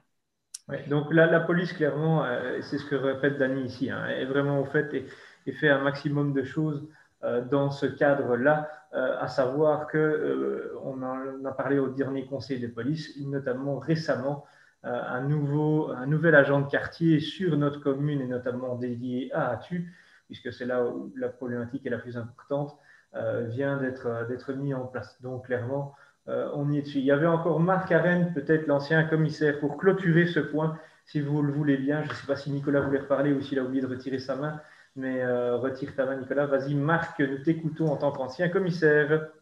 oui, bah, c'est gentil, je ne le suis plus et je suis presque content de ne plus l'être avec les situations qui se passent actuellement. Donc, bah, parce que moi, j'ai été témoin jeudi soir euh, d'un problème à côté de la friterie euh, et du rallye, donc où il y a eu une bagarre entre jeunes. Et alors, on se rend bien compte qu'il y a une bande de jeunes d'à peu près sept personnes. C'est sept personnes qui sont en train de, de foutre la brouille un petit peu, que ce soit sur Atu ou sur Orange, alors les moyens de transport, discuteront pas, ils prennent le bus. C'est plus facile, ils ne payent pas. C'est encore plus facile. Donc euh, voilà, voilà leur moyen de transport entre les deux lieux. Et là, une des choses que l'on peut dire, euh, vous pouvez faire ce que vous voulez. Il y en a déjà un ou deux qui ont été en IPPJ et ils en sortent sortis. Donc, ça n'a pas porté ses fruits. Ça, ça, veut dire que ce n'est pas la police qui doit être euh, encore plus mais c'est au niveau de la justice qu'il y a quelque chose à faire. Et la justice, et la justice, ce n'est pas au niveau du conseil de police, c'est au niveau du conseil zonal de sécurité. Alors, si, si un bourgmestre ne peut pas taper du poing sur la table parce que c'est monsieur le procureur ou madame la procureure, je ne sais même plus qui est procureur du roi maintenant, euh, ça n'ira pas. Vous savez, c'est comme, c'est comme on le répète depuis très longtemps. Une bonne prévention, ça commence aussi par une bonne répression. Si on met plus de policiers dans les rues, ça veut dire qu'on va constater plus d'infractions. Mais si le nombre d'infractions que l'on va constater n'est pas suivi par la justice, à quoi sert de le faire? On a déjà la même chose au niveau simplement, je vais prendre cet exemple-là et puis je vais terminer, des infractions de roulage. Vous mettez un radar. Vous pouvez, la vitesse est limitée à 50. Croyez-vous que le radar flash à 52 ou 53 km heure comme au Grand-Duché? Non, non, non. Ou au minimum à 60, 64, de façon à ce que ce soit une infraction grave, que ce soit poursuivi. Sinon, en dessous, il n'y a rien. Peut-être maintenant avec les sanctions administratives, mais sinon, de montant, il n'y avait rien. C'était, donc, en fait, la justice, et qu'est-ce qu'on nous disait? Je n'ai pas assez de personnel pour suivre tous les dossiers. Ah oui, mais moi, je suis pas la justice. Moi, on me demande de faire. la police fait son travail. Elle essaye de le faire le mieux possible. Tous les agents font le mieux possible leur travail. Mais à partir du moment où, de l'autre côté, je ne veux pas faire, ou il faut beaucoup de temps pour le faire, ben ça, ça pose le problème. Et c'est là qu'est le vrai problème. C'est-à-dire qu'il n'y a pas une capacité d'absorption par un autre pouvoir. Et ici, c'est le pouvoir judiciaire.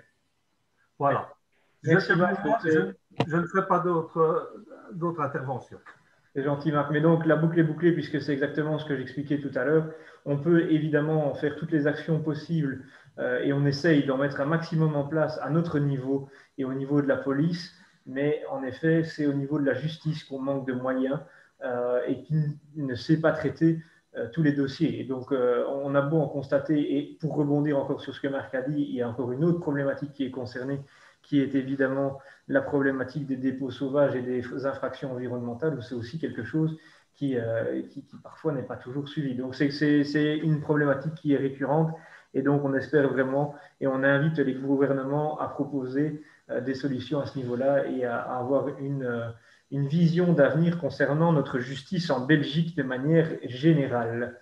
Voilà, alors la question suivante, parce qu'on n'a fait qu'une question sur les, moi j'en ai noté au moins neuf, euh, donc, on en a deux pour TPA. Eric ou Philippe? Oui, ben, je vais commencer. Moi, elle va être très, très courte. Euh, ça sera sur euh, le problème de la rue de la Montagne des travaux qui durent depuis, je vais dire, minimum deux mois, mais je dirais plutôt trois, où les riverains commencent à perdre patience, de un.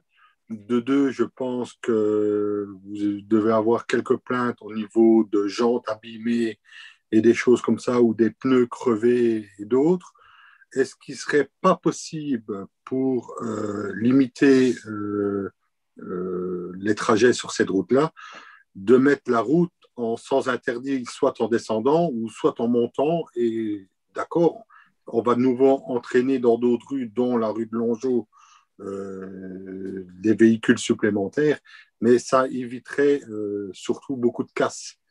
Parce que la vitesse, quand même, les gens, dès qu'ils voient quelqu'un qui descend ou qui monte, ils accélèrent pour essayer d'éviter, d'éviter ces trous de, de 7 cm euh, parce qu'il n'y a plus de macadam et c'est simplement rempli de, de, sable.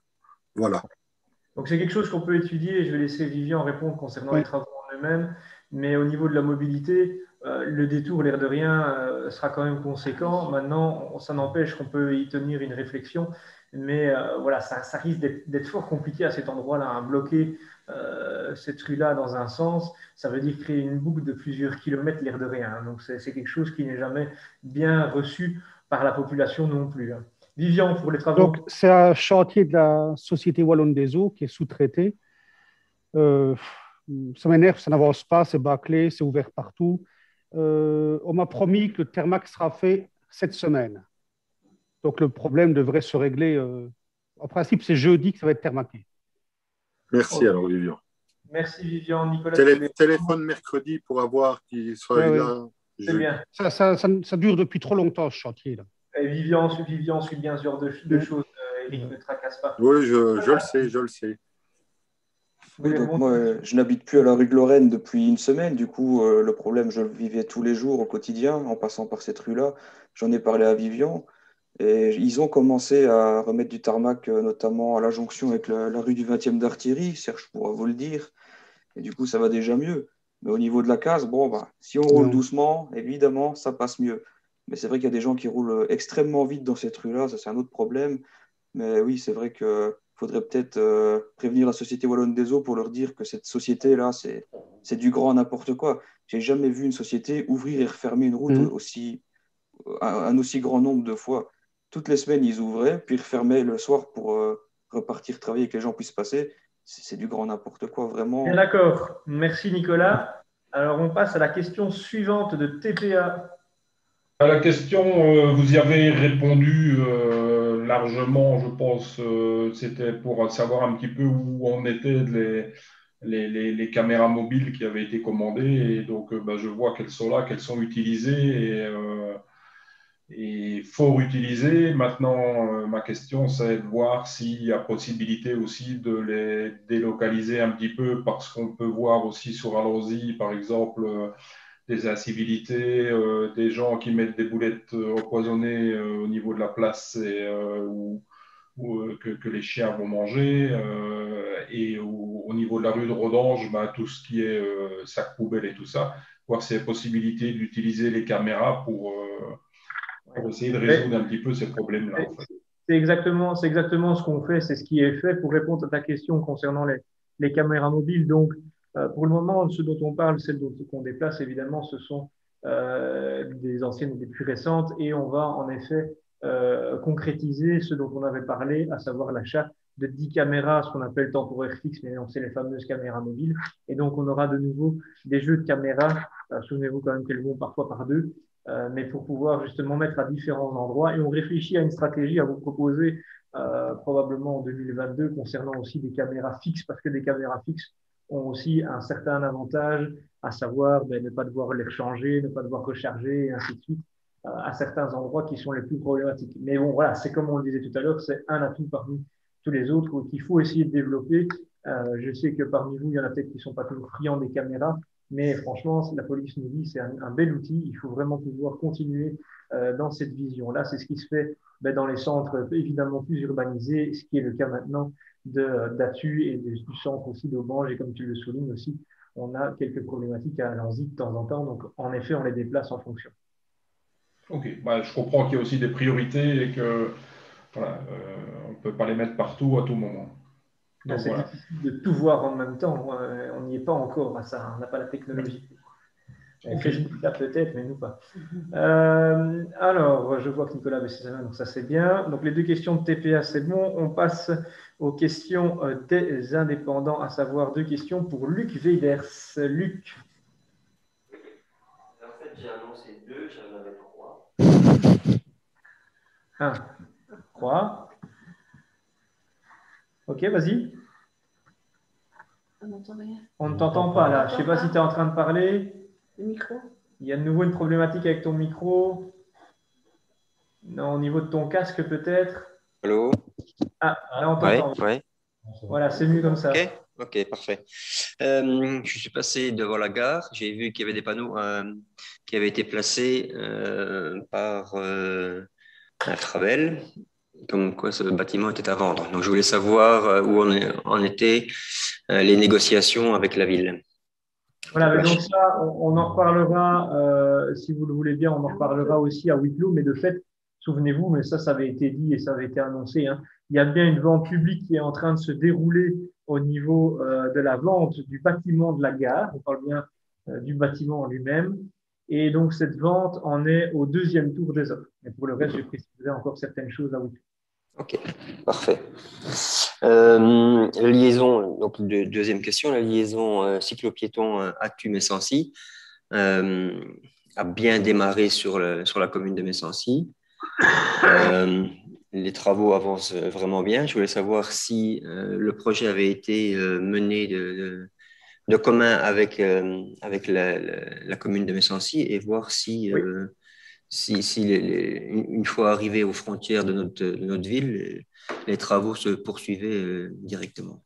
Alors, donc, en effet, on a bien fait ça en commun avec Messancy. Messancy a introduit avant nous, puisqu'ils euh, avaient certaines facilités à ce niveau-là, leur permis au niveau de l'urbanisme. Euh, de l'autre côté, on est toujours en attente d'un octroi de permis d'urbanisme il y a des complications notamment liées au cours d'eau, mais on les, à chaque fois qu'il y en a une qui se présente, ben, on, la résout à, chaque fois. On essaye d'être dans les temps parce que on rappelle toujours à la région Wallonne qui nous a accordé un suivi d'elle-même, puisque c'est la, région Wallonne qui doit aussi nous accorder notre permis, que euh, ben voilà, qu'il y a des subsides qui sont pendant par, par la région Wallonne elle-même, et donc euh, que ce serait pas mal de pouvoir aboutir et avoir un octroi sur ce permis. Mais donc il y a encore euh, certaines difficultés et certaines choses à proposer et à modifier, mais ce sont des, entre guillemets des détails techniques au niveau notamment des cours d'eau afin de pouvoir avoir l'octroi du permis et une fois que le permis est octroyé, ben oui, là, les travaux peuvent continuer. Donc, on espère évidemment l'avoir prochainement. De toute façon, euh, on est tenu par des délais aussi au niveau urbanisme. Euh, ces délais. Le 12 mai, on doit avoir la réponse. Voilà, le 12 mai, on doit avoir la réponse d'un octroi ou non au niveau de notre demande de permis. Mhm. Et donc, euh, si c'est le cas, qu'on a bien un octroi, à ce moment-là, évidemment, on est beaucoup plus à l'aise pour pouvoir continuer à avancer sur le sujet.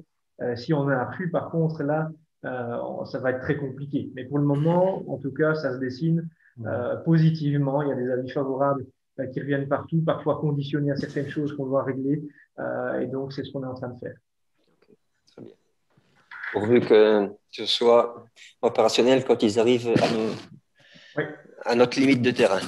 Et, j'avais un troisième point. En fait, j'ai un des citoyens qui m'ont amené un courrier. Euh, ils ont fait une demande euh, en 2015 pour la réfection de. Donc, ça se passe en fait euh, à la rue des Chasseurs Ardennais. Il y a certains lots d'habitations qui sont desservis par des escaliers. Euh, les escaliers qui, mènent à leur habitation euh, est dans un très très mauvais état. La personne, euh, une des personnes en tout cas souffre de polyarthrite est vraiment handicapée. Et en 2015, ils avaient écrit un courrier, une demande de, réflexion de, cet escalier. Le collège avait marqué son accord le 23 juin et avait demandé au service travaux du, suivi de, ce dossier. Euh, nous sommes en 2021 et euh, les travaux ne sont toujours pas euh, réalisés.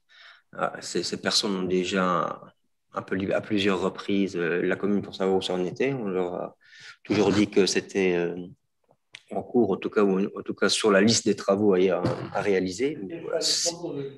Six, ans, six ans après, les travaux ne sont toujours pas réalisés. Donc c'est pour savoir un petit peu comment pouvait-on faire pour que ça avance mais c'est très bien de, relever la question et de fait, euh, moi personnellement, par exemple, je ne suis pas toujours au courant des choses qui n'ont pas été exécutées euh, à certaines époques. Et donc de revenir avec la problématique et d'avoir un suivi, c'est quelque chose euh, évidemment qui nous est précieux à ce niveau-là. on est justement, on a eu ce point a été relevé également par le Conseil consultatif des aînés. Si je ne dis pas de bêtises, Catherine, si j'en dis, tu me corriges de toute façon. Et donc, ce point a été relevé, et pas pour un seul escalier, mais pour une série d'escaliers euh, qui devraient être étudiés de manière un peu plus globale. Et donc, c'est quelque chose euh, qui est prévu à l'étude depuis ici, euh, je dirais fin de l'année 2020, quelque chose comme ça, parce que c'est au moment où, la problématique a surgi, en tout cas au niveau du collège, où moi j'ai pu en, prendre conscience également.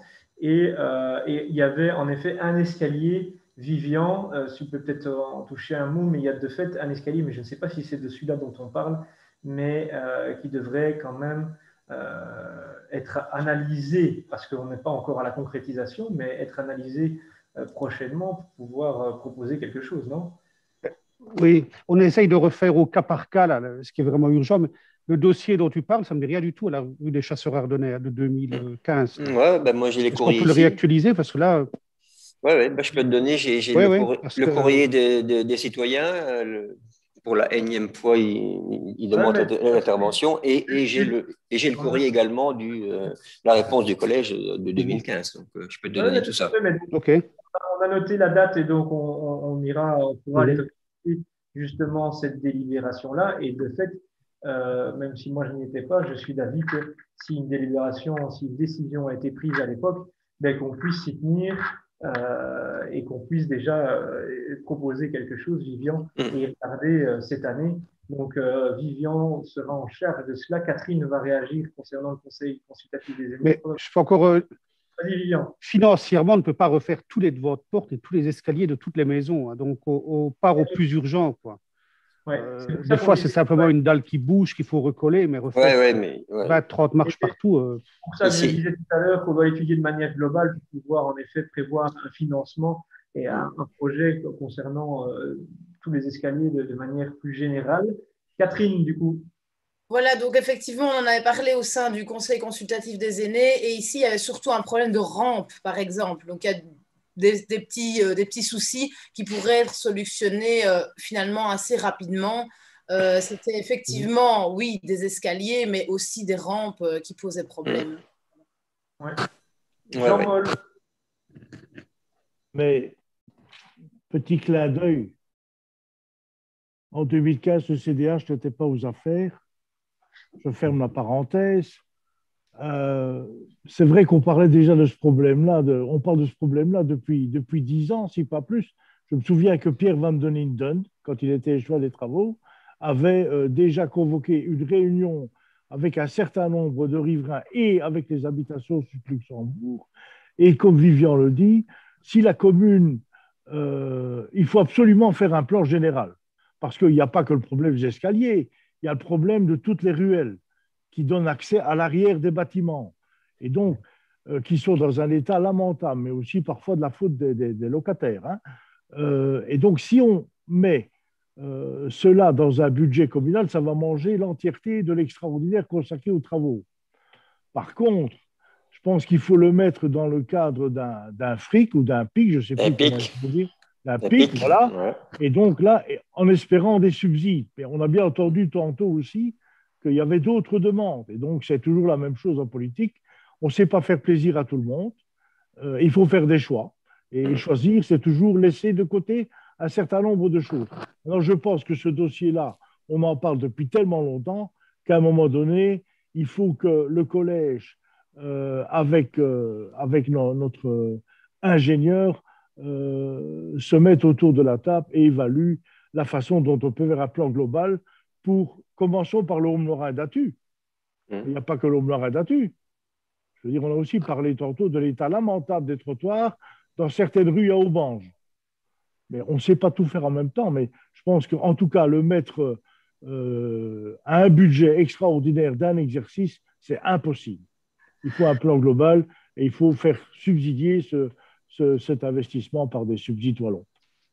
Certainement. Tout à fait d'accord avec toi, Jean-Paul, pour le plan global, c'est ce que j'exprimais.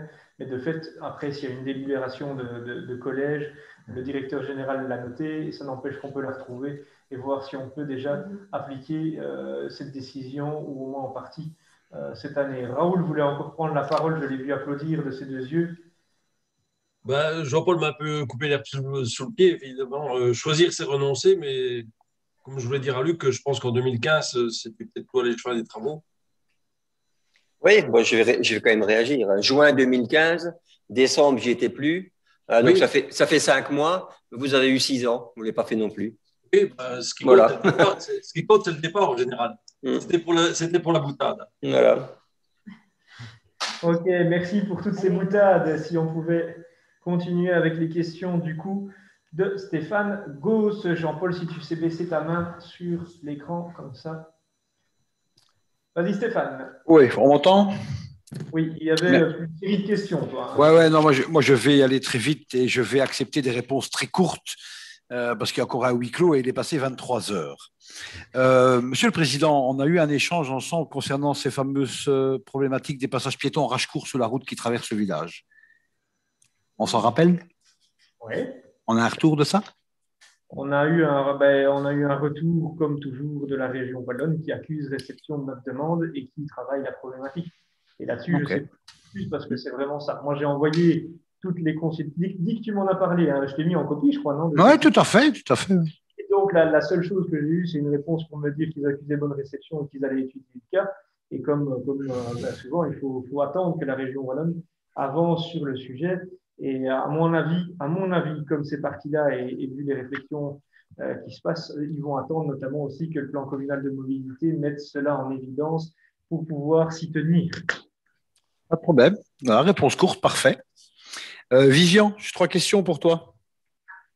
Euh, Très courte aussi la réponse, hein, Vivian. Euh, rue Van Brabant, des nouvelles? Rue Van Brabant, j'ai le dossier ici. Donc, on a dit qu'on allait le mettre dans le cadre de l'entretien extraordinaire. Mmh. Simplement, il y a un problème de muret chez Arrivera à régler parce que le muret, il est sur domaine communal. Je m'en doutais. Hein? Voilà. Euh, Donc, vous êtes euh, en train de régler ce problème-là. Dernière maison à gauche, je suppose. Voilà, c'est ça. Merci pour la première. le muret qui soutient le talus. Hein. Ouais, totalement. Et on a une Euh, entrée de garage aussi à, à régler, là, une autre maison. Euh, Rachecourt, pleine de jeux. On en avait parlé avec ce bruit des grillages métalliques. Et on a, on a, une, Euh, on a une solution, on a Oui, oui, une oui. intervention à ce sujet? Oui, on est, on est dessus, là. On a, Ça avance? on va probablement euh, placer des, du bois, comme à la plaine de jeu à Batacourt. Voilà, mais en gros, pour te répondre, Stéphane, donc on a, on a en effet encore même réévoqué ce sujet pas plus tard que ce matin, c'est marrant, mais euh, le- on est tenu quand même à ce niveau-là par une décision euh, juridique. Oui, l'affaire Colas. Voilà, on a un juge qui a euh, pris carrément la décision de demander une solution bien précise. Ce qui fait que toute autre solution, quand elles sont proposées, euh, à moins de trouver un accord avec la partie adverse, Ouais. peuvent être refusées. Et si on est refusé ben, pour le bois ou pour d'autres choses, ben, ça veut dire qu'en effet, la problématique n'avance pas. On a même toujours des solutions. Ça fait manifestement des années que ça dure aussi. Et tout à à chaque fait. fois qu'on arrive avec une solution, c'est à chaque fois refusé. Mais on a un problème avec la solution euh, qui peut être proposée par le juge en partie, notamment parce que ce n'est pas une solution au niveau de la sécurisation des enfants qui est euh, pleinement satisfaisante. hein. On parle, et ça ne se voit nulle part ailleurs, pour bien préciser les choses, on parle de mettre des filets comme pourtour de tout le terrain. Donc, est-ce que vous avez déjà vu un seul terrain avec des filets sur tout le tour du terrain?